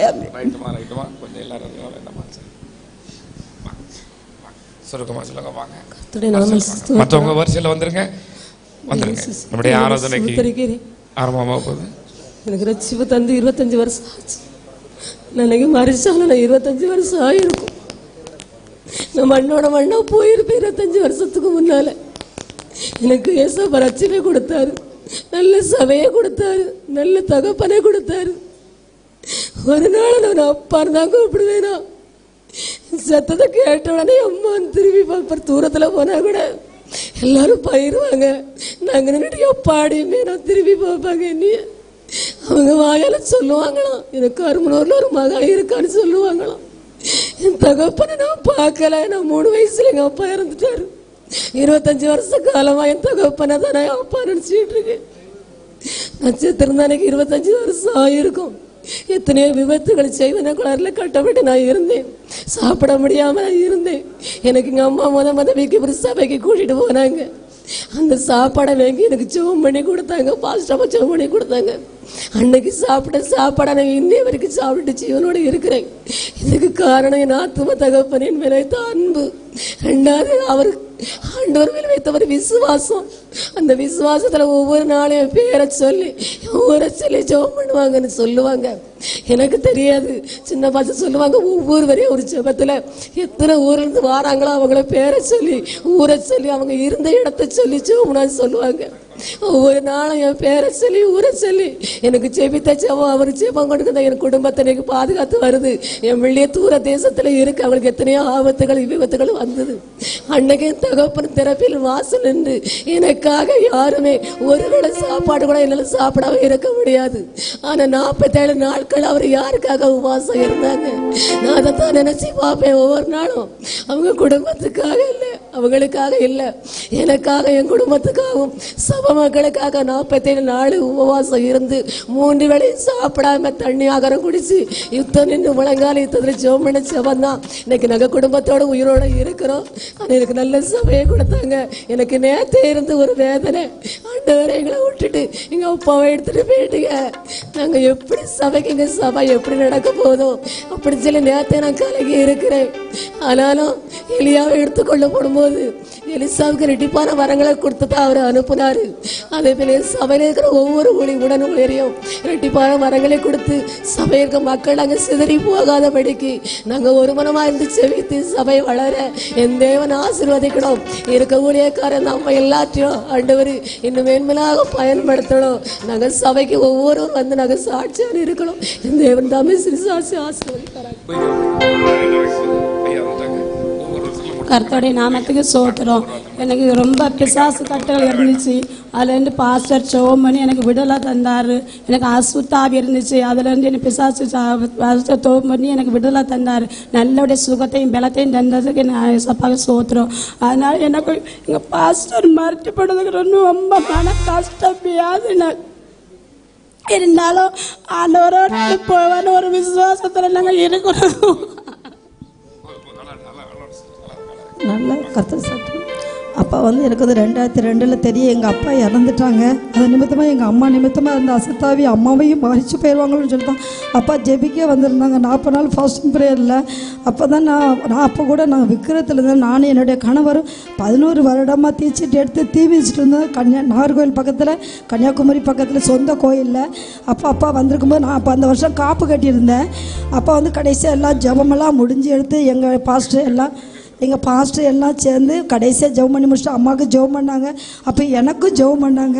அப்போ நான் காப்பு கட்டி மஞ்சள் கலர் ட்ரெஸ்ஸு போட்டிருந்தேன். அப்போ அப்பா ஜெபிக்கும் போது எனக்குள்ளே இருந்த ஒரு ஆவி எனக்குள்ளே இருந்து போச்சு. அந்த சாமி ஆடுற சாமி ஆடுற அந்த ஆவி எனக்குள்ளே இருந்து போனது. அந்த வருடம் ஒரு வாரம் கழித்து நான் அந்த போகணும் அந்த கோவிலுக்கு. அங்கே போயிருக்கும்போது அந்த இடத்துல நான் சாமி ஆடலை. நானும் என் கணவரும் தீ செடித்து தீ மிதிச்சுட்டு வந்துட்டோம்.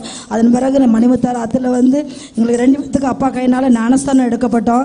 என்னுடைய பிள்ளைங்க ரெண்டு பேருமே அப்பா கையினால் இங்கே ஞானஸ்தானம் எடுத்துப்பட்டாங்க கர்த்தரை இந்த நாள் வரைக்கும் அப்பா எங்களுக்கு நல்ல ஒரு உதவி ஆவிக்கு அவன் என்னுடைய உலக தகப்பனை இழந்தாலும் ஆவிக்குரிய தகப்பனை நாங்கள் இப்போ இழந்து நிற்கிறோம் கர்த்தர் தான் எங்களுக்கு ஆறுதல் தந்தாஸ் வாங்க வாங்க. சுருக்கமாக சொல்லிடுமா பாஷா வந்துட்டாங்க. கர்த்தருக்கு ஸ்தோத்திரம். நாங்கள் ஒரு இந்து குடும்பத்திலேருந்து ரட்சிக்கப்பட்டவ. ஆயிரத்தி தொள்ளாயிரத்தி எண்பதாவது வருஷம் நாங்கள் அந்த சர்ச்சுக்கு இருந்தோம் எனக்கு பத்து வயசு. பத்து வயசுல இருந்து நாற்பத்தி ரெண்டு வருஷம். எனக்கு எல்லாமே இருந்தோம். ஆனால் இந்த நேரத்தில் பெரிய பரதாபமாக இருக்கு. தாங்க முடியல. என் தகப்பச்சத்தை கூட நம்மளை வருத்தப்படல தாங்க இருக்கு. அருமையான பாஸ்டராக எனக்கு கடந்த நாற்பது வருஷமாக தெரியும். எங்கள் வீட்டில் ஒரு சிறிய பகுதியில் ஐயா வந்து முதல் முதல்ல அருணாசபுரத்துக்கு வரும்போது இருந்தாங்க. அந்த எனக்கு இப்போ பேசவே முடியல. அந்த காலகட்டத்தில் அவங்க வந்து என்கிட்ட நான் எப்பவும் அவங்க வீட்லேயே அவங்க கூடயே தான் இருப்பேன். என்கிட்ட நிறைய ஷேர் பண்ணுவாங்க. கடைசியில் இந்த இடத்துல அருமையான ஒரு ஆலயத்தை கட்டி ஆலயத்தை பிரதிஷ்டை பண்ணுவதுக்கு பத்திரிக்கை கொண்டு வந்தாங்க எங்கள் வீட்டுக்கு அப்பா அம்மா. எங்கள் அம்மா கஷ்டமான சூழ்நிலை இருந்தாங்க. அப்போ கஷ்டமான சூழ்நிலை இருக்கும்போது எங்கள் அம்மா வந்து கடைசி ஜீவன் தொண்டையில் மட்டும் உயிர் இருக்குது அப்போ பாஸ்டர் சொன்னார் அம்மா இந்த பிரதிஷ்டைக்கு வருவாங்க அப்படின்னு சொல்லி ஒரு நல்ல ஜெபம் பண்ணாங்க. நான் எங்கள் அம்மாவுடைய கடைசி மரணத்தை பார்க்கணும் கண்ணை திறந்து பார்த்துக்கிட்டே இருந்தேன். ஆனால் ஐயா கொடுத்துட்டு வந்தாங்க. எங்கள் வீட்டு அம்மாவும் எங்கள் அம்மாவும் இந்த பிரதிஷ்டைக்கு வந்து அதுக்கப்புறம் பத்து வருஷம் எங்கள் அம்மாவுக்கு ஜீவனை கூட்டி கொடுத்தாங்க. அப்படிப்பட்ட ஒரு அருமையான பரிசுத்தவர் மரணம் என்னால் தாங்கவே முடியலை. சமயம் குறுக்கினதாக இருக்கிறபடியினால் இந்த குறிக்கப்பட்ட மூன்று பேர் மாத்திரம் சுருக்கமாய் சாட்சி சொல்வார்கள். அதுக்கு முன்பதாக ஆராதனைக்கு நேராக நாம் கடந்து செல்வோம். கத்தருக்கு ஸ்தோத்திரம். ஐயா எப்போ வந்தாலும் சரி என்னை விசாரிப்பாங்க. நான் திருமணமாகி அதுக்கப்புறம் தான் நான் சபைக்கு வந்தேன். என் வீட்டுக்காரங்க ஹிந்து பேக்ரவுண்ட்லேருந்து தான் வந்தாங்க. ஆனால் பாஸ்டர் எப்போ பார்த்தாலும் அவங்கள நல்லா என்கரேஜ் பண்ணுவாங்க. எப்போ வந்தாலும் சரி விசாரிப்பாங்க. இதில் இதுக்கு இடையில இப்போ உடம்பு சரியில்லாமல் வெள்ளிக்கிழமை நான் வந்து பார்க்கும்போது கூட இப்போ வீட்டுக்காரங்க நல்லா இருக்காங்களாம்மா ஃபோன் பண்ணாங்களாம்மா பிள்ளை நல்லா இருக்காம்மா அப்படி தான் கேட்பாங்க. பாஸ்டர் மாதிரி இந்த இடத்துல தான் இந்த பிரசங்கம் பண்ணுவாங்க வாக்குமதி பாட்டு படிப்பாங்க. நினைக்கும் போது வேதனையாக இருக்குது. பாஸ்ட் ஆண்டோட ராஜ்யத்துக்குள்ள எடுத்துக்கொள்ளப்பட்டாங்க. அவங்களுக்கு அந்த நிச்சயம் இருந்தது. அதை நினச்சி தான் நான் அதுக்கு முத நாள் பாஸ்டர் இறந்து போகிறதுக்கு முத நாள் நான் ப்ரேயர் பண்ணேன். இசப்பா இன்னைக்கு கூட மறுச்சாலும் பரலோகத்துக்கு போவேன்னு சொன்னாங்க. பாஸ்டருக்கு வந்து ரொம்ப கஷ்டப்படக்கூடாது வேதனைப்படக்கூடாது. அவங்கள நீங்கள் ஆண்டவரை எடுத்துக்கொண்டாலும் அப்படி எடுத்துக்கொள்ளணும்னு சொல்லி இன்னும் ஆசைப்பட்டது போகக்கூடாதுன்னு சொல்லி ப்ரேயர் பண்ணேன். அந்தமாரி ஆண்டவர் அவங்கள மகிமைக்குள்ளே எடுத்துக்கொண்டாங்க. அதுக்காக கத்தருக்கு ஸ்தோத்திரம். ஏசப்பாக்கு நன்றி. என் பாஸ்டருக்கு நன்றி. எங்களெல்லாம் விட்டுட்டு போனது ரொம்ப வருத்தமா இருக்கு. என் பொண்ணுக்கு திருமணம் பண்ணி வச்சாங்க செப்டம்பர் ஏழில் ராஜா பாஸ்டர் இந்த பாஸ்டர் ஏன் பண்ணி வச்சாங்க. எங்களுக்கு மறக்க முடியாத ஒரு என் பிள்ளைக்கு ஞானசானம் எடுத்து பேர் வச்சாங்க. சாரான்னு வச்சு என் பிள்ளைய நல்லா வாழ்த்துட்டு போன ஆளு.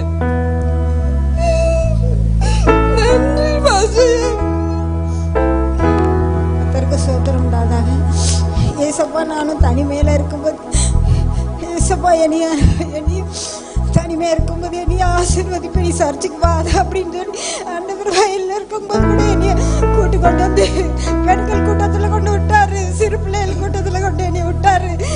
ஆண்டவர் சர்ச்சுக்கு வந்தா உன்னை ஆசீர்வதிப்பாரு? ஆண்டவர் சொன்னாரு. ஐயா பேட்டாங்களே என்னைய வைசலாம் கர்த்தருடைய நாமம் ஆண்டோடைய நாமம் மகிமைப்படுவதாக கர்த்தர் உங்களை திக்கற்றவர்களாய் விடார். வேதம் சொல்லுகிறது நான் உங்களை திக்கற்றவர்களாய் விடேன் உங்களிடத்தில் வருவேன் என்று ஆண்டவர் நமக்கு சொல்லியிருக்கிறார். இன்னும் நிறைய சாட்சிகள் சொல்ல போனால் நமக்கு சமயம் போதாது. ஒருவேளை உங்களை கனவீனம் பண்ணுகிறதாக நீங்கள் யாரும் தயவு செய்து நீங்கள் நினைக்க வேண்டாம். அருமையான தேவனுடைய மனுஷனை கொண்டு கர்த்தர் செய்த காரியங்களை அறிவிக்க வேண்டுமானால் நமக்கு நீண்ட நேரம் ஆகும். ஆகவே தயவு செய்து நீங்கள் மன்னித்துக் கொள்ளும்படி உங்களை அன்போடு கேட்டுக்கொள்கிறேன். இப்பொழுது இந்த அடக்க ஆராதனைக்கான காரியங்களை நாம் செய்ய போகிறோம். கர்த்தருடைய நாமம் மைமைப்படட்டும் இடையிடையில் முடிந்தால் ஒரு சிலருக்கு நாங்கள் அந்த நேரங்களை கொடுப்போம். நீங்கள் தயவு செய்து பொறுத்து கொள்ளுங்கள்.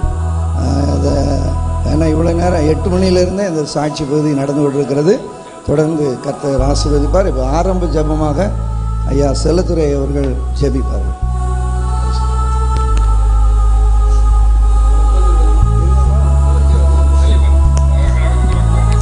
பரிசுத்தமுள்ள நல்ல பிதாவே அல்லவரே இந்த அருமையான வேலைக்காக மீண்டும் நாங்கள் உங்களுடைய சமூகத்தை நோக்கி நாங்கள் சோத்திரம் பண்ணுகிறோம். விசேஷமாக பாச சேகர் நல்ல தம்பி அவருடைய மரணத்தை குறித்து இந்த இடத்துல வந்திருந்த நம்முடைய பிள்ளைகள் கதாவே சோத்திரம் அவரை குறித்து சாட்சி சொன்னதை அறிவீர். இப்போதும் கூட கதாவே அருமையான பாசுடைய சரீரத்தை உடைய வருகை நாளுக்கண்டு பூமியிலே சேர்த்து வைக்கும்படி ஆண்டவரே நாங்கள் கடந்து செல்ல போகிறோம். எடுத்து தேவன் தாமே சோத்திரம் இந்த அடக்க ஆராதனை பொறுப்படுத்து கத்த நடத்தும்படி நாங்கள் ஜெபிக்கிறோம் கதாவே சோத்திரம். ஆண்டவரே இன்றைக்கு நாங்கள் எங்களோட எங்களை கண்களுக்கு முன்னதாக அவருடைய சரீரம் மறைந்து போனாலும் ஆண்டவர் ஒரு நாளிலே கூட அவருடைய கதாவே சோதரம் சிவனோடு கூட மத்திய ஆகாயத்தில் சந்திப்போம் என்ற ஒரு விசுவாசத்தோடு கூட கத்தாவே மகனை கத்தாவே சோதரன் வருகைக்கு நாளுக்கண்டு சேமித்து வைக்கிறதுக்காக கடந்து போகிறோம். கத்தர் தாமே அடக்க ஆராதனை பொறுப்பு தொடர்ந்து கத்தாவே நியமித்திருக்கிற ஓட்டத்தில் உண்மையை நோக்கி பொறுமையோடு ஓடி வர ஒவ்வொருக்கும் நல்ல கிருபுகளை தந்து விசுவாச வாழ்க்கையில் உறுதியாய் சேகர் பாஸ்டர் போல் நிலைத்திருக்க கத்தர் விஷயம் நாங்கள் ஜெபிக்கிறோம். பொறுப்படுத்திக் கொள்ளுங்க. இயேசுவின் நாமத்தில் பிதாவே ஆமே கிறிஸ்துவின் நாமம் மைமைப்படுத்தும் இப்பொழுது பாடல் ஆராதனை பாஸ்டர் கெர்சோன் அவர்கள் நடத்துவார்கள். யாவரும் நாம் சேர்ந்து பாடங்களை பாடி கத்துடைய நாமத்தை உயர்த்தும்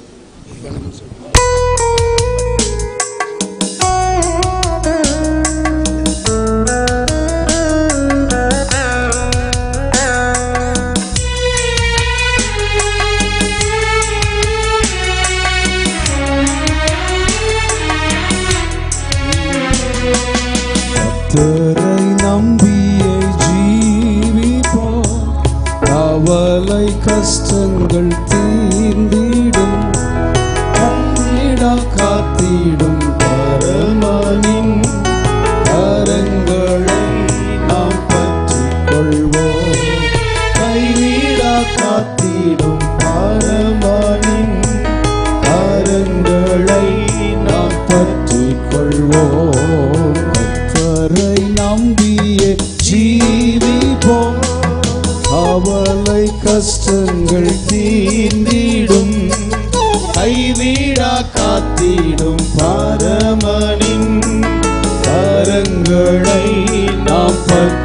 கொள்வோம். கைவிடா காத்திடும் பரமனின் கரங்களை நாம் பற்றிக் கொள்வோம் ஜீவதேவன் பின் செல்லுவோ ஜீவ ஒளிதனை கண்டடைவோம். ஜீவதேவன் பின் செல்லுவோ ஜீவ ஒளிதனை கண்டடைவோம் மனதின் காரிருள் நீங்கிடவே மாசமாதானம் தந்தும். மனதின் காயிருள் நீங்கிடவே மாசமாதானம் கர்த்தரை நம்பிய ஜீவிப்போ அவளை கஷ்டங்கள் கைவிடா காத்தி பரமானின் கரங்களை பற்றிக் கொள்வோம் கைவிடா காத்திடும் பாரம்மானின் பற்றி கொள்வோம் அடக்க ஆராதனை ஆரம்பித்து விட்டோம் ஆகவே நாம் இப்பொழுது ஒரு ஆராதனைக்குரிய ஒரு சூழ்நிலை ஏற்பட வேண்டும் துக்கம் இருக்கிறது. ஆனாலும் தேவனாகிய கர்த்தர் நம்முடைய துக்கத்தை ஆறுதல் படுத்துகிறவர். அவர் ஒருவர் மாத்திரமே. இந்த பாடலை எல்லாருக்கும் தெரிந்த பாடலை பாடுகிறோம். சேர்ந்து நாம் ஒரு ஆவியோடும் முழு மல் உள்ளத்தோடும் பாடி தேவனுடைய நாமத்தை மகிமைப்படுத்துவோமாக. கர்த்தரை நம்பிய ஜீவிப்போம். எல்லா கவலைகளையும் கஷ்டங்களையும் பாரங்களையும் நீக்குகிறவர் கர்த்தர் ஒருவர்.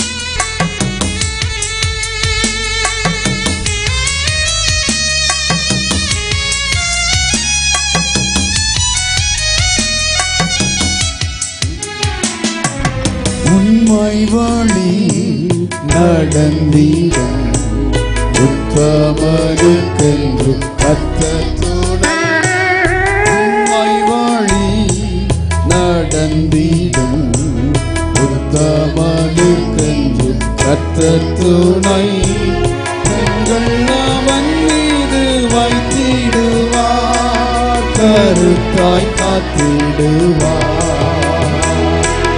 கண்கள் மீது வைத்திடுவார் கருத்தாய் காத்திடுவார்.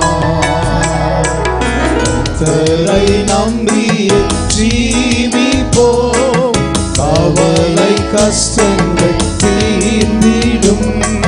கைவிடா காத்திடும் பரமானின் கரங்களை நாம் கைவிடா காத்திடும் பாரமானின் தாரங்களை நாம் கொள்வோம்.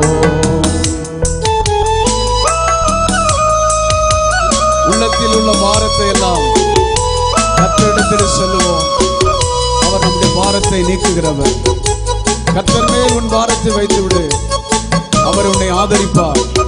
நீதிமானை ஒருபோதும் தள்ளாட வைத்தார் உள்ளமாதின்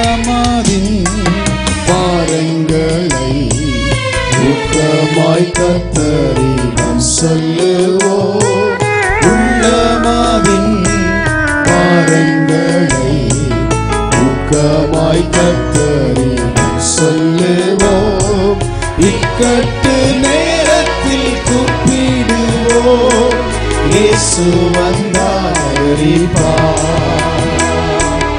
இக்கட்டு நேரத்தில் கூப்பிடுவோம் இயேசு வந்தாரிப்பார் கத்தரை நம்பி ஜீவிப்போ கவலை கஷ்டங்கள் தீர்ந்திடும்.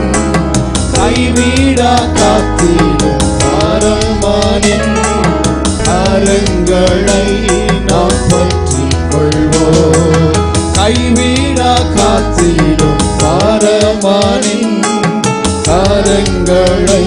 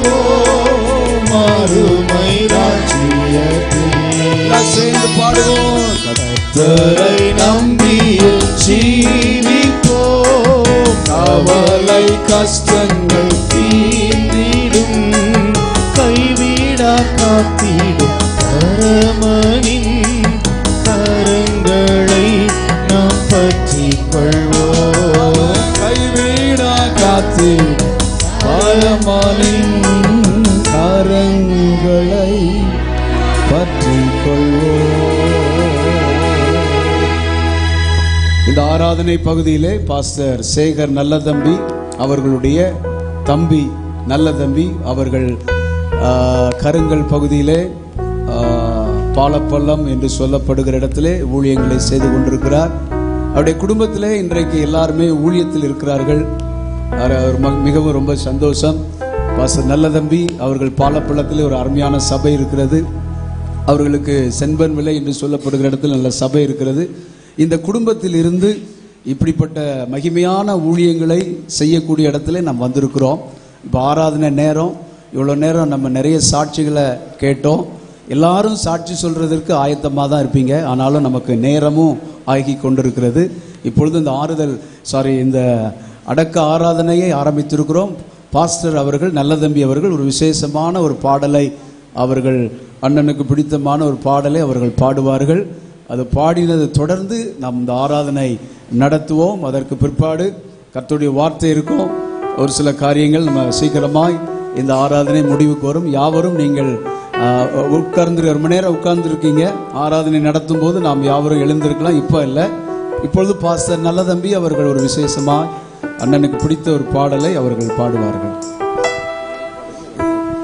கர்த்தருடைய மகிமைப்படுவதாக இந்த நல்ல சூழ்நிலைகளை கத்த நமக்கு அனுமதித்திருக்கிறார். அவை உங்கள் இருதயம் கலங்காமலும் பயப்படாமலும் இருப்பதாக என்று நம்முடைய தேவன் சொன்னார். என் வீட்டில் அநேக வாசஸ்தலம் உண்டு. பிதாவின் வீட்டில் நான் போய் உங்களுக்காக ஒரு ஸ்தலத்தை ஆயத்தம் பண்ணிவிட்டு திரும்பவும் நான் வருவேன் வந்து உங்களை என்னோடு சேர்த்துக்கொள்வேன் என்று ஆண்டவர் சொன்னார். கிறிஸ்தவ வாழ்க்கையின் உச்சக்கட்ட விசுவாசமே பரலோக ராஜ்யம். அந்த ராஜ்யத்தை அருமையான தேவனுடைய தாசன் அவர்கள் சுதந்திரித்து கொண்டார்கள். நம்மையும் அந்த பாதையில் வழி நடத்தியிருக்கிறார்கள். ஆகவே தைரியம் கொண்டு நாம் விசுவாசத்தில் ஸ்திரப்பட்டு கிறிஸ்துவை பின்பற்றுவோம். ஒரு பாடல் ஒன்றை பாடின பின்பு நாம் ஆராதனைக்கு நேராக கடன் செல்வோம். கத்தர் ஆசீர்வதிப்பார். வாழன் நம்மை சேர்க்குவான் மத்தியவானில் வெளிப்படுவான் இசுமணவாளன் நம்மை சேர்க்குவான் மத்தியவானில் வெளிப்படுவான் காலம் அசன்யமாய் பிரியரே ஒருங்காம் விசுத்தியோடே காலம் அசன்யமாய் பிரியரே ஒருங்காம் விசுத்தியோடே சேரும் நாம் மேகத்தில் இன்ப வீடவே காணும் நாம் அந்நாளில் பிரியன் பொன்முகம். சேரும் நாம் அந்நாளில் இன்ப வீடதில் காணும் நாம் பிரியன் பொன்முகம் சட சட உயிர்க்கும் விசுத்தரெல்லாம் காகலநாதம் கேட்டிடும்போ சட சட உயிர்க்கும் விசுத்தரெல்லாம் காகலநாதம் கேட்டிடும்போ காந்தன் விசுவரான் காலமா ரூபாந்தரம்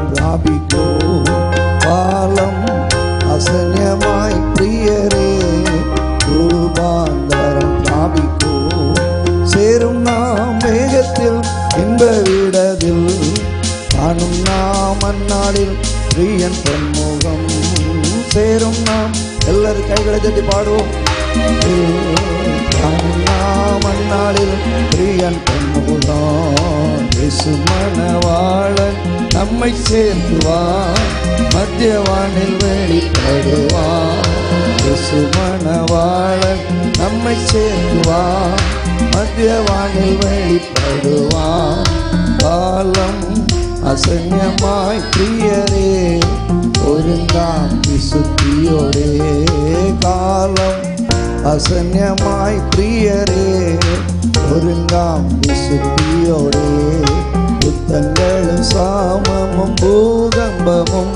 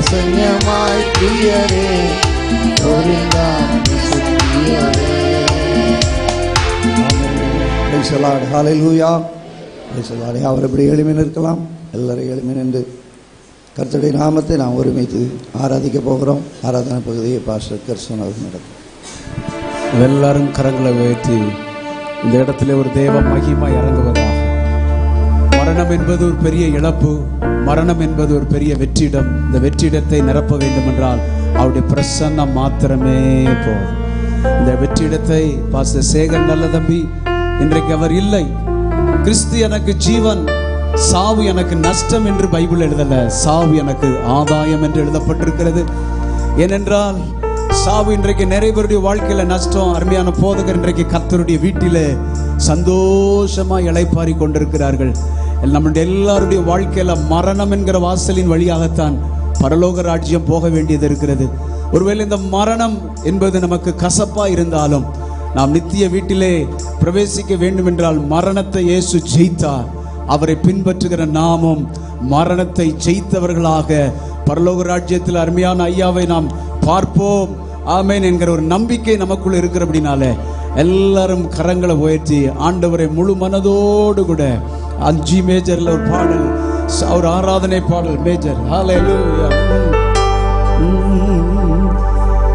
ஆஹா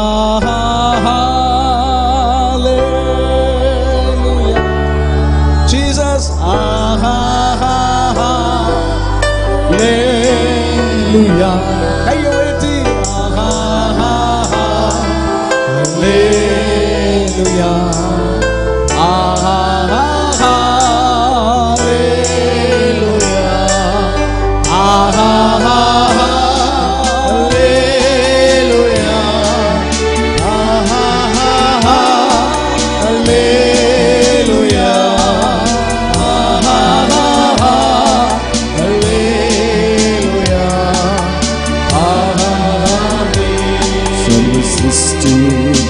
சிருஷ்டிக்கும்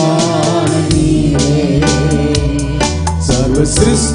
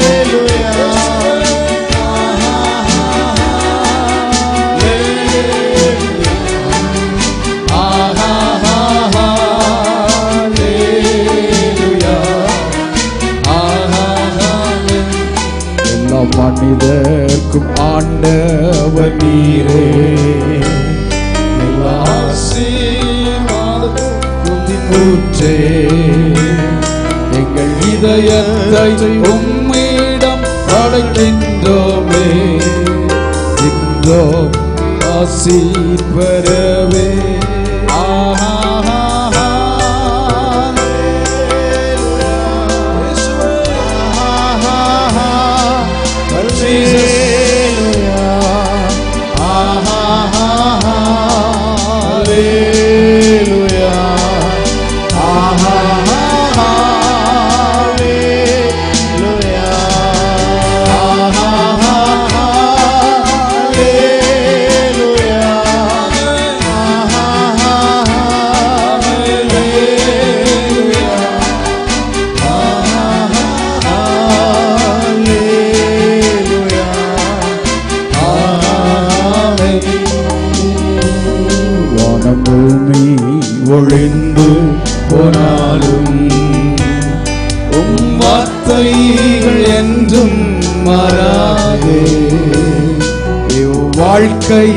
அழிந்து மறைந்து போ.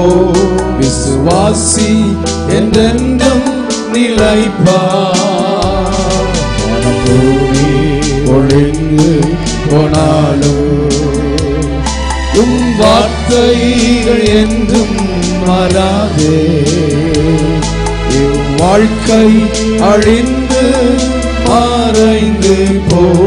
விசுவாசி என்றென்றும் நிலைப்பார் அசைத்து எல்லா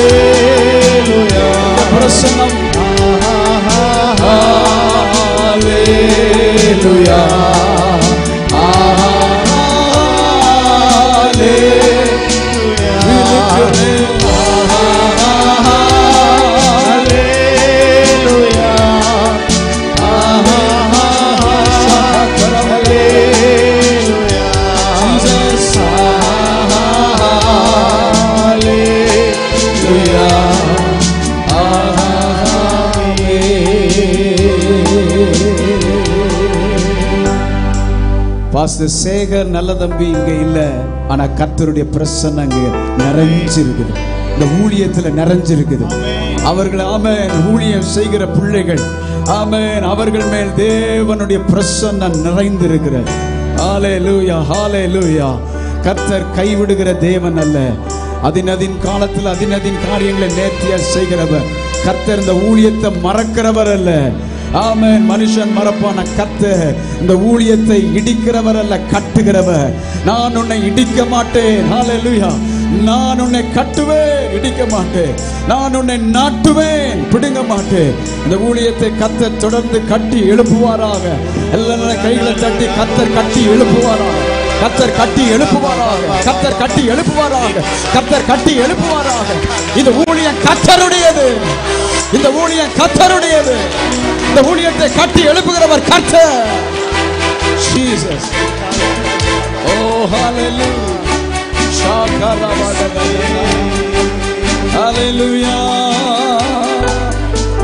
இந்நாட்கள் முடியும் வரை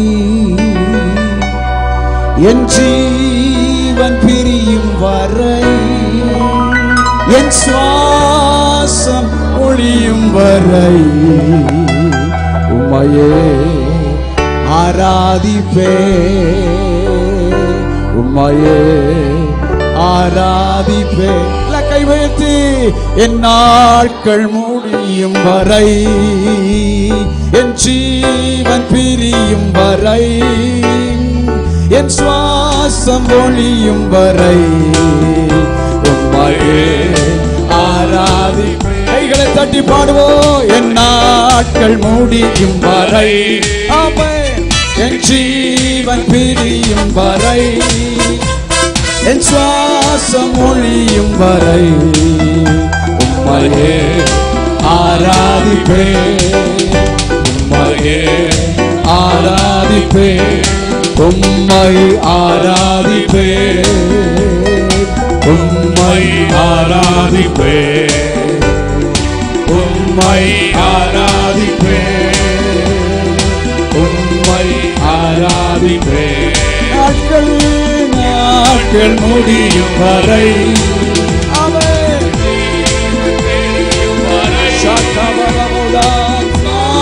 மொழியும் வரை. ஆராதிப்பே உம்மையே நாட்கள் முடியும் வரை. ஜீவன் ஜீவன் பிரியும் வரை. சுவாசம் ஒளியும் வரை. ஆராதிப்பே உம்மையே. ஆராதிப்பே. தாயின் கருவில் குரு ஆகும் ஒன்றே சொல்லி அழைத்தவர் நீரே. தாயினும் மேலாக அன்பு வைத்து எனக்காக ஜீவன் தந்தீரே. தாயின் கருவில் உருவாகும் ஒன்றே பேர் சொல்லி அழைத்தவர் நீரே. தாயினும் மேலாக அன்பு வைத்து எனக்காக ஜீவன் தந்தீரே. என் நாட்கள் முடியும் வரை என் ஜீவன் பிரியும் வரை என் சுவாசம் ஒளியும் வரை உம்மையே ஆராதிப்பே.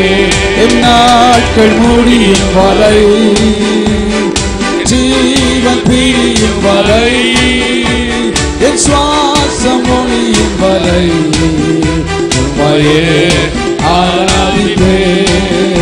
உம்மையே ஆராதிப்பே. ஆராதனை உமக்கே.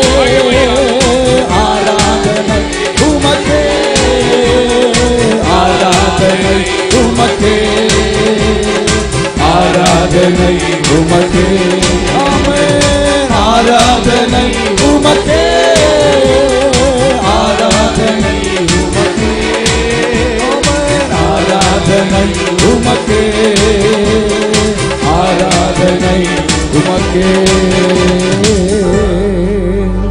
சர்வ வல்லவரே எங்கள் அன்புள்ள பிதாவே இந்த நாளிலே இந்த ஆண்டவரே இந்த ஊழியங்களை இந்த ஊழியமே இல்லாத இந்த பகுதியில் இந்த இடைகால் என்கிற கிராமத்தில் கத்தர் நீர் கொண்டு வந்து ஒன்றுமில்லாத இடத்துல ஒரு ஊழியத்தை மகிமையான ஊழியத்தை கட்டி எழுப்பும்படி உங்களுடைய மகனை நீர் பயன்படுத்தினதுக்காய் ஸ்தோத்திரம். ஆயிரக்கணக்கான ஊழியர்களை உற்சாகப்படுத்தும்படி பயன்படுத்தினதுக்காய் ஸ்தோத்திர ஆண்டவரே.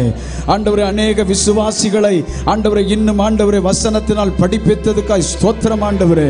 கத்தாவே அவர் விட்டு போன ஊழியத்தை தொடர்ந்து அன்றைக்கு ஆள லூயா மோசைக்கு பிற்பாடு யோசுவாவை கத்தர் வல்லமையாய் பயன்படுத்தி மோசையோடு இருந்தது போல நான் உன்னோடு இருப்பேன் அப்படின்னு சொல்லி கத்தருடைய ஆவியானவர் ஊழியத்தை கட்டினது போல தொடர்ந்து இந்த ஸ்தாபனத்தை ஊழியத்தை ஊழியர்களை சபை மக்களை குடும்பத்தின் பிள்ளைகளை கர்த்தர் கட்டி எழுப்பும்படியாய் நாங்கள் செபிக்கிறோம் ஆண்டவரே. கத்தாவே நம்முடைய பிரசன்ன குறையல குறையல குறையல குறையல குறையல. மகிமை குறையல குறையல குறையல குறையல. உங்க வல்லமை குறையல குறையல குறையல குறையல ஆண்டவரே. Oh, ஓ ஜீசஸ் ஹalleluya தொடர்ந்து இந்த ஊழியத்தை கட்டி எழுப்பும்படி ஜெபிக்கிறோம். ஆண்டவரே இந்த அடக்க ஆராதனை கர்த்தர் நீர் நடத்தி தரும்படி ஜெபிக்கிறோம். அதற்கிற போதகர் அவர் மூலமாய் நல்ல வார்த்தைகள் வெளிப்படும்படியாய் நாங்கள் ஜெபிக்கிறோம். தொடர்ந்து நீர் நடத்தி தருவீராக. எல்லா கணமும் துதியும் மகிமையும் உடைய சகல ஆறுதலும் தேர்தலும் சமாதானமும் எல்லாரோடு இருப்பதாக என்று நாங்கள் ஜெபிக்கிறோம். மக்கே மகிமை உண்டாவதா. இயேசுவின் மூலமாய் வேண்டிக் கொள்கிறோம் நல்ல பிதாவே அவர் அப்படியே அமைதியாக உட்காருங்க. தொடர்ந்து ஒரு வேத பகுதியை வாசிக்க நாம் கேட்க போகிறோம்.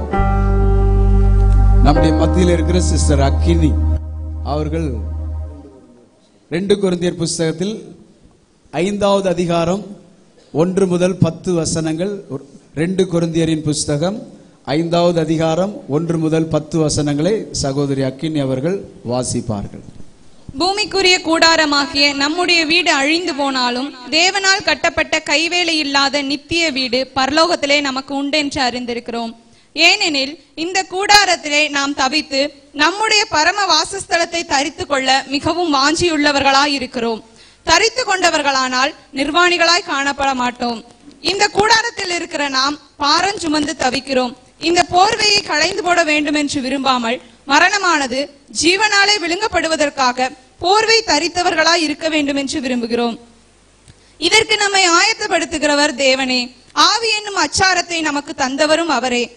நாம் தரிசித்து நடவாமல் விசுவாசித்து நடக்கிறோம். இந்த தேகத்தில் குடியிருக்கையில் கர்த்தரிடத்தில் குடியிராதவர்களாய் இருக்கிறோம் என்று அறிந்தும் எப்பொழுதும் தைரியமாய் இருக்கிறோம். நாம் தைரியமாகவே இருந்து இந்த தேகத்தை விட்டு குடிபோகவும் கர்த்தரிடத்தில் குடியிருக்கவும் அதிகமாய் விரும்புகிறோம். அது நிமித்தமே நாம் சரீரத்தில் குடியிருந்தாலும் குடியிராமற் போனாலும் அவருக்கு பிரியமானவர்களாய் இருக்க நாடுகிறோம். ஏனென்றால் சரீரத்தில் அவனவன் செய்த நன்மைக்காவது தீமைக்காவது தக்க பலனை அடையும்படிக்கு நாம் எல்லாரும் கிறிஸ்துவின் நியாயாசனத்திற்கு முன்பாக வெளிப்பட வேண்டும். ஆமென்.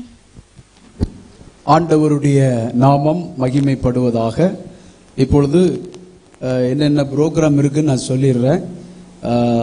நம்முடைய இப்போது வேத வாசிப்பு முடிந்த உடனே ஒரு சாட்சியை நம்முடைய மத்தியில் இருக்கிற பாஸ்டர் நல்லதம்பி அவர்கள் கொண்டு வருவார்கள். அதை தொடர்ந்து போதகரோடு போதகர் மூலமாக ஊழியத்திலே வந்தவர்களுக்காக ஒரு விசேஷித்த ஒரு அபிஷேக ஜெபம் தொடர்ந்து அவர்கள் ஐயா இல்லை அப்படிங்கிற ஒரு நிலைமை இல்லாதபடி அவர்களுக்கு ஆண்டவர் எலிசாவை ரெண்டு மடங்கு பயன்படுத்தினது போல அவர்கள் மூலமாய் உருவாக்கப்பட்ட ஒவ்வொருவரையும் கர்த்தர் பயன்படுத்தப்படும்படியாக அவங்களுக்காக ஒரு ஜெபம் இருக்கும். அதற்கு பிற்பாடு செய்தி ஒரு கடைசியில் இந்த பூத உடலை எடுத்து நாம் அடக்கம் செய்ய போகிறோம்.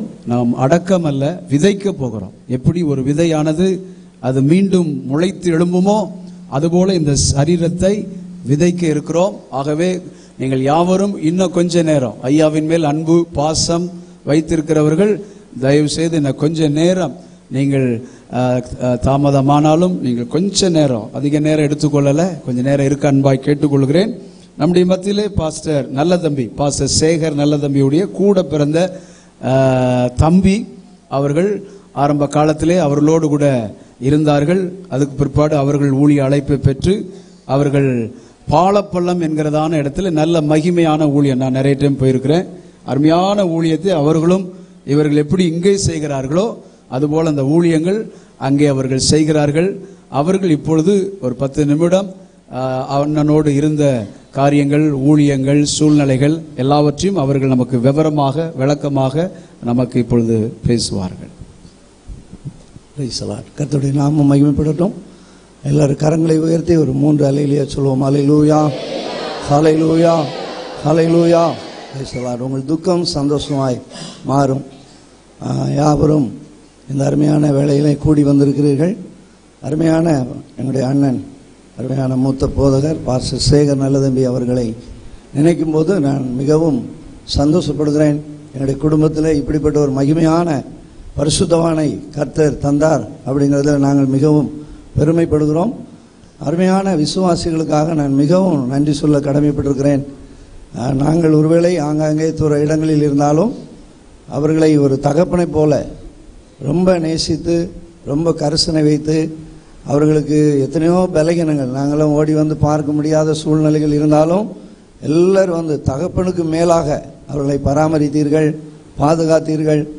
மருத்துவமனையில் இருக்கும்போது இரவும் பகலும் அருமையான தம்பி ராஜா ராசா என யாவரும் இருந்து மிகவும் ரொம்ப கரிசனையோடு கண்ணீரோடு அவர்கள் அண்ணனை பார்த்தாங்க. அதில் நாங்கள் எங்கள் காலம் முழுவதும் நன்றி உள்ளவர்களாக இருக்க கடமைப்பட்டிருக்கிறோம். ஆகவே நீங்கள் ஒரு சில நிமிடம் இருந்து நீங்கள் அந்த கூட்டம் ஆராதனை முடித்து சொல்லலாம். கர்த்தர் மகிமையான காரியங்களை செய்வார். பாஸ்டர் இல்லை அப்படின்னு யாரும் நினைக்கக்கூடாது. ஆண்டவர் இருக்கிறார். வேதம் சொல்லுகிறது சேனைகளின் கர்த்தர் நம்மோடு இருக்கிறார். யாக்கோபின் தேவன் நமக்கு உயர்ந்த அடைக்கலமானவர். ஆண்டவர் கொடுக்கப்பட்ட காலங்கள் வரைக்கும் அவங்க ஊழியங்களை மிகவும் வல்லமையாய் அருமையாய் நேர்த்தியாய் ஒரு தகப்பனைப் போல தாயை போல. எனக்கு தெரியும் எத்தனையோ பேருக்கு பிரசவம் கூட பார்த்துருக்குறாங்க. ஒரு தாயை போல அவங்க செய்தார்கள். எத்தனை பேர் வந்தாலும் அத்தனை பேரையும் அவங்க போஷிப்பாங்க. அதில் சிரமமே எடுக்க மாட்டாங்க. நான்லாம் அடிக்கடி சிலரை கூட்டிகிட்டு வருவேன். ரெண்டு வேனில் வருவோம். அவங்க எதுவுமே யோசிக்க மாட்டாங்க. பிரதிபலன் எதிர்பாராமல். காணிக்க கொடுத்தா கூட வாங்க மாட்டாங்க. அவ்வளோ அன்பு அன்பாய். ஒரு தாயை போல தகப்பனை போல போஷித்து கனப்படுத்தி எங்களை அனுப்புவார்கள். அண்ணனோடு நான் ரொம்ப நெருங்கி வாழ்ந்தவன். தாய் தகப்பனோடு எவ்வளவு நெருங்கி வாழ்ந்தனோ அது குறைவு. ஆனால் எங்கள் அண்ணனோடு அதிகமாக நெருங்கி வாழ்ந்தவன். என்னுடைய ஏழாவது வகுப்பு படிக்கும்போது விக்ரமசிங்கபுரம் அந்த பகுதியில் அண்ணனோடு வந்தேன். அவங்களுடைய ஆரம்ப ஊழியம் ரொம்ப கஷ்டமான ஒரு சூழ்நிலைகள். இங்கே ஆரம்பத்தில் உள்ளவர்களுக்கு ஒரு சிலருக்கு தெரியலாம். ரொம்ப கஷ்டமான சூழ்நிலையில் இந்த ஊழியங்கள் ஆரம்பிக்கப்பட்டது. ஊழியங்களை அருமையான பாஸ்டவர்கள் மிகவும் பாருங்க பொறுமையோடு.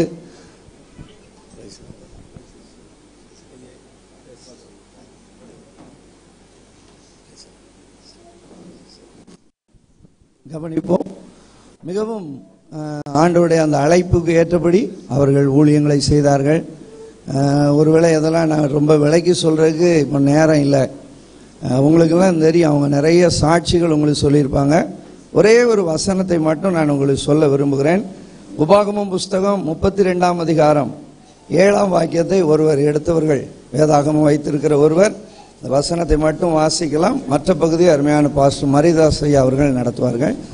உபாகமம் புஸ்தகம் முப்பத்தி ரெண்டாம் அதிகாரம் ஏழாம் வசனம். பூர்வ நாட்களை நினை பூர்வ நாட்களை நினை தலைமுறை தலைமுறையாய் சென்ற தலைமுறையாய் சென்ற வருஷங்களை கவனித்து பார். கவனித்து பார். உன் தகப்பனை கேள். உன் தகப்பனை கேள். அவன் உனக்கு அறிவிப்பான். அவன் உனக்கு அறிவிப்பான். உன் மூப்பர்களை கேள். மூப்பர்களை கேள். அவர்கள் உனக்கு சொல்லுவார்கள். அவர்கள் உனக்கு சொல்வார்கள். இந்த வசனத்தை இங்க இருக்கிற எல்லா விசுவாசிகளும் மனதில் வைத்துக் கொள்ள வேண்டும். நான் திரும்ப ஒரு முறை வாசிக்கிறேன். பூர்வ நாட்களை நினை.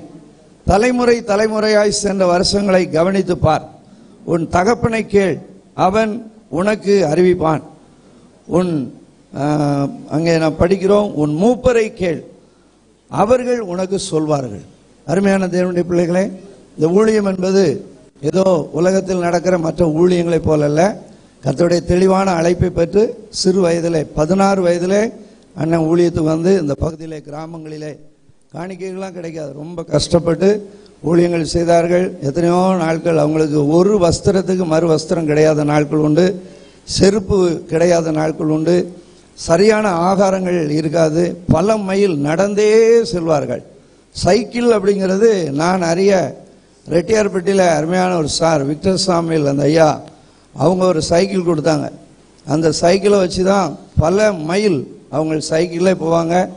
ஏறக்குறைய கருத்த சைக்கிளில் தான் போவாங்க மே மாதம்லாம் பார்த்தீங்கன்னா காற்றடிக்கும் நான் எங்கள் அண்ணனை பின்னால் வச்சு சைக்கிளை ஓட்டிட்டு போவேன். அப்போ அவங்களுக்கு அப்போவுமே ஆப்ரேஷன் பண்ணப்பட்டிருந்தது. அந்த சைக்கிளில் போகும்போது காற்று ஒரு பக்கம் அடிக்கும். இவங்களும் வெயிட்டாக இருப்பாங்க. ரொம்ப அந்த சைக்கிளை சவுட்னா மூவ் ஆகாது. அப்படியே நிற்கும் அவ்வளோ கஷ்டப்பட்டு கிராமங்கள்லாம் போய் ஊழியம் செய்து இங்கேருந்து கடையம் ஆவடையானூர் பாவூர் சத்திரம் வரைக்கும் சைக்கிளே போவாங்க. அப்படிலாம் கஷ்டப்பட்டு ஊழியம் செய்து சரியான ஆகாரங்கள் கிடையாது. அந்த கவா பாயாசம்னு சொல்லுவாங்க. அந்த நாட்களில் அப்படி விற்பாங்க. அதை வாங்கி குடிச்சிட்டு பல மைல் நடந்து ஊழியம் செய்த அருமையான பரிசுதவான் இன்றைக்கு நான் பார்க்குறோம் அந்த மகிமையான ஊழியத்தை இந்த ஊழியத்தை கொஞ்சம் நம்ம நினைச்சு பார்க்கணும். அதனால தான் வேதம் சொல்வது பூர்வ நாட்களை நினை. தலைமுறை தலைமுறையாய் சென்ற வருஷங்களை கவனித்துப்பான். உன் தகப்பனை கேள் அவன் உனக்கு சொல்லுவான். மூப்பனை கேள் அவன் உனக்கு அறிவிப்பான். இதில் நிறையா முந்தி இருக்கிற விசுவாசிகளை நான் ஒரு இருபத்தஞ்சி வருஷத்துக்கு பிறகு பார்க்குறேன். அவங்களெல்லாம் கேட்டிங்கன்னா சொல்லுவாங்க இப்போ புதிதாய் வந்தவங்களுக்கு பெரிய அளவில் தெரியுமோ தெரியாத அண்ணன் சொல்லியிருப்பாங்க. அதனால் இந்த ஊழியம் கனத்துக்குரியது. இந்த ஊழியத்தை அருமையான தேவனுடைய பிள்ளைகள் அருமையான தம்பிமார் அண்ணனால் வளர்க்கப்பட்ட உருவாக்கப்பட்ட அருமையான தேவனுடைய பிள்ளைகள் சிறப்பாக செய்வார்கள் என்று நான் கிறிஸ்துவுக்குள்ளே விசுவாசிக்கிறேன். இந்த ஊழியத்திற்கு நாங்கள் எங்களுடைய குடும்பமாக எங்களால் இடை இணைந்த எங்களால் முடிந்த காரியங்களை நாங்கள் செய்வோம் ஜெபிப்போம். இந்த ஊழியத்தை ஆண்டவருக்கு அருமையான அண்ணனுக்கு பின்பு தேவனால் நியமிக்கப்பட்ட அருமையான தேவனுடைய பிள்ளைகள் செய்வார்கள். ஆகவே எல்லாரும் ஒரு மனமாக ஒரே அன்பு ஒரே அன்புள்ளவர்களாக. நான் ஆரம்ப காலத்தில் இந்த ஊழியத்திலலாம் பார்த்தீங்கன்னா ஒரே குடும்பம் தான் ஒரே குடும்பம் தான் உள்ளே வந்தாச்சு அப்படின்னா ஒரு தாய் வயிற்றில் பிறந்த பிள்ளைகளை போல தான் நாங்கள் இருப்போம். அந்த லில்லி அக்கா இருக்காங்க இருக்காங்க. நிறைய பேர் பழைய விசுவாசிகள் இருக்காங்க. ஜெப வீடு அப்படின்னா பரலோகத்துக்கு போல. பாருங்க அவ்வளவு சந்தோஷமாக இருக்கும். சனிக்கிழமை ஆயிடுச்சு அப்படின்னு சொன்னால் பாருங்க கடையத்துலேருந்து ஒரு அக்கா வருவாங்க. அந்த தம்பி ஏசுதாஸ்லாம் வந்திருக்கிறான். அங்கேருந்தே சாப்பாடு குழம்பெல்லாம் பண்ணி கொண்டு வருவாங்க. அப்படி உட்காந்து சாப்பிடுவோம். அதுக்கு ஒரு ஆராதனை முடிஞ்ச பிறகு சாப்பிடுவோம். ஆராதனை முடிந்த பிறகு மீதி இருக்கிற சாப்பாடெல்லாம் சாப்பிட்டு சாயங்காலம் ஒரே தாய் பிள்ளைகள் போல ஒரே தொழுவத்தில் படுத்து கிடப்போம். வாலிப பிள்ளைகள்லாம் இருப்பாங்க வாலிப தம்பிமாரெலாம் இருப்பாங்க. எல்லாரும் ஒன்றா கிடந்து விளையாடி பாட்டு பாடி ஆண்டோடைய ஊழியத்தை செய்த நாட்களை என்னால்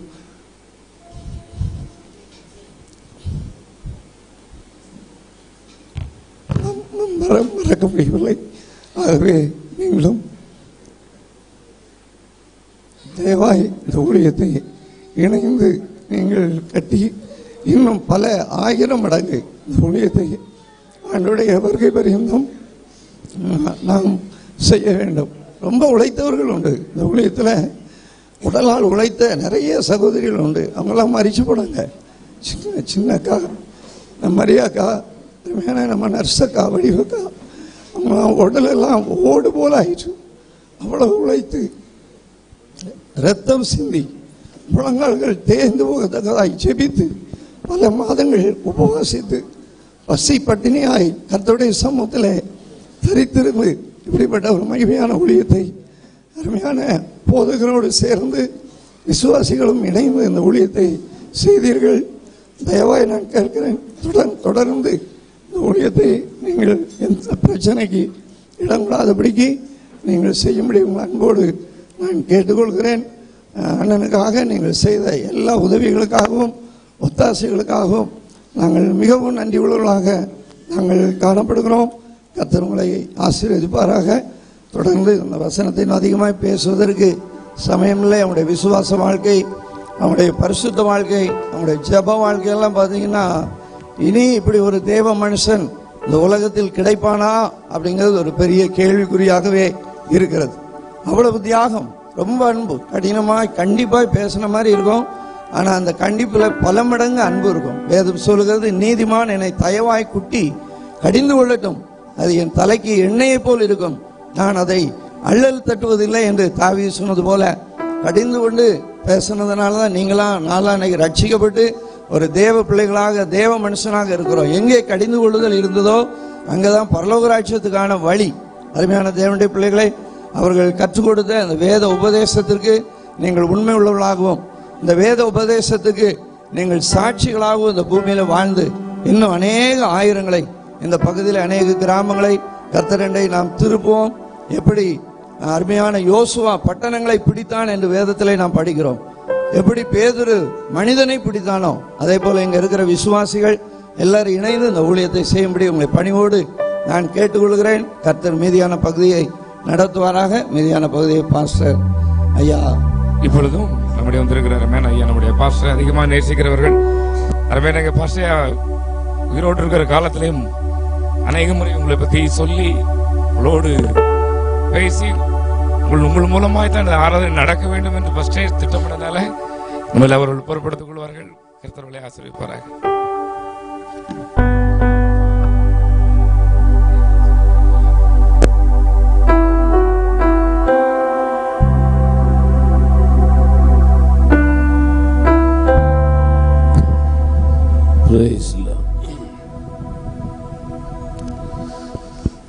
இளைப்பாறுதல் ஈந்திடும் நாடே. இன்ப இயேசுவின் மோட்சவிடே. இளைப்பாறுதல் ஈந்திடும் நாடே. இன்ப இயேசுவின் மோட்சவிடே. வீடே தீண்டிடும் போதே பரலோகம் அழைத்திடுமே எந்த வாஞ்சை உயசியோ என்னை வந்தவர் சேர்த்து கொள்வா கண்ணீர் யாவையுமே மிக அன்புடனே கத்தர் தாமே துடைத்திடுவார் கண்ணீர் யாவையுமே மிக அன்புடனே கத்தர் தாமே துடைத்திடுவார் இந்த மண்ணுலகாசை வெறுத்தே.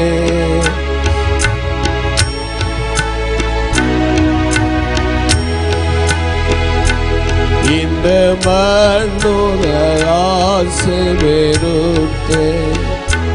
இப்புவி எந்த சொந்தமல்ல. இன்பம் என்ன மனமெல்லாமே சோ.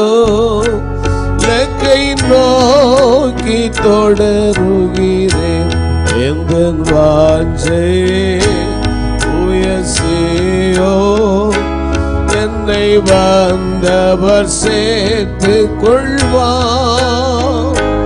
கண்ணீர் யாவையுமே மிக அன்புடன் தாமே துடைத்திடுவார். கண்ணீர் யாவையுமே மிக அன்பு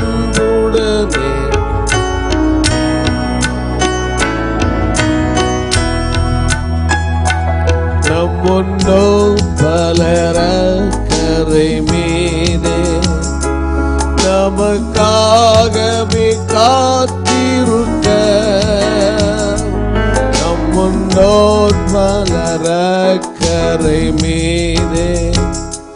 நமக்காகவே காத்திருக்க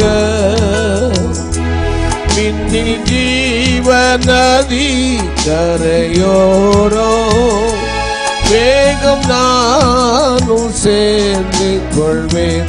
எந்த வாஞ்சே உயர்சியோ என்னை வந்தவர் சேர்த்து கொள்வார். கண்ணீர் யாவையுமே மிக அன்புடன் தாமே துடைத்திடுவார். கண்ணீர் யாவையுமே மிக அன்புடனே கர்த்தர் அற்பமான சரீரம் அழிந்தே அடைவேன் மறுரூபமாக. அற்பமான சரீரம் அடைவேன் மறு ரூபமாக. புதுராகன் குரல் பொன்னியோடு. புது பாட்டு பாடிடுவேன் எந்த வாஞ்சை. உயசியோ என்னை வந்தவர் சேர்த்து கொள்வார். கண்ணீர் யாவையுமே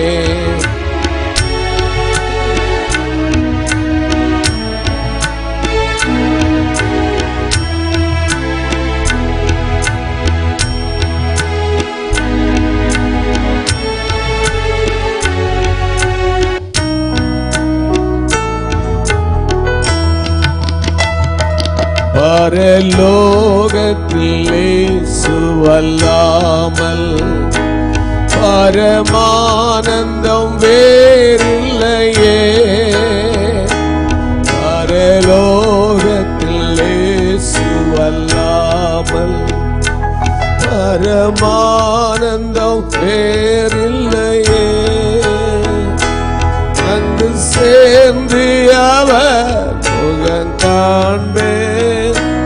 ஆசை தீர அணைத்துக் கொள்வேன். எந்த பாஞ்சை உயசியோ என்னை வந்தவர் சேர்த்துக் கொள்வா கண்ணீர் யாவையுமே அலலுயா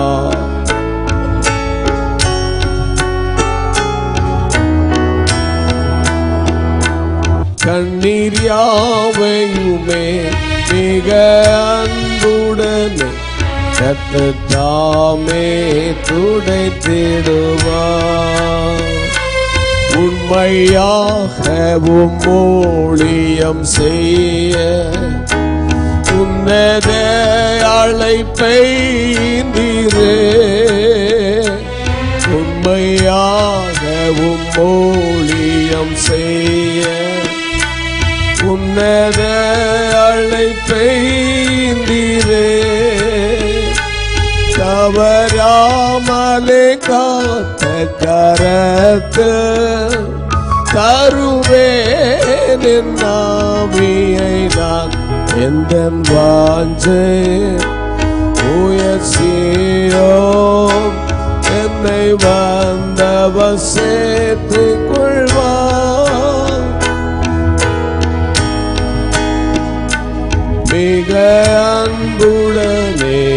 கத்தத்தாமே. கண்ணீர் யாவையுமே.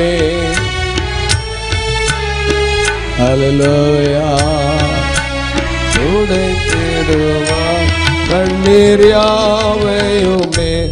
மிக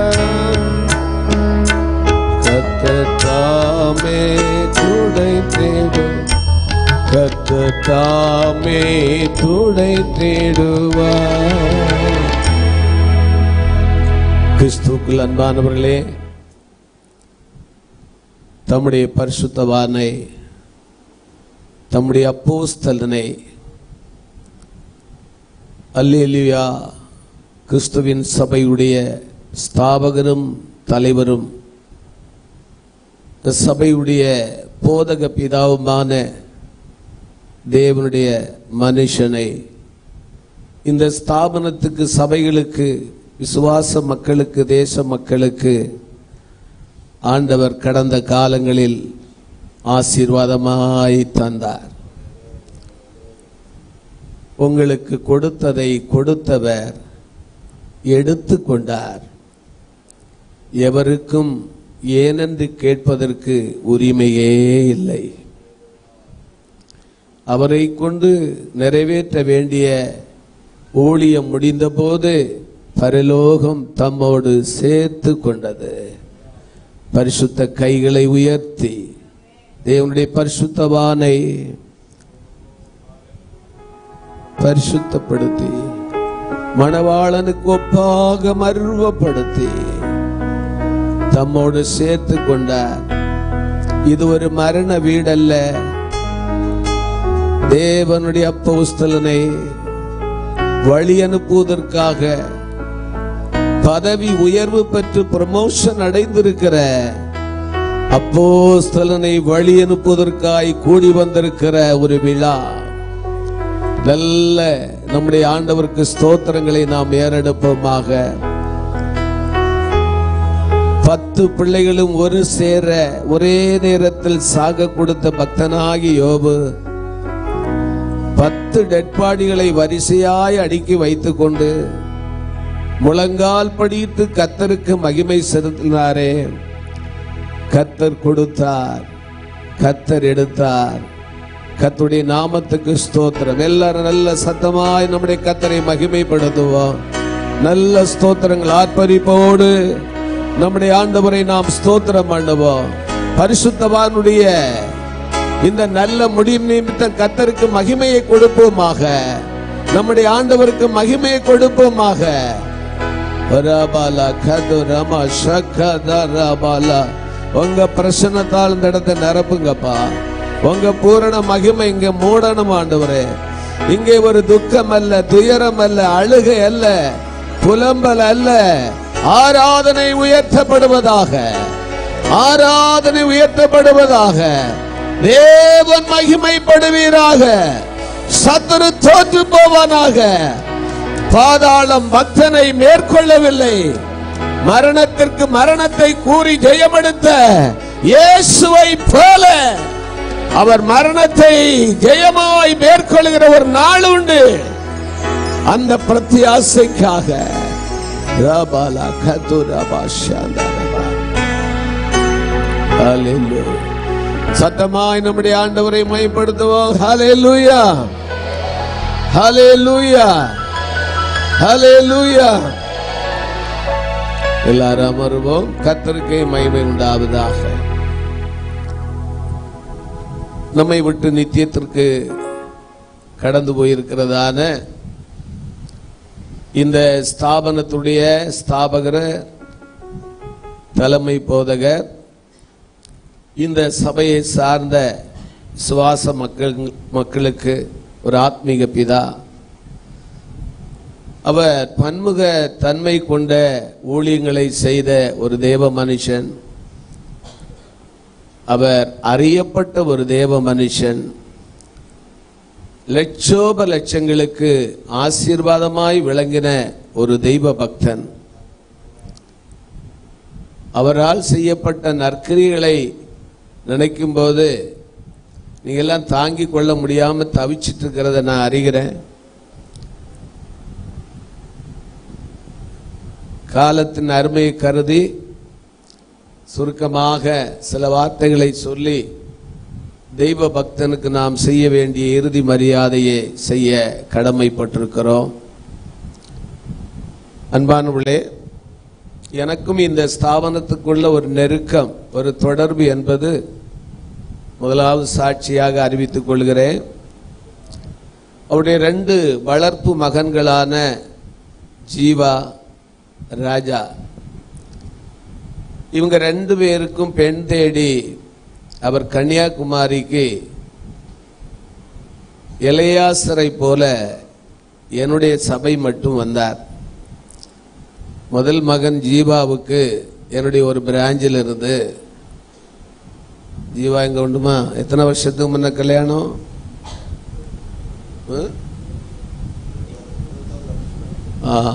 இருபத்தி ஓரு வருஷங்களுக்கு முன்பதாக ஜீவாவுக்கு கேர்டினி பிளவர் என்றதான என்னுடைய மகளை என்னுடைய சபையின் மகளை விவாகம் பண்ணி கொடுக்க ஆண்டவர் பாக்கியம் கொடுத்தார். அனிலாவை இன்னொரு பிராஞ்சில் உள்ளதான மகளவள் அவளை. ராஜாவுக்கு கல்யாணம் பண்ணி வைக்க ஆண்டவர் பாக்கியம் கொடுத்தார். அந்த காலத்திலிருந்து என்னோடு எனக்கும் அவருக்கும் ஒரே வயசு.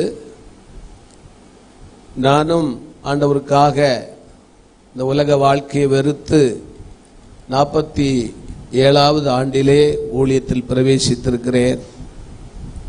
ஐயா ஐம்பது ஆண்டுகளுக்கு மேலாக ஊழியம் செய்தார் என்பது உயர்ந்த சாட்சி. அந்நிலையில் நானும் கத்தருக்காக இந்த உலகத்தை விட்டு வெறுத்து ஒரே ஒரு வாழ்க்கை அது கத்தருக்கு என்று என்னை காணிக்கை பட்டியலே போட்டவன். அவரும் சின்ன வயதிலிருந்து உலகத்திலே ரெண்டு பேரு அபிலாசைகள் ஒன்றும் இல்லாமல் முழு வாழ்க்கையும் கத்தருக்காக ஒரு காணிக்கை பட்டியல் போட்ட ஒரு காணிக்கை போல அவர் தன்னையே அர்ப்பணித்து விட்டார். பிரியமானவர்களே இந்த ரெண்டு கல்யாணங்களுக்கு பிறகு இந்த அல்லியா சபைக்கும் எகவா பந்தேக்கு சபைக்கும் ஒரு பாலம் அமைந்தது. அடிக்கடி நாங்கள் ஊழிய காரியங்களை பகிர்ந்து கொள்வோம் ஒரு தடவை எங்களுடைய ஒரு பிராஞ்சில் ஐயா அவர்களை கன்வென்ஷனுக்கு அழைத்து பயன்படுத்தினேன். இப்போது எங்களுடைய ஸ்தாபனத்துடைய தலைமை சபை முந்தின ஆலயம் ஆயிரத்தி தொள்ளாயிரத்தி ஐம்பதாம் ஆண்டு ஆரம்பிக்கப்பட்டது. பிந்தின ஆலயம் இப்போது எழுபத்தி ரெண்டாவது வருஷத்திலே அதை கட்டி நாளை தினம் அதனுடைய பிரதஷ்டை நாள். இந்த பிரதிஷ்டைக்கு பிறகு ஐயாவை தலைமை சபை கன்வென்ஷனுக்காக எழுபதாவது கன்வென்ஷனில் அவரை பயன்படுத்தினேன்னு ரொம்ப ஆசைப்பட்டிருந்தேன். கடந்த வாரம் ஆஸ்பத்திரியிலேருந்து அவங்க டிஸ்சார்ஜ் வந்த பிறகு ராஜா எனக்கு ஒரு கால் பண்ணியிருந்தான். ஐயா உங்களோடு பேசணும்னு விரும்புகிறாங்க ஐயா அப்படின்னு நான் அப்போது பேசினேன். அவர் சுகமாக இருக்கும்போது எவ்வளோ நல்ல தெளிவாக ஆரோக்கியமாக திட்டமாக பேசுவாங்களோ ரொம்ப அருமையாக பேசினாங்க. அந்த டயர்ட்னஸ் ஒன்றுமே எனக்கு தெரியல. அப்போது சொன்ன ஐயா உங்களுக்கு நேரடியாக இந்த அழைப்புதலை கொடுக்க முடியல. நான் வாட்ஸ்அப்பில் ராஜாவுடைய வாட்ஸ்அப்பில் அதனுடைய நோட்டீஸ் அனுப்பியிருக்கிறேன். கட்டாயம் உங்கள் ப்ரெசன்ஸ் வேணும். நீங்கள் வந்து ஒரு ஜெபம் பண்ணணும் ஒரு வாழ்த்தல் வார்த்தை சொல்லணும். அப்படி ரொம்ப விரும்பினேன் அப்போது அவர் சொன்ன ஒரு வார்த்தை நான் என் சபையின் மக்களோடு வந்து நிற்பேன்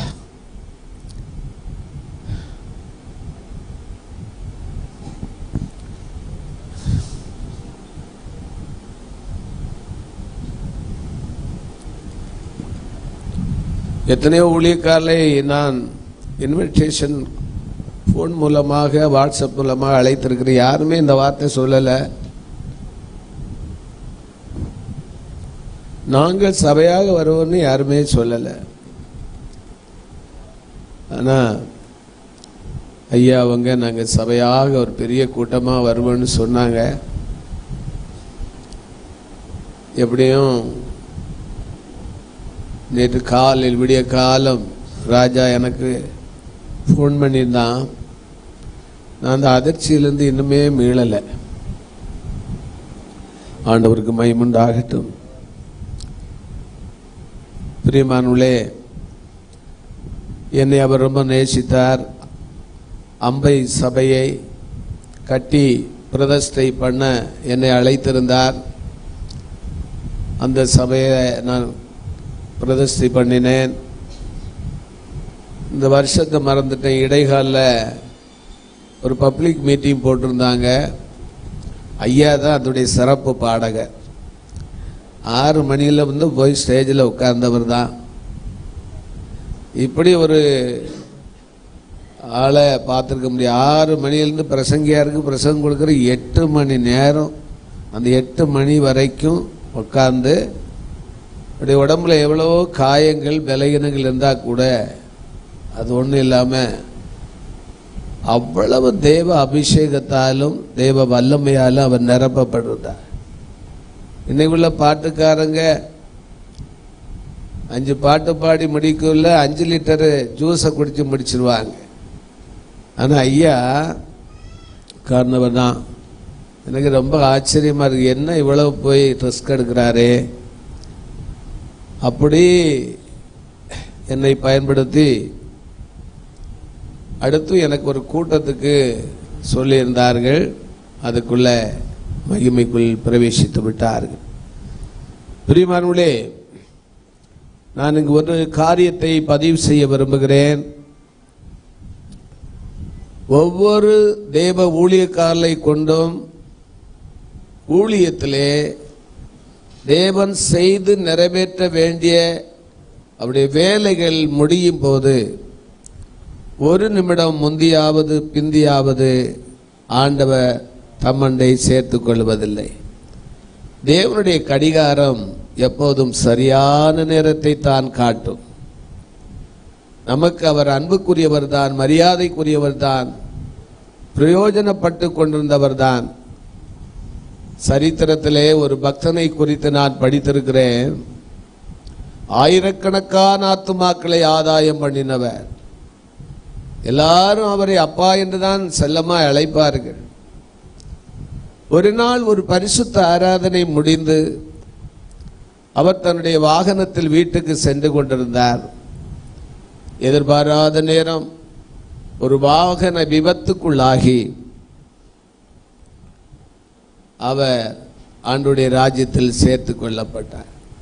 அறியப்பட்ட ஒரு பரிசுத்தவான் கிருபைகளும் வரங்களாலும் நிறையப்பட்டவர். எல்லாருக்கும் ஒரு கேள்வி. ஏன் ஆண்டவர் இந்த வயதில் இப்படி ஒரு விபத்துக்குள்ளாகி தம்முடைய பரிசுத்தவானை ஆண்டவர் எடுத்துக்கொள்ள வேண்டும்? ஜனங்கள் சபையை விட்டு போகவே இல்லை. இந்த கேள்விக்கு விடை காணாமல் போக மாட்டோம். எண்பது வயது நிரம்பிய ஒரு அம்மாவோடு ஆண்டவர் பேசினார்.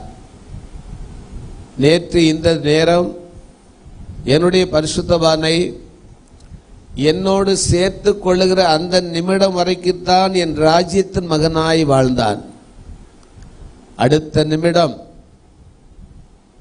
இத்தனை ஆண்டுகள் செய்த ஊழியத்தின் பலன்களை இழந்து அவன் நரகத்தின் மகனாய் மாற இருந்த அந்த க்ஷணப்பொழுதிலே தான் என்னுடைய பரிசுத்தவானை மரணத்திலும் நான் கனப்படுத்தி என்னண்டை சேர்த்து கொண்டேன். அவன் ஊழியம் செய்து செய்து மறித்து போயிருந்தாலும் அவன் செய்த ஊழியங்கள் மறித்து போகவில்லை. அவன் சம்பாதித்த ஆத்துமாக்கள் மறித்து போகவில்லை. அவரால் உருவாக்கப்பட்டதான ஊழியர்கள் மறித்து போகவில்லை. அந்த வெற்றிடத்தை நிரப்புவதற்கு நான் அவர்களை உயிர் உள்ளவர்களாய் வைத்திருக்கிறேன். அதே சாட்சிதான் இந்த சபைக்கும் பொருந்தும். காலம் பூராவும் நமக்கு இருக்க மாட்டார்கள். அவர் முன்ன போயிட்டா நம்ம பின்னதான் போக போறோம். ஆனா நீங்கள் அவருடைய வாழ்நாள் சாதனையான ஊழியத்திற்கு ஒரு கருப்பு புள்ளி தயவு செய்து வச்சிடாதுங்க இந்த ஸ்தாபனம் இந்த ஊழியம் இந்த ஆத்துமாக்கள் இந்த ஊழியக்காரர்கள் எல்லாருமே அவருடைய வாழ்நாள் சாதனையாளர்கள். அவருடைய வாழ்நாள் சாதனை என்பதெல்லாம் நீங்க தான் அப்போ அவர் விட்- விட்டு சென்றதான இந்த ஸ்தாபனம் இந்த ஊழியம் ஒரு நபர் கூட சின்னி செதறி போகாம ஆண்டவருக்கு பின்பு அவரால் ஆசீர்வதிக்கப்பட்ட நீங்கள் இந்த சபைக்கு கடைசி வரைக்கும் தூண்கணாத விசுவாசிகளாக இருக்க வேண்டும். அடுத்து இந்த ஊழியத்துடைய பொறுப்பை ஏற்று நடத்துகிற ஊழியக்காரன் அவன் இளையவனோ பெரியவனோ என்பதல்ல. அவன் சின்னவன் என்பதை அல்ல நீங்க பார்க்க வேண்டியது. அவனுக்குள்ள இருக்கிற பெரிய அபிஷேகத்தை காண வேண்டும். ஆண்டவர் அவனுக்கு தந்திருக்கிற கிருமைகளை வரங்களை உங்களுக்காக ஐயாவுடைய ஸ்தானத்திலே பயன்படுத்துவார். நான் என்னுடைய சாட்சியை சொல்ல வேண்டும். எங்க ஸ்தாபனத்தில் எங்க ஸ்தாபகர் ஐயா அவர் நல்ல ஒரு ஞான திருஷ்டி வரமுள்ளவர் நல்ல வெளிப்பாடு உள்ளவர் அங்க வஸ்திரம் போட்டிருப்பார். அநேக ஊழியர்களுக்கு அவர் போதக பிதா என்னுடைய குரு ஆயிரக்கணக்கான மக்களுக்கு அவர் தகப்பன். அவர் அடுத்த ஸ்தானத்துக்காக என்னை உருவாக்கி அப்போஸ்லிக பவுண்டேஷன் உள்ள அந்த ஊழியத்திற்காக என்னை ஆயத்தப்படுத்தி கொண்டிருந்தார். அவர் ஒரு தூர பார்வையோடு தூர தரிசனத்தோடு எல்லா கன்வென்ஷன் ஸ்டேஜிலும் அவர் சொல்லுவார் என் காலத்தோடு என் ஊழியம் அஸ்தவனம் காணாது. என் காலத்துக்கு பின்பு என்னுடைய ஊழியக்காரர்கள் நான் செய்த ஊழியத்தை விட சிறப்பாய் செய்வார்கள். என் ஊழியம் நன்றாயிருக்கும். என்னுடைய ஆவிக்குரிய ஊழியக்காரர்களின் பிள்ளைகள் என்னை விட நன்றாய் செய்வார்கள். அந்த வெளிப்பாடு தான் சேகர் நல்ல தம்பி ஐயாவுக்கும் உண்டு. ஆகவே இங்க இருக்கிற எல்லாரும் புரிந்து கொள்ள வேண்டும். ஐயா அவர் செய்த ஊழியத்தை செய்து அன்றைய ராஜ்யத்தில் சேர்க்கப்பட்டார். இனி அவருடைய காலத்துக்கு பின்பு நீங்கள் கரங்கோர்த்து தோள் கொடுத்து ஆவியில் இசைந்து இந்த ஐக்கியத்தை கட்டி காத்து உங்களுக்கு தந்திருக்கிற ஊழியக்காரனோடு நீங்கள் நல் உண்மையை காத்து இந்த ஊழிய வளர்ச்சிக்காக நீங்கள் இன்னும் பாடுபட வேண்டும் என்று கத்தருக்குள் அன்போடு நான் கேட்டுக்கொள்கிறேன். செய்வீர்களா? எல்லாரும் ஆண்டவரை மாயப்படுத்துவோமா? சத்தமாய். ஹalleluya. ஒரு வார்த்தையை நான் வாசித்து சில நிமிடங்கள் இந்த வார்த்தையை சொல்லி ஜோம் பண்ணி ஐயாவுக்கு செய்ய வேண்டிய இறுதி கடமையை நாம் செய்வோம். என்னோட வேதத்தை திருப்பிக் கொள்ளுங்கள். ரெண்டு தீமத்தையும் புஸ்தகம் நா- நான்காவது அதிகாரம் அதோடைய ஆறாம் வசனத்தை வாசியுங்கள்.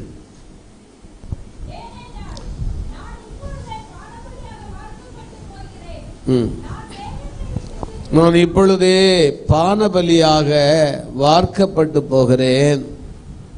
நான் தேகத்தை ஆ. காலம் வந்தது. நல்ல போராட்டம் போராடினேன். ஓட்டத்தை முடித்தேன். விசுவாசத்தை காத்து கொண்டேன் இது முதல் எனக்காக நீதியின் கிரீடம் வைக்கப்பட்டிருக்கிறது. நீதி உள்ள நியாயாதிபதி அந்நாளிலே எனக்கு தந்தருளுவார். எனக்கு மாத்திரமல்ல அவருடைய பிரசன்னமாகுதலை விரும்பும் யாவருக்கும் அதை தந்தருளுவார். இந்த வேத பகுதியிலே பிரியமானவர்களே ஒரு ஊழியக்காரனுடைய ஊழியத்தின் தொடக்கத்தையும் ஒரு ஊழியக்காரனுடைய ஊழியத்துடைய முடிவை குறித்தும் ஆவியானவரால் எழுதப்பட்டிருக்கிறது. அப்போஸ்தலனாகிய பவுல் தன்னுடைய அந்திம நாளை ஊழியத்துடைய இறுதி நாளை அவர் நிச்சயித்துக் கொண்டார். கிறிஸ்தவ வாழ்க்கை என்பது ஆழமேறிய நிச்சயமுடையது. கிறிஸ்தவ வாழ்க்கையின் முடிவும் ஆழமேறிய நிச்சயமுடையது. ஒரு ஊழியக்காரனுடைய ஊழிய ஓட்டமும் ஆழமேறிய நிச்சயமுடையது.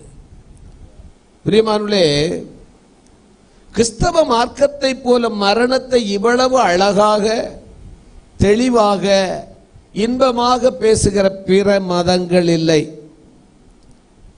இது தற்கொலை செய்கிறவளைப் போல ஒரு கசப்பான அனுபவத்துக்கு போவதல்ல. ஒரு போர் வீரன் தன்னுடைய வாழ்நாட்களிலே தனக்கு கொடுக்கப்பட்டதான உத்தியோகத்தை நன்றாக முடித்து போர்க்கால உடைகளைந்து அவன் ஓய்வு பெற வேண்டிய இடத்திற்கு செல்வது போல இங்கேயும் தனக்கு கொடுக்கப்பட்ட ஊழிய நாட்களை ஒரு நாள் கூட மிஸ் பண்ணாம உத்தம ஊழியம் செய்து உத்தம வாழ்க்கையை காத்து உத்தம சாட்சியாய் உயர்ந்து நின்றவர். அலிலூயா பரலோகம் எப்போது அழைத்தாலும் அந்த பரலோக அழைப்பின் சத்தத்தை கேட்க அவர் ஆயத்தமாயிருந்தார். நாம் அவரை இழந்து விடவில்லை. அப்போ பவுல் சொல்லுவது போல கிறிஸ்து எனக்கு ஜீவன் ஆனதால் சாவு எனக்கு ஆதாயம். ஹalleluya.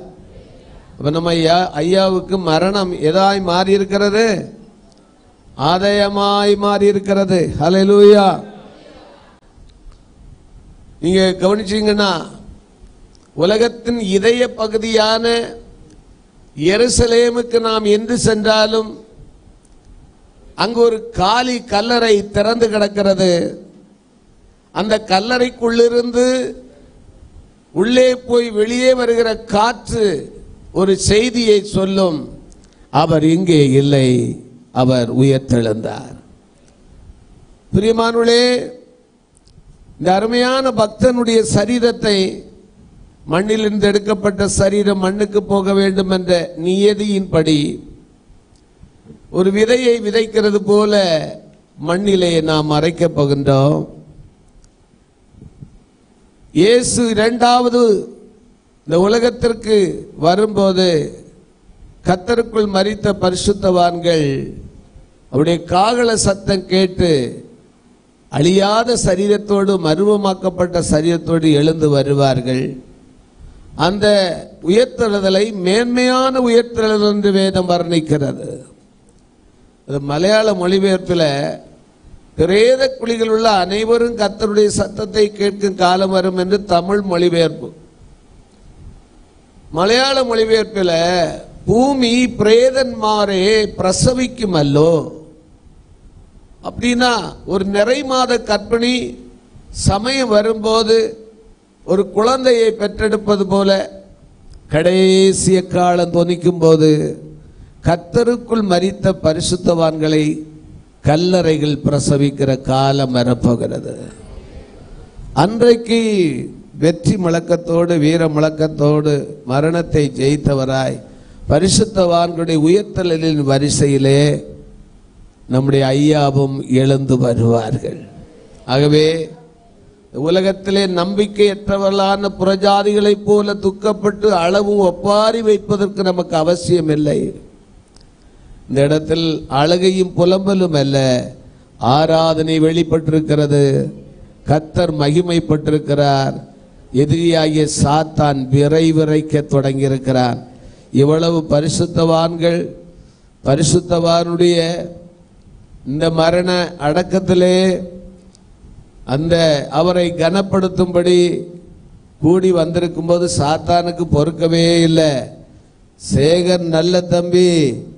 ஆமே மரணத்தாலும் வென்று விட்டான் என்பதை சத்ரு அறிந்திருக்கிறான். அலையலோயா அவன் தோற்று போனவன் அவனின் ஊழியத்தில் இனி ஜெயம் எடுக்க முடியாது. விசுவாசிகளில் ஜெயம் எடுக்க முடியாது. இந்த வார்த்தையை நான் சற்று சொல்லி ஜெபம் பண்ணுவோம். இங்கே ஒரு ஊழியக்காரனுடைய ஆரம்பம் தொடக்கத்தை நாம் காணும்போது நான் இப்பொழுதே பானபலியாக வார்க்கப்பட்டு போகிறேன். பானபலி வார்க்கப்பட வேண்டுமானால் அதுக்கு ஒரு பலிபீடம் தேவை. அப்போ ஒரு ஊழியக்காரன் கத்தருக்காக பானபலியாக ஊழியத்தில் வார்க்கப்படுவதற்கு முன்னே அவன் ஒரு பலிபீடமாய் மாறுகிறான். இந்த தேவனுடைய அப்போஸ்தலன் இந்த பகுதி வாழ் மக்களுக்காக புறஜாதிகளை கிறிஸ்துவின் மந்தைக்குள்ளே கொண்டு வருவதற்காக லட்சோப லட்சங்களை தேவ ராஜ்யத்திற்கு ஆயத்தப்படுத்துகிற பணியிலே தன்னை ஒரு பானபலியாய் வார்த்து கொடுத்தவர்.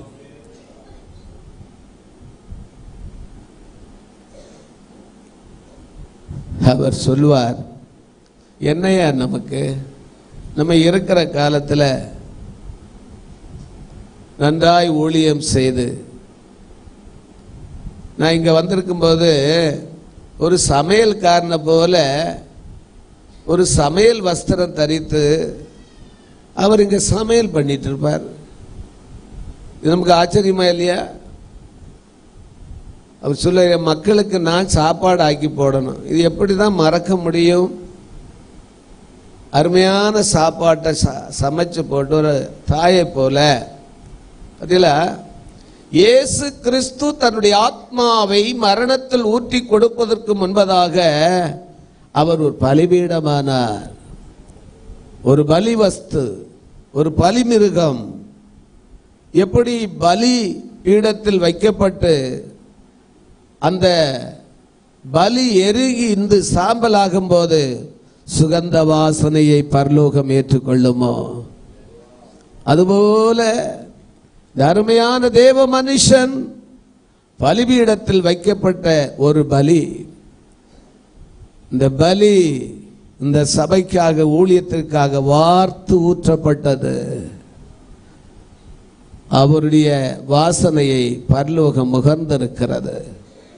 இந்த ஊழியத்தின் ஆசனை திக்கட்டும் அது வீச தொடங்கி இருக்கிறது தேசமே இடைகால அல்லேலியா சபையை திரும்பி பார்க்கிற அளவுக்கு.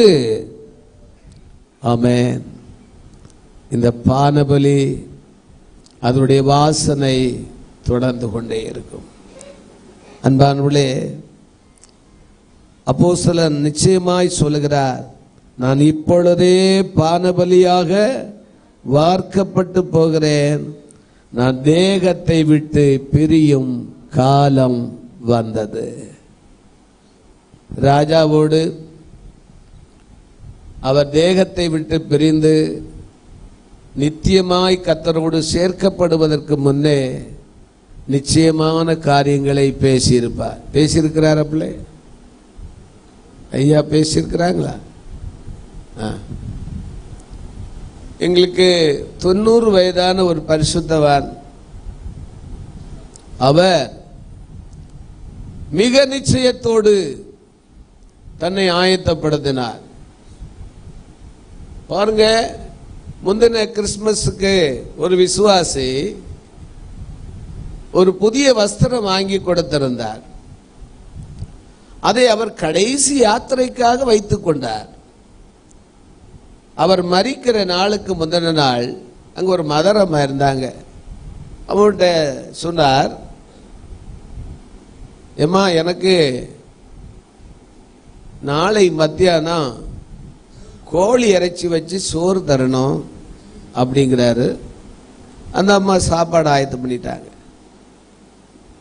கிணத்துலேருந்து தண்ணீர் எடுத்து பாத்ரூமில் வைக்கணும் நான் குளிக்கணும் குளித்து ட்ரெஸ் பண்ணனேன்னு சொன்னார். அதுவும் செய்தாயிற்று. குளித்து கிறிஸ்மஸுக்கு முந்தின கிறிஸ்மஸுக்கு எடுத்து கொடுத்த ட்ரெஸ்ஸை அவர் அணிந்து கொண்டு அவர் பிரசங்கம் பண்ணுகிற பிரசங்க பீடத்தில் வந்து உட்கார்ந்தார். முன்ன மதரமாவை கூப்பிட்டார். அவர் சொன்னார் என் ஊழியம் முடிஞ்சது. என்னை வரவேற்பதற்கு தூதர்கள் வந்து கொண்டிருக்கிறார்கள். நான் பிரயாணத்துக்கு ஆயத்தமாகிவிட்டேன். கிறிஸ்தவ வாழ்க்கையுடைய நிச்சயத்தை பார்த்தீர்களா? கிறிஸ்தவர்கள் சொல்வார்கள் பரிசுத்தவான்கள் சொல்வார்கள் ஆ இது மரணமா? இது ஜீவிப்பதை பார்க்கிலும் எத்தனை மேன்மை உள்ளது? எழுதுவதற்கு மாத்திரம் எனக்கு பலன் இருக்குமானால் கிறிஸ்துவுக்குள் மறிப்பது எத்தனை மேன்மையானதென்று எழுதுவேனே. இதுதான் பரிசுத்தவான்களின் மரண மொழிகள் இந்த மரணத்துக்கு எத்தனை பேர் ஆயத்தமா இருக்கிறீர்கள்? பிரியமானவர்களே அப்படியே வந்து உட்கார்ந்தார் எல்லாம் ரெடி ஆயிட்டு இருக்குது அவர் சொன்னார் என்னுடைய நல்லடக்க ஆராதனையில் பாட்டு புஸ்தகத்தில் சில நம்பர்களை குறிப்பிட்டு இந்த பாட்டை எல்லாம் பாடணும்னு சொன்னார். யாரும் அழக்கூடாது. தலைமை பாச ஐயாவை கூப்பிட்டு மறுநாள் என்று என் பாடியை வைக்கக்கூடாது யாருக்கு டிஸ்டர்பன்ஸ் இருக்கக்கூடாது அன்னைக்கு எத்தனை ராத்திரி ஆனாலும் என்னை அன்றைக்கே அடக்கம் பண்ணிவிட வேண்டும். என்னுடைய சர்வீஸில் ஒரு பரிசுத்தவானை அடக்கம் பண்ண ராத்திரி நடு ராத்திரி பன்னிரெண்டே கால் மணிக்கு. அவருடைய விருப்பம் அது. ஆமென். எங்களுடைய ஸ்தாபகர் ஐயா மரித்து கிறிஸ்துவோடு சேர்க்கப்படுவதற்கு முன்னே நிச்சயத்தோடு இருந்தார். ஸ்தாபனத்தை குறித்த காரியங்கள் என்னோடு பேசினார். ஒரு வாகனத்தை கூட நீ வாங்கணும் ஊழியத்துக்கு என்று சொன்னார். ஸ்தாபனம் சொசைட்டி ஆக்டில் இருந்ததை ஆண்டவர் உன்னை வச்சிருக்கிற காலம் வரைக்கும் நீதான் இதை பொறுப்படுத்தி செய்ய வேண்டும் என்று ட்ரஸ்டாக மாற்றுவதற்கு விரும்பினார். நிச்சயத்தோடு அநேக காரியங்களை அவர் சொல்லிக் கொண்டிருந்தார். நான் இதை ஏன் குறிப்பிடுகிறேன் என்றால் நான் இப்பொழுதே தேகத்தை விட்டு பிரியும் காலம் வந்தது. ஹalleluya. இந்த ஆயத்தந்தான் ஒவ்வொரு விசுவாசிக்கும் ஒவ்வொரு ஊழியக்காரனுக்கும் தேவை. அவர் ஆரம்பம் முதல் கடைசி வரைக்கும் கத்தருக்காக ஒரு பான பலியாகவே தன்னை அர்ப்பணித்தவர். உண்மையான ஊழியம் என்பது உத்தம ஊழியக்கார் என்பவன் தியாகம் நிறைந்தவன். எங்கே தியாகம் உண்டோ அங்கே தான் ஊழியம் வளரும். அங்கே தான் ஆத்துமாக்கள் வளருவார்கள். தியாக நிறைந்த ஊழியத்தில் அற்புதங்களும் அதிசயங்களும் அடையாளங்களும் நடந்து கொண்டிருக்கும். யாருமே மூச்சு விட மாட்ட- மாட்டேங்கிறீங்க? ஆமே இங்கே பிலிப்பியர் ஒன்றாம் அதிகாரம் இருபத்தி ஒன்று முதல் இருபத்தி நான்காம் வசனத்தை நீங்க வாசிக்கும் போது ஒன்றாவது ஒரு ஊழியக்காரனுடைய வாழ்க்கை என்பது ஒரு பலிபீடம். இரண்டாவது என்பது பிரயாணம். அவனுடைய பிரயாணம். வாசிங்க.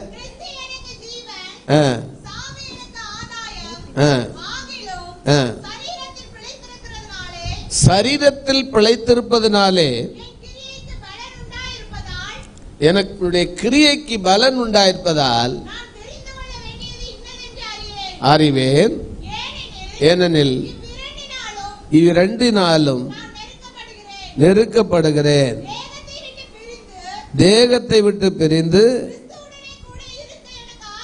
ஆமேன். இப்போது பயணத்தை ஆவிக்குரிய பிரயாணத்தை அவர் சொல்லுகிறார். தேகத்தை விட்டு பிரிந்து கிறிஸ்துவோடு கூட இருப்பதற்கு எனக்கு ஆசை வந்துவிட்டது. ஒவ்வொரு பரிசுத்தவானும் உலகத்தில் பார்த்தீங்களா இன்னைக்கு சாகிற வயசான பிறகும் சாக விருப்பம் இல்லை. எப்படியாயிலும் தங்களை காப்பாற்றிக் கொள்ள வேண்டும் என்று விரும்புகிறார்கள். தொண்ணூற்றி எட்டு வயசான ஒரு கிழடு சொல்லுது டாக்டர்கிட்ட எத்தனை லட்சம் நான் தந்துறேன் என் ஜீவனை இனி என்னத்துக்கு பூமிக்கு பாரமாக இருப்பதுக்கா பிரயாணத்தை விரும்பலை. தேகத்தை விட்டு பிரிந்து நான் கத்தரோடு இருப்பதற்கு நான் பயணத்தை தொடங்குகிறேன். ஒரு ஆவிக்குரிய பயணத்தை அவர் தொடர்ந்தார். கத்தருக்கு ஸ்தோத்திரம். ஆனால் சரீரத்தில் கொஞ்ச நாள் இருப்பது உங்களுக்கு பிரயோஜனமாக இருப்பதனால் தான் நான் இருக்கிறேன் என்று அவர் சொன்னார். கடைசி மூச்சு வரை சரீரத்தில் தன்னுடைய ஆத்மாவை ஆண்டவர் பிரித்து தன்னோடு சேர்த்து கொள்கிற மட்டுமாக அவருடைய பிரயாணம் முடிகிற மட்டுமாக அவர் சபைக்கு ஆசீர்வாதமாய் தான் இருந்தார். அலையலூயா அலையலூயா இங்கே படிக்கிறோம். அடுத்து மூன்றாவதாக நல்ல போராட்டத்தை போராடினேன். ஒரு ஊழியக்காரனுடைய யுத்த களத்தை பார்க்கிறோம்.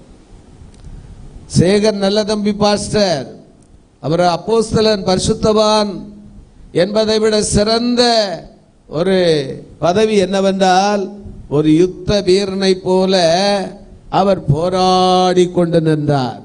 கத்தருக்கு ஸ்தோத்திரம். சிங்கத்துக்கும் கரடிக்கும் அதனுடைய வாய்க்கும் தப்புவிப்பதற்கு நான் போராடினேன் என்று தாவிது சொன்னான் பார்த்தீங்களா?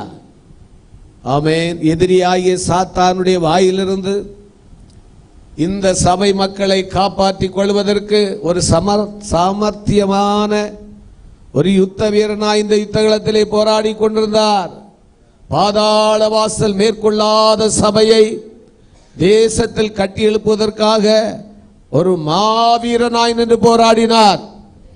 அலையலோயா அமேன் அவர் யுத்த களத்திலே போராடி வெற்றி வாகை சூடுகிற அந்த ஒரு வீரனாய் நின்று இன்றைக்கு மகுடம் சூட்டப்பட்டிருக்கிறார்.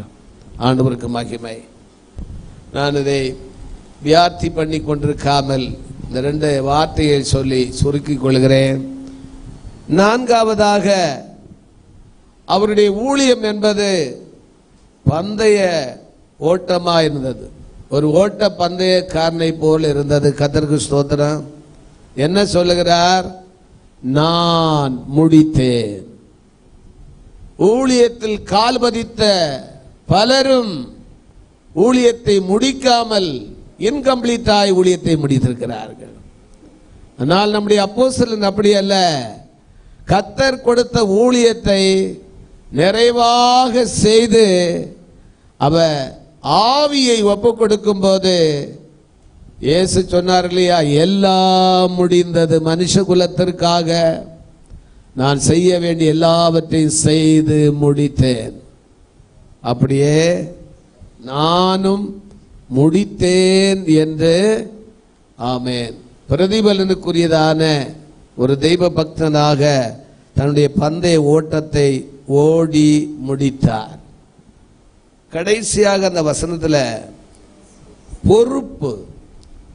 நான் அவருடைய பொறுப்பு என்னவா இருந்தது? அப்போஸ்தனாகிய பவுலுடைய பொறுப்பு நான் விசுவாசத்தை காத்து கொண்டேன் விசுவாச மறுதளிப்பு நிறைந்த காலத்தில் விசுவாசம் இல்லாத காலத்தில் விசுவாச வீரனாகிய தேவ மனுஷன் கடைசி வரைக்கும் தன் விசுவாசத்தை காத்து நின்றார்.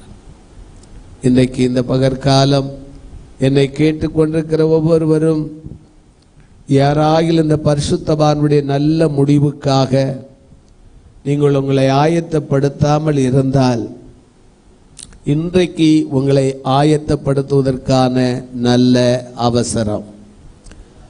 ஞானிகளுக்கெல்லாம் தலை சிறந்த ஞானியாகிய சாலமன் சொல்லுவார் விருந்து வீட்டுக்கு போவதை பார்க்கிலும் துக்க வீட்டுக்கு போவது நல்லது மரண வீட்டுக்கு போவது நல்லது.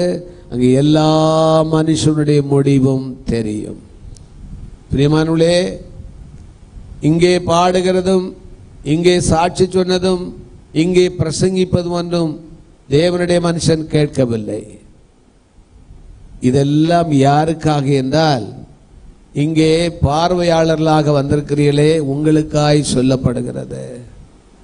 அவர் இந்த பெட்டிக்குள்ளே இருந்து நம்மோடு பேசிக் கொண்டிருக்கிறார். இன்றைக்கு நான் நாளைக்கு நீ. எனக்கு வந்த அழைப்பை நான் ஏற்றுக்கொள்வதற்கு ஆயத்தமாக இருந்தேன் நீ தயாராக இருக்கிறாயா என்று கேட்டுக்கொண்டிருக்கிறார். அன்பானுளே இன்று மறித்தால் உங்கள் நித்தியத்தை எங்கே கழிப்பீர்கள் என்ற நிச்சயம் உங்களுக்கு இருக்கிறதா? பைபிள் சொல்லுகிறது ஒரு பாவியுடைய துன்மார்க்கனுடைய மரணம் நம்பிக்கையற்றது. நீதிமானின் முடிவு சமாதானம். நீதிமான்கள் சமாதானத்துக்குள் பிரவேசித்து தங்கள் படுக்கையில் இளைப்பாறுகிறார்கள் என்று பைபிள் சொல்லுகிறது. ஒரு சம்பவத்தை சாட்சியாக அறிவித்து நான் சுருக்கிக் கொள்கிறேன். இங்கிலாந்தின் அப்போஸ்தலன் என்று அறியப்பட்ட ஜான் வெஸ்லி கல்லூரியிலே படித்துக் கொண்டிருந்ததான நாட்களிலே ஒரு பெரிய கூட்டத்தில் சுவிசேஷ கூட்டத்தில் அவரும் அவருடைய சக மாணவர்களும் போய் பங்கெடுத்தார். மேடையில் பேசி கொண்டிருந்தவர் கடைசியாக ஒரு ஆல்டர் கால் கொடுத்தார். இயேசுவை ஏற்றுக்கொண்டவர்கள் எத்தனை பேர்கள்? இயேசுவை ஏற்றுக்கொள்ள பெரியப்படுகள் எத்தனை பேர்கள்? ஜான் வெஸ்லியோடு அநேகர் பரியாசக்காலாய் மாறி நல்ல அவசரத்தை பாழாக்கினார். அந்த கூட்டத்திலே வாலிபனான ஜான் வெஸ்லி இயேசுவுக்கு தன்னை ஒப்பு கொடுத்தார். இன்னொரு தடவை ஒரு மிஷனரி சேலஞ்ச் மீட்டிங்கிலே அவர் ஆப்பிரிக்காவுக்கு இருண்ட கண்டமாகி ஆப்பிரிக்காவுக்கு மிஷனரியாய் போக தன்னை ஒப்பு கொடுக்கிறார். குறிப்பிட்ட காலம் வரைக்கும் அவர் ஊழியம் செய்கிறார். பலவிதமான வியாதியால் பாதிக்கப்பட்டு அவருடைய சப சரீரம் சொந்த தேசத்திற்கு கொண்டு வரப்படுகிறது. லட்சக்கணக்கான பேர் வெண்ணுடை தரித்து ஒரு அரசனுக்குரிய அரச மரியாதையோடு இந்த பரிசுத்தவானுடைய நல்லடக்கம் ஆயத்தமாயிருக்கிறது. பேண்ட் இசை முழங்க சாரற்று வண்டி அலங்கரிக்கப்பட்டு லட்சக்கணக்கான பேர் புடை சூழ அவருடைய இறுதி யாத்திரை பயணம் தொடர்ந்து கொண்டது ஒருவர் அந்த பயணத்திலே தேம்பி தேம்பி அழுது கொண்டே வந்தாராம். பலருக்கும் அது ஆச்சரியமாக இருந்தது. துக்கம் தாழாமல் ஒருவர் அழுது கொண்டு வந்தார். நீங்கள் யார்? அவருக்கு நெருங்கின உறவினரா என்று கேட்டபோது அவர் சொன்னாரா நானும் ஜான் வெஸ்லியும் பள்ளி தோழர்கள் இணைபிரியாத நண்பர்கள். ஒன்றாய் படித்தோம் ஒன்றாய் சேர்ந்து நடந்தோம் ஒன்றாக ஒரு கிறிஸ்தவ கூட்டத்துக்கு போனோம். எல்லாருக்கும் ஒன்று போல்தான் அழைப்பு வந்தது. ஆனால் அந்த அழைப்பை என்னுடைய நண்பன் ஏற்றுக்கொண்டார் நானும் புறக்கணித்தேன். இன்றைக்கு ஜான் வெஸ்லி உயிரோடு இருக்கும்போது எப்படி மறிக்க வேண்டும் என்று கற்றுக்கொண்டிருந்தார். நான் கற்றுக்கொள்ள தவறினேன். அவர் ஒரு பரிசுத்தவானாய் கத்தருக்குள் மறித்தபடியால் ஒரு அரச மரியாதையோடு கூட நல்லடக்கம் அவருக்கு நடக்கிறது. எனக்கோ எனக்கோ ஒரு குடிகாரனின் கல்லறைத்தானே காத்திருக்கிறது என்று நினைக்கும் போது என்னால் தாங்கிக் கொள்ள முடியவில்லை. பரிசுத்தவானுடைய முடிவு சமாதானம். அது இழைப்பாறுதலுக்குரியது பிரதிபலன்களை அறிவிக்கிறதான ஒரு மரணம். இந்த நேரத்திலும் பரிசுத்தவான்கள் சென்றிருக்கிற பாதையிலே கடந்து போயிருக்கிற பரிசுத்தவானுடைய இறுதி சடங்கை நிறைவேற்ற நம்மை தகுதிப்படுத்திக் கொள்வோம். எல்லார் கண்களை மூடி நாம் ஜெபம் பண்ணுவோம்.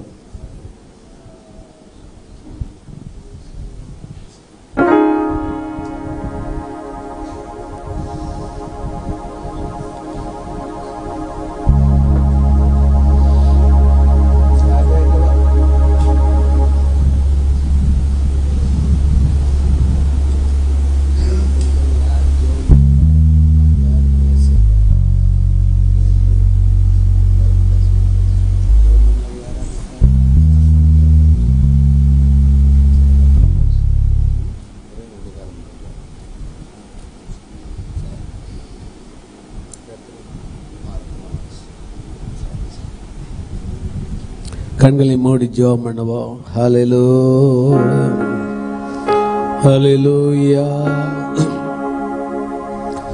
அந்த வான்காரையில் நாம் நின்று பின்னோர் கீதங்களை பாடுவோம். துக்கம் யாவும் மாற்று மகிழ்ந்து.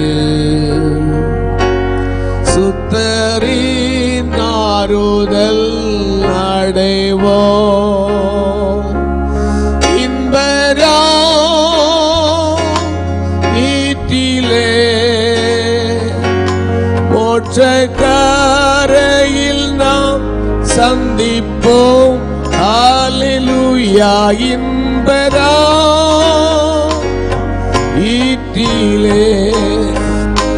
மோட்சக்கார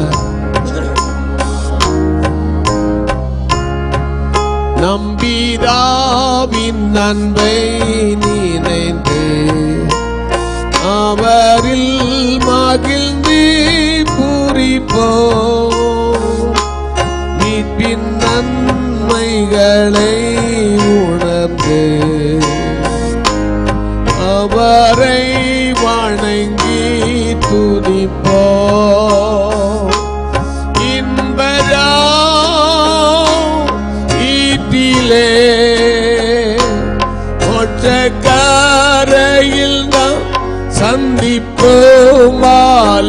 ஐயா இன்பரா? ஈட்டிலே ஒற்றக்காரையில் நாம் அங்கே நாம் ரட்சகர் என்றென்றோ. ஆளுகை செய்து வீட்டிருப்பார் துக்க நோய் சாவுகள் நீங்கிடும். தேவன் நாம் கண்ணீரை துடைப்பா இன்பரா ஈட்டிலே மோட்சக்காரையில் தான் சந்திப்போம். அலிலுயா இன்பரா.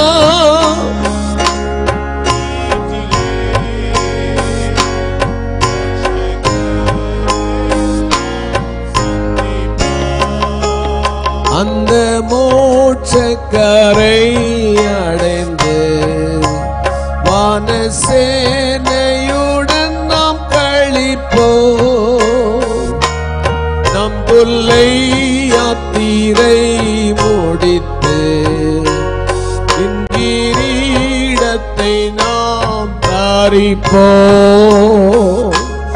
இன்பரா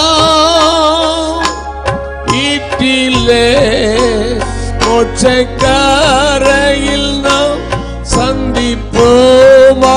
ஹalleluya ஈட்டிலே மோட்சக்காரையில் நாம் என் முற்றார் போய்விட்டார் முன்னங்கே. அவன் பின் நிலவும் சந்திப்பே. அவர் கூட்டத்தில் நான் மின்னிலே ஓய்வற்ற பேரின்பம் கொள்ளுவே. இன்பரா ஈட்டிலே மோட்சக்காரையில் நாம் சந்திப்போம். ஆலிலுயா இன்பரா ஈட்டிலே மோட்சக்காரையில் நாம் ஏழைக்கும் மாளிகை கொண்டு என்று நல் மீட்பரழைக்கிறான். மாந்தர் யாவர்க்கும் இடமுண்டு எல்லோரும் வாருங்கள் என்கிறா. இன்பரா ஈட்டிலே மோட்சக்காரையில் சந்திப்போம். வாலலுயா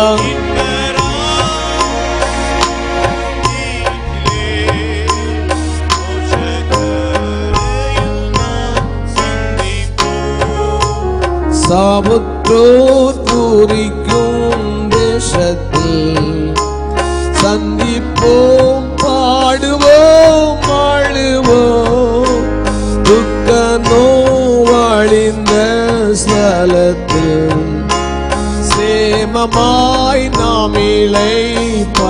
பாருவோம் இன்பரா ஈட்டிலே மோட்சக்காரையில் நாம் சந்திப்போம். ஹalleluya இன்பரா ஈட்டிலே மோட்சக்காரையில் நாம்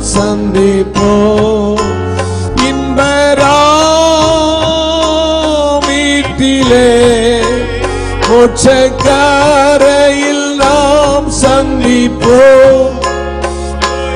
இன்பரா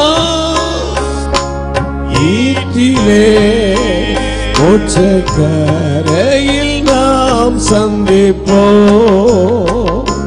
மோட்சக்காரையில் நாம் சந்திப்போம். மோட்சக்கார சந்திப்போ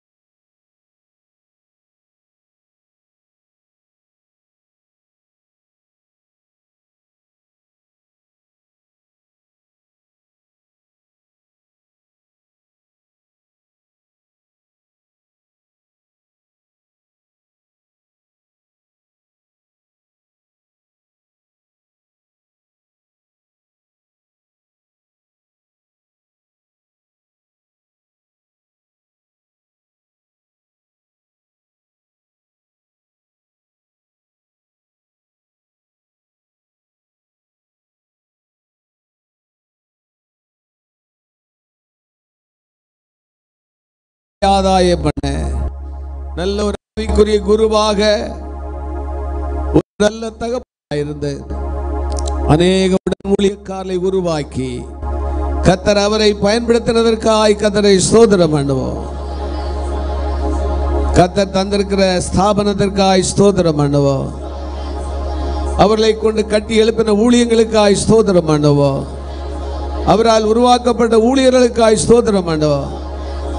பானபலியாய் வார்க்கப்பட்டு ஜீவனை கொடுத்து ஆதாயம் பண்ணின நல்ல ஆத்துமாக்களுக்காய் ஸ்தோத்திரம் பண்ணுவோம் இயேசு வருகிற வரைக்கும் இந்த ஸ்தாபனம் நிலைநிற்பதற்காய் சோதனம் பண்ணுவோம் ஊழியர்கள் உண்மை உள்ளவர்களா இருந்து உத்தமர்களா இருந்து ஸ்தாபனத்தை பிரிக்காம ஜனங்களை பிரிச்சுட்டு போகாம அப்படி ஒரு பிரிவினை நாவி சபைக்குள்ள கிரியே செய்யாம அந்த அந்தகார வல்லமையில் கடிந்து கொள்ளப்படுவதற்காய் சோதனம் அனுபவம்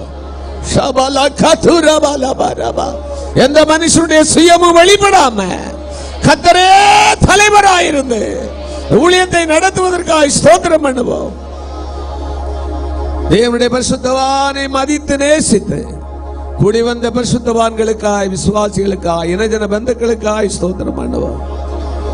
தன்னுடைய நல்ல தகப்பனை இழந்து வாடுகிற பிள்ளைகளை கத்தர் ஆறுதல் படுத்துவதற்காய் ஸ்தோத்திரம் பண்ணுவோம். இம்மட்டுமாய் அவருடைய நல்லடக்க காரியத்தில் அனுகூலம் பண்ணின கத்தரை ஸ்தோத்திரம்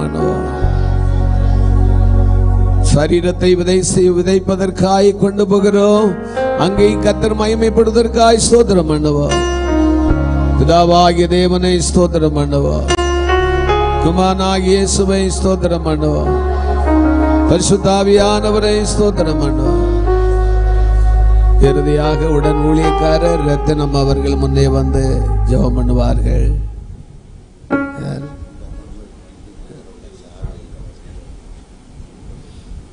TN 76B Z0 uh, 309 uh, uh, സ്കൂട്ടിയുടെ ചാവി മിസ്സായിട്ട്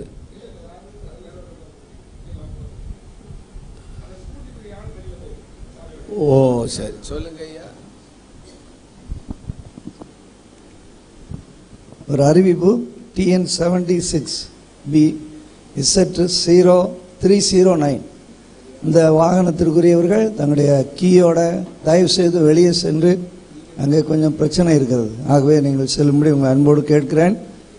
TN seventy six B Z zero three zero nine இந்த வாகனம் ஸ்கூட்டி வச்சிருக்கிறவங்க அந்த செ- கீயோட தயவு செய்து வெளியே போகும்படி உங்கள் அன்போடு கேட்கும்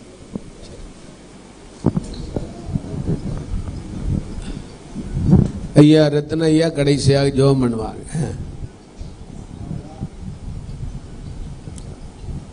நம்ம எல்லாரும் தலைகளை தாழ்த்தி நாம் ஜெபம் பண்ணுவோம். பரிசுத்த பிதாவே பரலோகமே எங்களை உற்று நோக்கி பார்த்து கொண்டிருக்கிறது. பரிசுத்தவான்களுடைய மரணம் கர்த்தருடைய பார்வையில் எவ்வளவு அருமையானது என்று சொன்னது போல உம்முடைய தாசன் உம்முடைய ஊழியக்காரர் எங்களுக்கு முன்னோடியாக இருந்து எங்களை எல்லாம் வழிநடத்தின தாசருடைய மரணம் நம்முடைய பார்வையில் மிகவும் அருமையானது. நல்ல வார்த்தைகளை கொடுத்து எங்களை தேத்தின பரிசுத்தவானையும் எல்லா பரிசுத்தவான்களையும் பரிசுத்த வாட்டிகளையும் விசுவாசிகளையும் சபை மக்களை கத்தர் ஆசீர்வதிப்பீராக. இந்த அடக்க ஆராதனையை மழைக்காரத்தில் நாங்கள் ஒப்பு கொடுக்கிறோம் கத்தர் எல்லாவற்றையும் பொருட்படுத்திக் கொள்ளும்.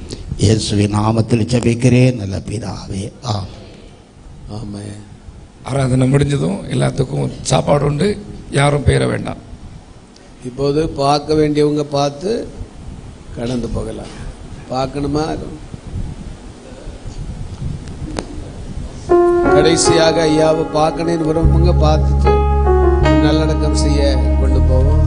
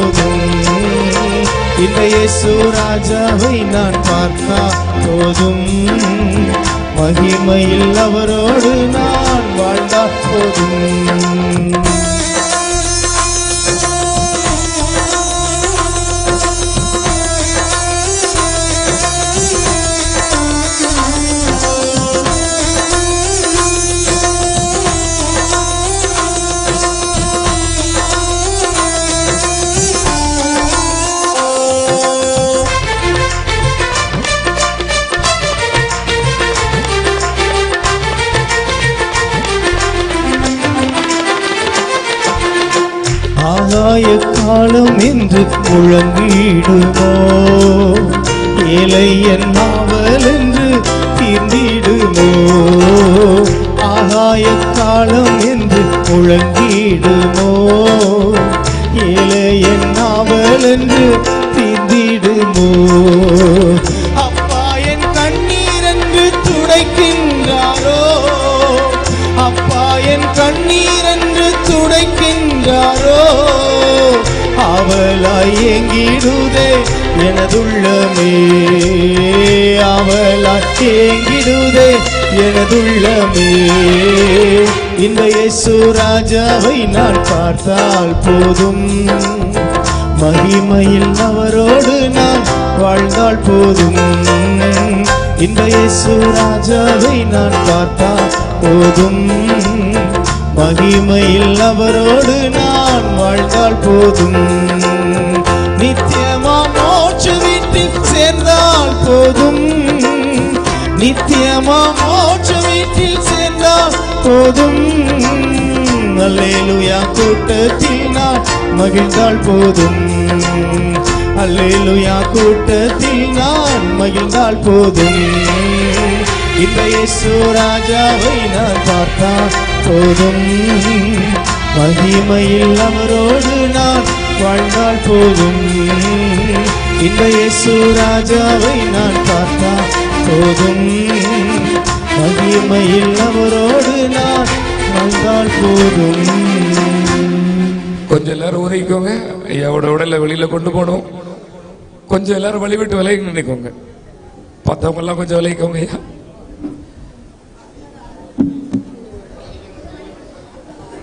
வாங்க வாங்க. எல்லாரும் அப்படி பார்த்தவங்க கொஞ்சம் வழி விட்டு விலகி நினைக்க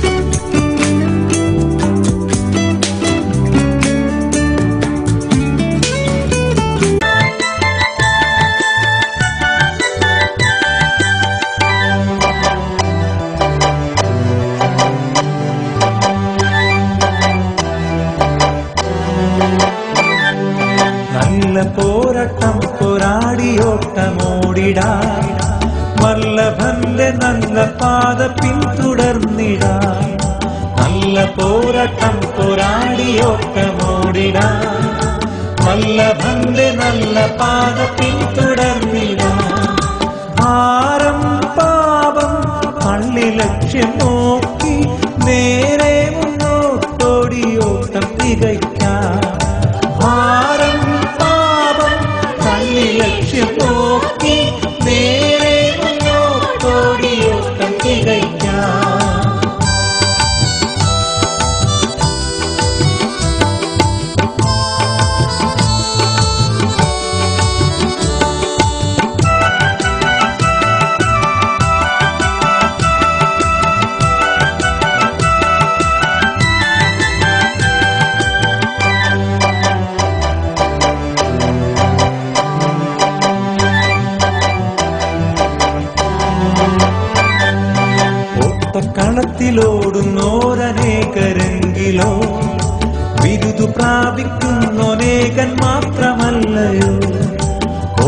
കണത്തിലോടുന്നോരനേകരെങ്കിലോ വിരുദു പ്രാപിക്കുന്നോനേകൻ മാത്രം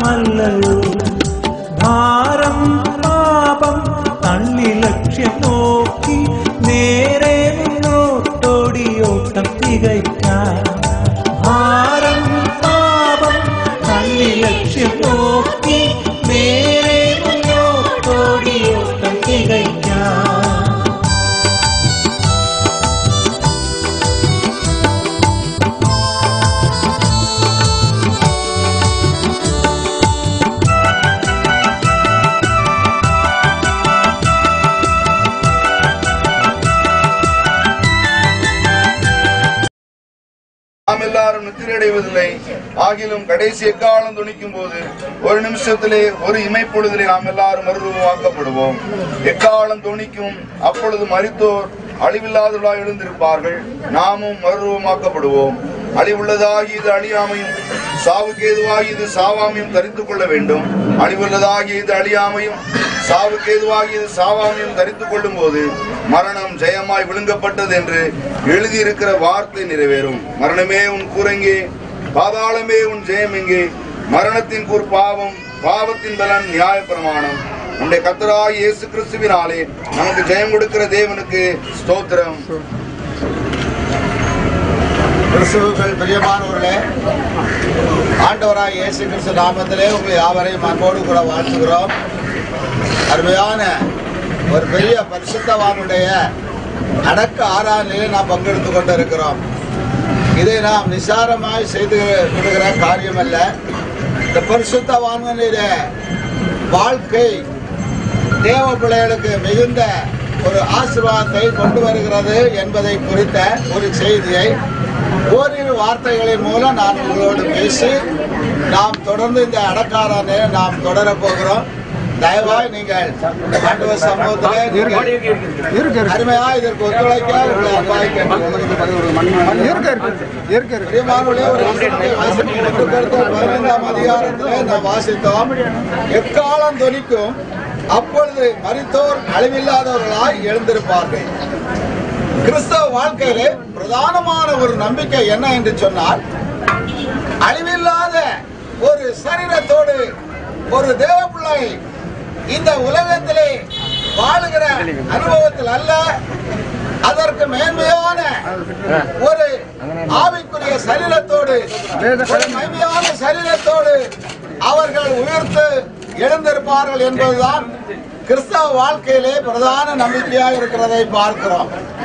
பிரியமானவர்களே எக்காலம் தொனிக்கும் ஆண்டவராய இயேசு கிறிஸ்து அது சீக்கிரமாய் மத்திய ஆகாயத்திலே வருவார். அப்பொழுது கிறிஸ்தவர்கள் மறித்தவர்கள் எல்லாம் உயிர்த்தெழுந்து ஒரு மேன்மையான உயிர்த்தெழுதலே அவரை நாம் சந்திப்போம். கிறிஸ்தவர்கள் மறிக்கிற தேவ அன்பிலே வளர்ந்து பூமியிலே சாட்சியாய் வாழ்ந்து ஆண்டவருக்காய் ஜீவிக்கிற எல்லா பரிசுத்தவான்களையும் ஆண்டவர் அவருடைய பரிசுத்த ஆவியை மறுபடியும் அழிவுக்குரிய இந்த சரீரமாகிய இந்த ஜென்ம சரீரத்துல அந்த ஆவியை அனுப்பி மறுரூபமாக்கி மகிமையான ஒரு உயிர்த்தெழுதலை எல்லா தெய்வ பிள்ளைகளுக்கும் ஆண்டவர் கொடுக்கிறவராய் இருக்கிறார். அல்லேலூயா. கர்த்தருடைய பிள்ளைகளே எக்காலம் தொனிக்கும் இயேசு கிறிஸ்து சொன்னார் நான் உங்களை திக்கற்றவர்களாய் விடேன். உங்களிடத்தில் வருவேன். உலகம் என்னை கொஞ்ச காலம் காணாது. ஆனால் நீங்கள் என்னை மறுபடியும் காண்பீர்கள். அருமையான தேவ பிள்ளைகளே இயேசு கிறிஸ்து எப்படி உயிர்த்தெழுந்து வந்தாரோ அதே மறுரூபத்தின் அனுபவத்திலே ஒவ்வொரு தேவ பிள்ளைகளும் உயிர்த்தெழுந்து அவர் வாழ்ந்து கொண்டிருக்கிற கிறிஸ்துவை அவர்கள் மத்திய ஆகாயத்திலே சந்திப்பார்கள். பவுலடியார் இப்படியாக சொல்லுகிறார் நான் ஆண்டவரை அவருடைய உயிர்த்தழுதலை அவருடைய மேன்மையான ஆமென் பிரதான நம்பிக்கையை நான் அடைவதற்கு நான் என் வாழ்க்கையிலே இந்த பூமியிலே உண்டான எல்லாவற்றையும் நான் அற்பமும் குப்பையும் என்று தள்ளுகிறேன். எல்லாம் எனக்கு நஷ்டம் என்று எண்ணுகிறேன். ஏனென்றால் நான் அடைய போகிற அந்த மேன்மையான தேவனை குறித்து அறிகிற அறிவும் நான் அடைய போகிறதான அந்த மேன்மையான உயிர்த்தழுதலும் அதில் நான் எப்படியாவது பங்கெடுக்க வேண்டும் என்று அவர் தன்னுடைய வாழ்க்கையிலே நம்பிக்கையாயிருந்த சகல பொருட்களையும் சகல உலக பிரகாரமான ஆசிர்வாதங்களையும் அவர் வெறுக்கிறவராக அது எனக்கு நஷ்டம் என்று தள்ளுகிறவராக அதை தள்ளிவிட்டு மகிமையான அந்த உயிர்த்தழுதல் இதுவரை போகிற அந்த மேன்மையான நம்பிக்கையை அவர் அடைவதற்கு நான் சகலத்தை வெறுத்தேன்னு சொல்லுகிறான் கிறிஸ்து எனக்கு ஜீவன் சாவு எனக்கு ஆதாயம் என்று சொல்லி வெற்றி முழக்கமிட்டதான அந்த பவுல் பொருந்தியர் சபையாருக்கு எழுதும் போது அவர் சொன்னார் நான் உங்களுக்கு ஒரு ரகசியத்தை சொல்லுகிறேன்.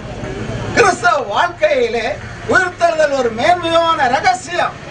இது இந்த உலகத்துக்கு தெரியாது. சாதா வாழுகிற ஒரு மனுஷனுக்கு ஏசு கிறிஸ்துவை இந்த ஜனங்கள் எல்லாம் தேடி நாடி ஆராதிக்கிறார்களே. இதென்ன என்று உலகத்தின் மனிதர்கள் புரியாதவர்களாக ஆண்டவருடைய வரவை அறியாதவர்களாக காணப்படும் போது அநேகருடைய கேள்விகளுக்கு பதிலை கொடுக்கிறவராக ஆண்டவராகிய இயேசு கிறிஸ்து மகிமையின் சரீரத்திலே உயிர்த்தெழுந்து அவர் எல்லாருக்கும் தென்பட்டவராய் காணப்பட்டது போல ஒரு நாள் நாமும் இயேசு கிறிஸ்து மறுபடியும் மத்திய ஆகாயத்திலே வரும்போது அவருடைய எக்கால சத்தம் துணிக்கும் போது பிரியமான தேவ மக்களே நீங்கள் கர்த்தரை ஆராதிப்பது விருதாவாய் அல்ல கர்த்தரை தேடினது விருதாவாய் அல்ல அநேக நிந்தைகளும் பரியாசங்களும் வேதனைகளும் அனுபவித்தது. அது விருதாவாய் அல்ல ஒரு பிரதான ஒரு நம்பிக்கை. நம்முடைய வாழ்க்கையில உண்டு என்பதை நாம் மறக்க வேண்டாம்.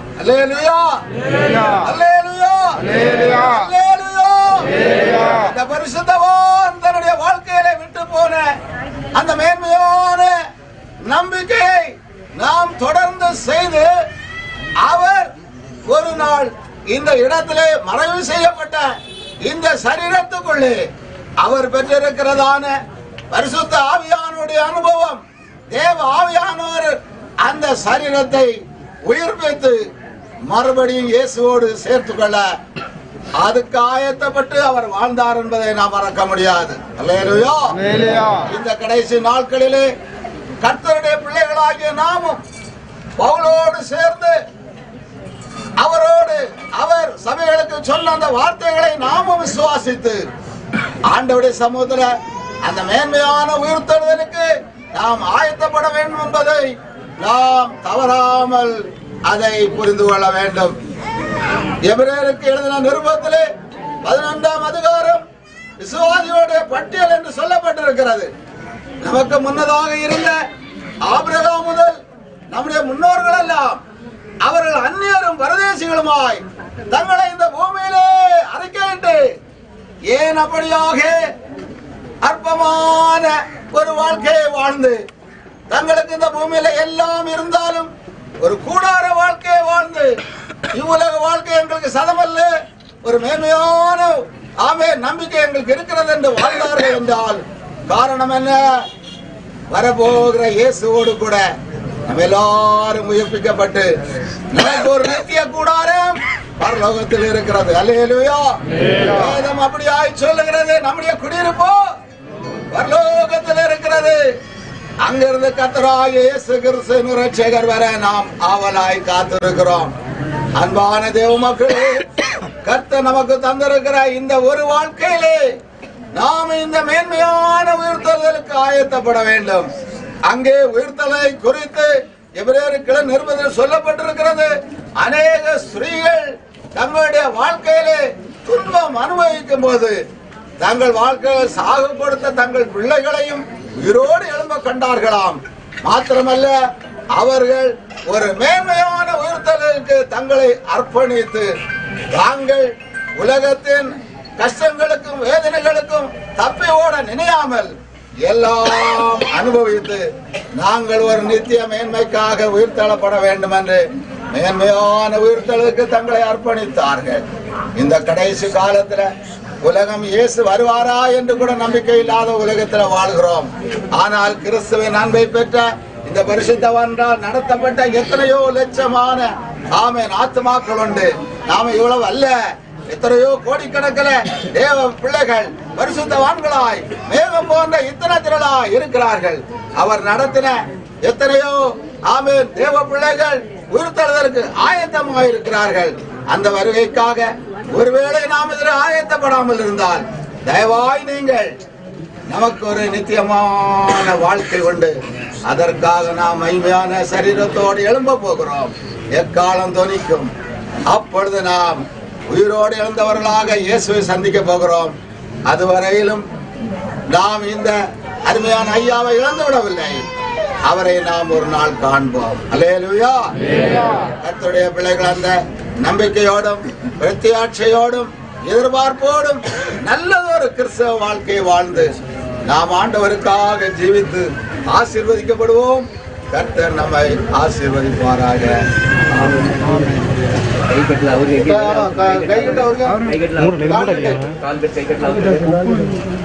பெட்டி தூக்கி பெட்டி தூக்கு பெட்டி தூக்கு பெட்டி பெட்டி பெட்டி தூக்கு கயிறு காடியில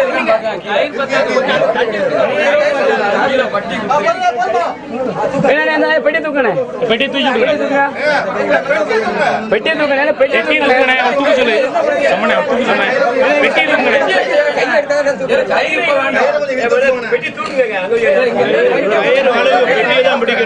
பெட்டி எப்படிங்க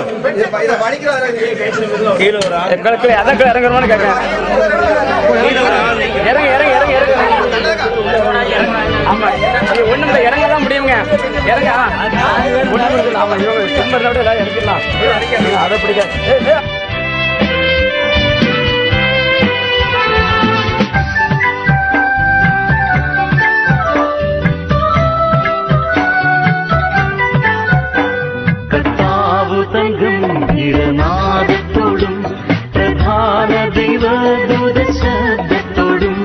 സ്വർഗത്തിനുള്ളിറങ്ങി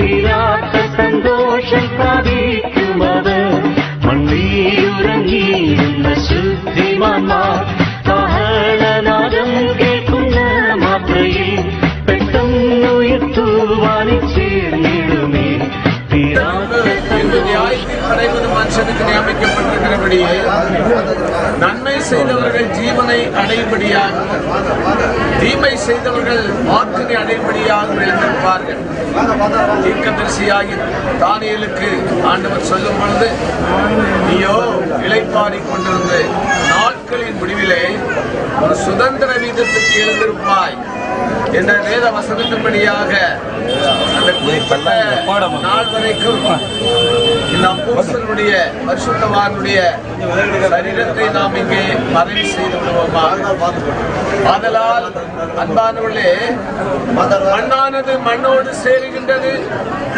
ஆவியானது தன்னை தந்த தேவனிடத்தில் கணக்கு ஒப்புவிக்க போயிருக்கிறது. இந்த உலகத்தை நியாயம் தீர்க்கும்படி கத்தராய் இயேசு மறுபடியும் வரும்போது இந்த பூமியின் சமுத்திரமும் தங்களில் உள்ள மறைந்தோரை அவரிடத்தில் ஒப்புவிக்கும். அந்த கடைசி நாள் வரைக்கும் நம்முடைய பரிசுத்தவானுடைய சரீரத்தை நிலத்திலே வைத்துள்ளதாக அந்தபடி இந்த சரீரத்தை மண்ணுக்கு மண்ணாகவும் சாம்பலுக்கு சாம்பலாகவும் புழுதிக்கு புழுதியாகவும் பிதா குமாரன் பரிசுத்தாவி நாமத்திலே நான் ஒப்புக் கொடுக்கிறேன் ஜெபம் செய்வோம். எங்கள் கண்மலை மீட்புமாகிய கத்தாவே என் வாயின் வார்த்தைகளின் இருதயத்தின் தியானமும் உமக்கு என்பதாக பிரதியா என்பதாக. நல்ல போராட்டத்தை போராடினேன். ஓட்டத்தை முடித்தேன். சுவாசத்தை காத்துக்கொண்டேன். இது முதல் எனக்காக நீதின் கிரீடம் வைக்கப்பட்டிருக்கிறது என்ற பரிசுத்தவானின் வரிசையிலே. ஆண்டவரே நல்ல போராட்டத்தை போராடி ஓட்டத்தை முடித்து விசுவாசம் காத்து நீதியின் கிரீடத்துக்கு அவகாசியாக நித்தியத்திலே என்னைக்குமாய் தம்மோடு இருப்பதற்காக அழைத்த பரிசுத்தவானின் இந்த மரண சரீரத்தை இந்த இடத்தில் மறைவு செய்திருக்கிறோம். கடைசி காகலம் துணிக்கும் போது அழிவுக்குரிய சரீரம் அழியாமையை சுதந்திரிக்கிற அந்த மேன்மையான உயர்த்தலின் நாள் மட்டுமாக இந்த சரீர இடத்தில் மறைவு செய்யப்படுகிறது. கிறிஸ்தவ வாழ்க்கையுடைய ஆழமேறி நிச்சயம். ஒரு மேன்மையான உயர்த்தலில் உண்டு. முதலாம் உயர்த்தலுதலுக்கு பங்குள்ளவன் வாக்கியவானும் பரிசுத்தருமா இருக்கிறார். ஆமாண்டவரே அந்த மேன்மையான உயர்த்தலுதலுக்காக இந்த பரிசுத்தவானுடைய முடிவை கண்டவர்கள் அந்த நம்பிக்கைக்காய் தங்களை ஆயத்தப்படுத்துவார்களாக. இதுவரைக்கும் இந்த அடக்க காரியங்களை பொறுப்படுத்த கத்தருக்கு மகிமை உண்டாக எல்லா துதி கன மகிமை கத்தருக்கு செலுத்து ஏசு கிறிஸ்துவின் நாமத்தில் ஜெபம் கேட்கிறோம் நல்ல பிதாவே நாத்துமாவே கத்தரை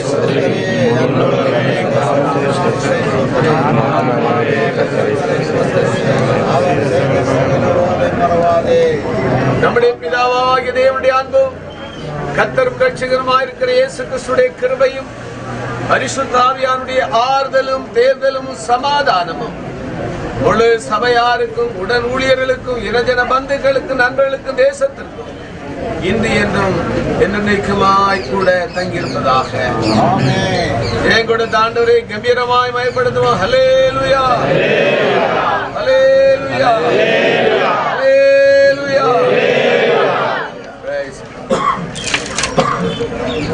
ரெண்டு சைடும் போட்டுங்க